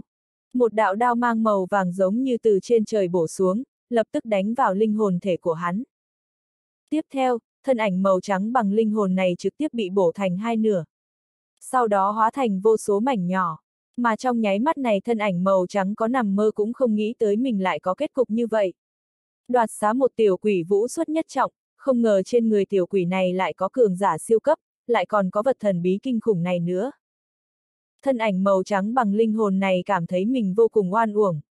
Quả thực vô cùng oan uổng, ai có thể nghĩ tới một vũ tôn đoạt xá vũ xuất lại gặp phải chuyện này. Trong tích tắc, thân ảnh màu trắng bằng linh hồn đã tan thành vô số mảnh nhỏ bị một cỗ lực lượng mạnh mẽ hút vào không gian trong đầu. Sau đó vô số mảnh nhỏ linh hồn nhanh chóng bị kim đao trong đầu lục lâm thiên thôn phệ. Lúc này hồn đan trong đầu lục lâm thiên cũng nhanh chóng xoay tròn. Những mảnh nhỏ bằng linh hồn này cũng được hồn đan hấp thu một ít. Mà những mảnh nhỏ linh hồn của thân ảnh màu trắng kia so với mảnh vỡ linh hồn của thôi mệnh phán quan còn mạnh hơn nhiều. Trên hồn đan lúc này tràn ngập quang mang màu trắng từ trên những mảnh nhỏ linh hồn, lúc này hồn đan đang trực tiếp hấp thu linh hồn lực. Điều này đối với hồn đan chính là sự tẩm bổ vô cùng lớn. Thế nhưng số linh hồn lực mà hồn đan hấp thu vẫn còn thua xa kim đao màu vàng. So với kim đao màu vàng quả thực chính là đệ tử gặp sư phụ. Chỉ có một chút linh hồn dư thừa mới bị hồn đan hấp thu. Thế nhưng linh hồn của truy phong tôn giả cực kỳ khổng lồ. Hồn đan chỉ hấp thu một chút cũng thu được chỗ tốt vô cùng lớn. Nếu hấp thu nhiều hơn quả thực hồn đan sẽ không thể chịu nổi. Thôn vệ như vậy cực kỳ nhanh chóng. Chỉ trong hai canh giờ, linh hồn bàng bạc kia đều bị kim đao màu vàng thôn phệ. Trong đó kim đao màu vàng này chỉ thôn phệ linh hồn lực mất nửa canh giờ mà thôi. Mà lúc này, sau khi kim đao màu vàng thôn phệ linh hồn lực rốt cuộc đã có biến hóa. Sáng bóng hơn một chút, thế nhưng những phương diện khác lại không có một chút biến hóa gì. Trong đại sảnh, năng lượng thiên địa chung quanh vẫn đang tiếp tục tiến vào trong cơ thể lục lâm thiên. Tất cả những thứ xảy ra trong đầu không có chút ảnh hưởng nào với lục lâm thiên đang đột phá. Mà lúc này lục lâm thiên đang đột phá cũng cảm giác được rõ ràng. Ngay khi linh hồn thể của truy phong tôn giả tiến vào trong đầu hắn thì từ kim đao màu vàng đột nhiên đánh ra một đạo đao mang vô cùng lớn. Đao mang này đánh xuống truy phong tôn giả hầu như không có một chút kháng cự nào, lập tức bị chém thành vô số mảnh nhỏ. Mà bản thân hắn cũng không có một chút cảm giác nào, cũng không cảm giác được lực lượng bên trong kim đao màu vàng kia. Đối với một màn này Lục Lâm Thiên vô cùng nghi hoặc. Thế nhưng cũng có thể khẳng định linh hồn thể của truy phong tôn giả đã bị kim đao màu vàng đánh tan nát. Đối với chuyện này Lục Lâm Thiên còn cảm thấy ngoài ý muốn bởi vì hai câu nói trước khi chết của truy phong tôn giả. Câu đầu tiên dường như đang tìm người nào đó. Câu thứ hai là cầu xin tha thứ, thế nhưng hắn lại không cảm giác được cái gì. Điều này khiến cho Lục Lâm Thiên nghi hoặc không ngớt, hiện tại hắn cũng không thể tìm ra đáp N, cuối cùng Lục Lâm Thiên cũng đành phải di chuyển lực chú ý tới kim đao màu vàng. Kim đao màu vàng xem ra không phải bảo vật bình thường. Linh hồn thể của truy phong tôn giả trốn ở linh khí địa cấp cho đê chỉ là một đạo tàn hồn. Thế nhưng thực lực cũng vô cùng cường hãn, chí ít so với thôi mệnh phán quan mạnh hơn nhiều. Thế nhưng dưới kim đao màu vàng này lại trực tiếp bị chém thành vô số mảnh nhỏ. Kim đao màu vàng này dường như đang thủ hộ không gian trong đầu hắn. Nếu như có một lúc nào đó có linh hồn bên ngoài tiến vào thì sẽ trực tiếp bị đánh chết. Dựa theo tình huống hiện tại, cường giả bình thường, chỉ ít là vũ vương, nếu như linh hồn thể dám xâm nhập vào trong đầu hắn thì chỉ có đường chết mà thôi. Như vậy sự tồn tại của kim đao màu vàng trong đầu hắn hoàn toàn là chuyện có lợi mà vô hại. Lúc này Lục Lâm Thiên cũng yên tâm một chút, chỉ ít cho tới hiện giờ kim đao màu vàng này đã cứu hắn vài lần. Tất cả khôi phục lại sự yên tĩnh, Lục Lâm Thiên lại nhanh chóng chìm đắm vào trong việc đột phá. Vừa mới đột phá khiến cho đan điền không ngừng thôn phệ năng lượng trong thiên địa tiến vào cơ thể. Đây mới chính là căn bản của thực lực của hắn. Cứ như vậy mà thôn phệ không ngừng, ước chừng mấy canh giờ sau năng lượng đậm đặc trong thiên địa ở chung quanh đại sảnh mới nhạt dần. Không gian ba động mới dừng lại, tầm nhìn trở nên rõ ràng. Trong đại sảnh, sắc mặt thanh niên áo xanh bắt đầu hồng nhuận, cũng xuất hiện trong tầm mắt mọi người. Mà lúc này mọi người không khó cảm giác ra, khí tức trên người thanh niên này đã là vũ xuất nhị trọng. Mà khí tức vũ xuất nhị trọng này cũng khiến cho hai người hoa mãn lâu, hoa mãn ngọc kinh ngạc. Khí tức này so với vũ xuất nhị trọng bình thường còn hùng hậu hơn nhiều. Cảm giác nặng nề từ trên người lục lâm thiên không phải thứ mà vũ xuất nhị trọng bình thường có thể làm được. Trong sơn động, sau khi một tia năng lượng trong thiên địa cuối cùng tiến vào trong cơ thể lục lâm thiên, đại sảnh triệt để yên tĩnh lại. Mà cỗ khí thức cường hãn trầm ổn trên người lục lâm thiên cũng được thu liễm. Ngay cả thiên độc yêu long cũng không thể cảm nhận được sự tồn tại của khí tức này, chỉ có thể mơ hồ cảm nhận được một ít khí tức vô hình mà thôi. Mọi người nhìn lục lâm thiên, không ai dám đi quấy giày. Thế nhưng ánh mắt không khỏi kinh ngạc, trong thời gian ngắn đã đột phá tới vũ xuất nhị trọng. Còn làm cho linh khí địa cấp nhận chủ, vô thành vô tức đột phá. Điều này khiến cho huynh muội hoa gia cảm thấy vô cùng bất đắc dĩ. Tốc độ tu luyện của vị trưởng môn này quả thực chính là bay. Khi trước gia nhập phi linh môn trưởng môn chỉ là vũ tướng mà thôi. Mà lần này đã tới vũ xuất nhị trọng. Phù. Một lát sau, lục lâm thiên thở ra một ngụm chọc khí từ trong cơ thể. Đôi mắt chậm rãi mở ra, trong ánh mắt thâm thúy kia lại càng thêm sáng sủa. Chỉ cần liếc mắt một cái cũng khiến cho người ta không tự chủ mà bị hấp dẫn. Cảm nhận chân khí cường hàn trong cơ thể, khóe miệng lục lâm thiên không khỏi nhếch lên rồi mỉm cười. Lần này đột phá hoàn toàn là việc ngoài ý muốn. Từ khi rời khỏi nơi quỷ dị ở vụ tinh hải kia hắn vẫn luôn củng cố tu vi, tới hiện tại rốt cuộc cũng có thể đột phá. Vũ xuất nhị trọng, thực lực lại mạnh hơn nhiều. Lục lâm thiên thầm nghĩ trong lòng, đột phá vũ xuất, gân cốt cơ thể và lục phủ ngũ tạng trong cơ thể hắn lại được rèn rũa so với khi trước còn ở vũ tướng và vũ phách mạnh hơn nhiều. Mà lúc này chân khí trong cơ thể hắn giống như một con sông lớn, chân khí cuồn cuồn, năng lượng vô cùng khổng lồ. Mà lúc này lục lâm thiên có cảm giác, nếu như hắn dùng huyết lục, chỉ sợ không cần thi triển liệt không cửu kích một đao cũng có thể trực tiếp chém giết vũ xuất tứ trọng thành vô số mảnh nhỏ. Coi như là một trưởng của hắn có lẽ cũng có thể dễ dàng đánh chết vũ xuất tam trọng. Đối với loại đột phá này, Lục Lâm Thiên càng cảm thấy sự biến thái của âm dương linh vũ quyết. Nếu như là vũ xuất bình thường, mỗi một lần thực lực đột phá một trọng, cho dù thiên phú tốt tới đâu đều cần một năm, thậm chí là mấy năm mới có thể đột phá. Người thiên phú bình thường sợ rằng 10 năm thì mới có thể đột phá. Mà một khi đột phá tới vũ xuất cũng chứng minh bọn họ có thiên phú không tồi rồi. Mà trong thời gian ngắn hắn có thể đột phá một trọng, nếu như âm dương linh vũ quyết truyền ra bên ngoài chỉ sợ sẽ khiến cho toàn bộ đại lục linh vũ truy sát, tranh nhau mua. Thế nhưng lúc này lục lâm thiên cũng hiểu rõ, hắn chỉ có thể so sánh được với vũ suất bình thường mà thôi. Âm dương linh vũ quyết của hắn là thứ biến thái không gì sánh được, thế nhưng cũng không phải thiên hạ vô song. Mượn lục tâm đồng mà nói, thiên phú của nàng tuyệt đối vô cùng biến thái. Một đường tu luyện tấn cấp, dường như không có bình chướng nào trước mặt của nàng. 15 tuổi trở thành linh xuất, nếu như chuyện này truyền ra bên ngoài chỉ sợ sẽ gây ra oanh động vô cùng lớn. Hơn nữa trên người nàng lại có xích kim độc chu bát dai, thực lực cho dù là hắn đối đầu với nàng, nếu như không tận lực thì sẽ ăn thiệt thòi lớn.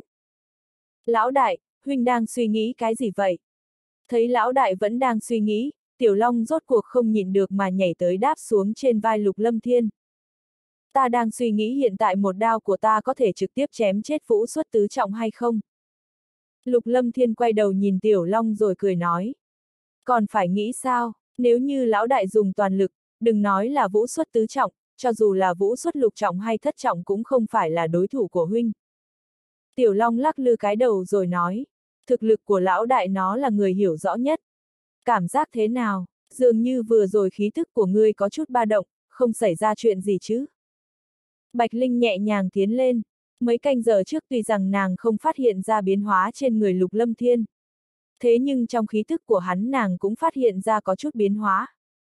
Ta bị lừa, truy phong tôn giả này còn có một tia tàn hồn ở bên trong linh khí địa cấp, thiếu chút nữa bị đoạt xá.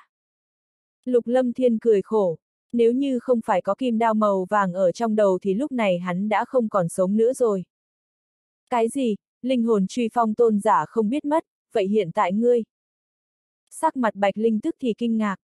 Hiện tại đã không có việc gì, truy phong tôn giả đã bị diệt. Lục lâm thiên mỉm cười, nói với bạch linh. Trưởng môn, linh hồn của truy phong tôn giả kia thực sự bị diệt rồi sao? Hoa mãn lâu có chút kinh ngạc nhìn lục lâm thiên, dường như có chút không tin tưởng. Hoa đường chủ, người đối với truy phong tôn giả dường như cũng biết chút lai lịch, người thử nói về người này một chút xem. Lục lâm thiên hỏi, đối với truy phong tôn giả kia hắn vô cùng hiếu kỳ. Truy phong tôn giả chính là cường giả mấy nghìn năm trước. Ta cũng chỉ biết một ít tin tức từ tư liệu mà bách thú cốc ta lưu lại mà thôi. Có người nói người này khi trước chính là cường giả vũ tôn nhất trọng, thế nhưng đột nhiên lại biến mất. Thực lực người này tuy rằng không quá cường hãn, nhưng lại vô cùng nổi danh bằng vào một kiện linh khí phi hành thuộc tính phong vô cùng hiếm thấy. Lúc hắn ở Vũ Vương, cường giả Vũ Tôn bình thường đều không thể đuổi kịp hắn. Sau khi tới Vũ Tôn, có người nói khi trước dưới vòng vây công của 10 Vũ Tôn hắn cũng có thể an toàn chạy thoát. Vì vậy người bình thường căn bản không dám trêu chọc hắn. Không nghĩ tới người trong cấm chế này chính là truy phong tôn giả. Hoa mãn lâu nói. Hóa ra đúng như lời hắn nói. Lục Lâm Thiên nhíu mày, trong đầu đã nghĩ tới một số vấn đề. Lâm Thiên, linh khí địa cấp nhận chủ rồi sao? Đôi mắt Bạch Linh chợt lóe lập tức hỏi Lục Lâm Thiên. Nó đã nhận chủ rồi. Lục Lâm Thiên mỉm cười. Lúc này trong đan điền của hắn, bên cạnh huyết lục đang có một đôi cánh màu xanh đang huyền phù. Huyễn ảnh thanh vũ. Tâm thần Lục Lâm Thiên khẽ động, huyễn ảnh thanh vũ trong đan điền đột nhiên ba động, sau đó biến mất ở trong đan điền. Siêu. Lúc này, phía sau lưng lục lâm thiên đột nhiên xuất hiện thanh âm trầm thấp tỏa ra khí tức khiến cho linh hồn rung động. Audio điện tử võ tấn bền. Đồng thời lúc này có một đạo lưu quang màu xanh từ sau lưng lục lâm thiên bạo phát. Trong lưu quang màu xanh có một cỗ năng lượng đáng sợ không ngừng ba động. Lão đại, huynh làm đệ sợ.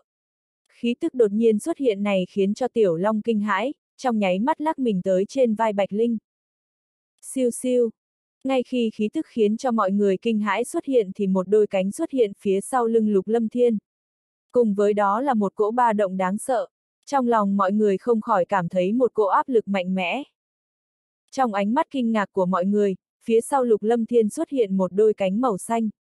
Trên đôi cánh màu xanh này hiện lên lưu quang màu xanh, giống như quang mang nhẹ nhẹ lưu chuyển, uy áp tỏa ra không gian, đồng thời ngưng tụ một cỗ lực lượng đáng sợ. Cỗ năng lượng này khiến cho tất cả mọi người trong lòng có chút run rẩy. đối với Bạch Linh và Thiên Độc Yêu Long còn đỡ, thế nhưng đối với hai người hoa mãn lâu hoa mãn ngọc mà nói, vô hình chung đã bị áp chế tuyệt đối, không gian chung quanh đôi cánh này liên tục vặn vẹo. Đây là một đôi cánh rộng chừng hai thước, cùng với lưng tạo thành hình tam giác, trên cánh có những cái lông màu xanh bằng lưu quang được sắp xếp một cách đặc thù. Khi cánh hơi vỗ một cái, những cái lông màu xanh này giống như có năng lực xoay tròn, tạo thành sức ép lớn, kinh khí xuyên thấu không gian khiến cho gợn sóng lan tràn về bốn phía. Kết cấu của đôi cánh này cực kỳ tương tự với cánh của ác điểu. Thế nhưng lại thêm vài phần nhanh nhẹn, mà ở chiếc lông cuối cùng ở dưới đôi cánh còn có lợi thứ sắc bén, hai cánh mở rộng, kình khí tuôn ra. Dường như hai cánh này cũng là một lợi khí sát nhân vậy. Trên điểm này, thực ra có vài phần tương tự với cánh của nghịch lân yêu bằng. Hai cánh này hoàn toàn giống như hoàng kim tạo thành, vô luận là chất liệu hay tạo hình đều không thể chê trách. Ở phía sau lưng không chỉ linh động mà rực rỡ, một cỗ khí tức tràn ngập càng khiến cho trong lòng mọi người chấn động. Đôi cánh khẽ rung động, không khí trong không gian dường như bị xé toang, giống như có thể phá vỡ không gian vậy. Lục Lâm Thiên lúc này có thể cảm nhận được rõ ràng đôi cảnh của mình. Hắn và đôi cánh phía sau lưng lúc này dường như là một thể. Hai cánh khẽ run lên lập tức hắn có cảm giác mình bay lên. Giống như đôi cánh này chính là một bộ phận trên người hắn từ lúc chào đời vậy. Siêu! Lục lâm thiên nhìn không được mà khẽ rung động đôi cánh, tức thì thân ảnh giống như quỷ mị biến mất tại chỗ. Lưu quang màu xanh chợt lóe lên trong đại sảnh rồi tạo thành một đám tàn ảnh, mang theo một tiếng sấm rền vang lên trong không gian. Không xong, thảm rồi. Nhưng vào lúc này mọi người lại nhìn thấy một mà ngoài ý muốn, khi Lục Lâm Thiên nhẹ nhàng vỗ hai cánh, mọi người còn chưa kịp phục hồi tinh thần lại thì thân thể Lục Lâm Thiên giống như lưu tinh ẩm ẩm đánh vào tường đá cách đó không xa. Phanh! Một tiếng nổ vang lên, toàn bộ đại sảnh rung động. Trên bức tường nhanh chóng xuất hiện những cái khe lớn, giống như mạng nhện lan tràn khắp đại điện. Lão đại! Trưởng môn! Tiểu Long, Hoa Mãn Lâu, Hoa Mãn Ngọc chạy tới, Bạch Linh cũng không khỏi nhìn mày, dường như vô cùng bất đắc dĩ. Ai ui! Lưu quang trên đôi cánh mở nhạt, rồi một tiếng kêu vang lên. Chỉ thấy lục lâm thiên lúc này mặt dán vào bức tường, trực tiếp va chạm với bức tường, trên bề mặt bức tường lúc này rõ ràng đã xuất hiện một khuôn mặt người được in xuống. Ta kháo, nhanh như vậy sao? Lục lâm thiên mắng to một tiếng, lập tức lui lại, lúc này trên bức tường kia mơ hồ xuất hiện dấu vết giống như mặt người. Lão đại, huynh làm gì vậy? Tiểu Long nhanh chóng nhảy lên vai Lục Lâm Thiên. Tốc độ quá nhanh, ở đây lại quá nhỏ, không thì lão đại của đệ có thể khổ sở thế này sao? Lục Lâm Thiên quay đầu chừng mắt nhìn Tiểu Long, hắn cảm thấy cái mũi của mình dường như có chút đau đớn. Huyễn ảnh thanh vũ này quả thực quá nhanh, nhanh tới mức khiến cho hắn không thể nắm trong tay, đương nhiên Lục Lâm Thiên cũng biết, đây cũng là vì hắn chưa quen mà thôi. Lão đại, đệ thấy không những huynh khổ sở mà máu mũi còn đang chảy nha. Tiểu Long có chút không ngỡ nhìn Lục Lâm Thiên, trong ánh mắt có chút bất đắc dĩ. Lục Lâm Thiên vuốt mũi, quả thực đang chảy máu, hắn nhanh chóng nói. Ta kháo, không cần phải như vậy chứ. Chúc mừng ngươi lại chiếm được một kiện bảo vật. Bạch Linh tiến lên, có chút bất đắc dĩ nhìn Lục Lâm Thiên. Lục Lâm Thiên mỉm cười rồi lau vết máu trên mũi mình. Tuy rằng mũi bị chảy máu thế nhưng cũng đủ chứng minh huyễn ảnh thanh vũ này quả thực có tốc độ vô cùng kinh khủng. Linh khí địa cấp, lại là linh khí phi hành thuộc tính phong khó có được. Loại bảo vật cấp bậc này tuyệt đối bất phàm. Có thể nói, nếu như loại bảo vật này ở trong đại môn đại phái như tam tông tứ môn thì nhất định cũng là chấn sơn chi bảo. Siêu. Cảm nhận đôi cánh phía sau lưng, quang mang như thiểm địa, khiến cho hắn có cảm giác chỉ cần mình khẽ vỗ cánh một cái là có thể phá vỡ không gian. Huyễn ảnh thanh vũ này quả thực là một kiệt tác hoàn mỹ. Chất liệu tạo thành lục lâm thiên cũng không biết là gì, thế nhưng tuyệt đối bất phàm. Còn có tạo hình sáng bóng, tinh xảo đều không thể chê trách. Người có thể luyện chế ra huyễn ảnh thanh vũ này tuyệt đối không phải là cường giả bình thường. Trong lòng lục lâm thiên cũng cực kỳ vui mừng, hắn tới ngọn núi vô danh này quả thực đã kiếm được món hời lớn. Đối với truy phong tôn giả kia mà nói lúc này lục lâm thiên không khỏi nghĩ tới phá vân tôn giả trong miệng hắn.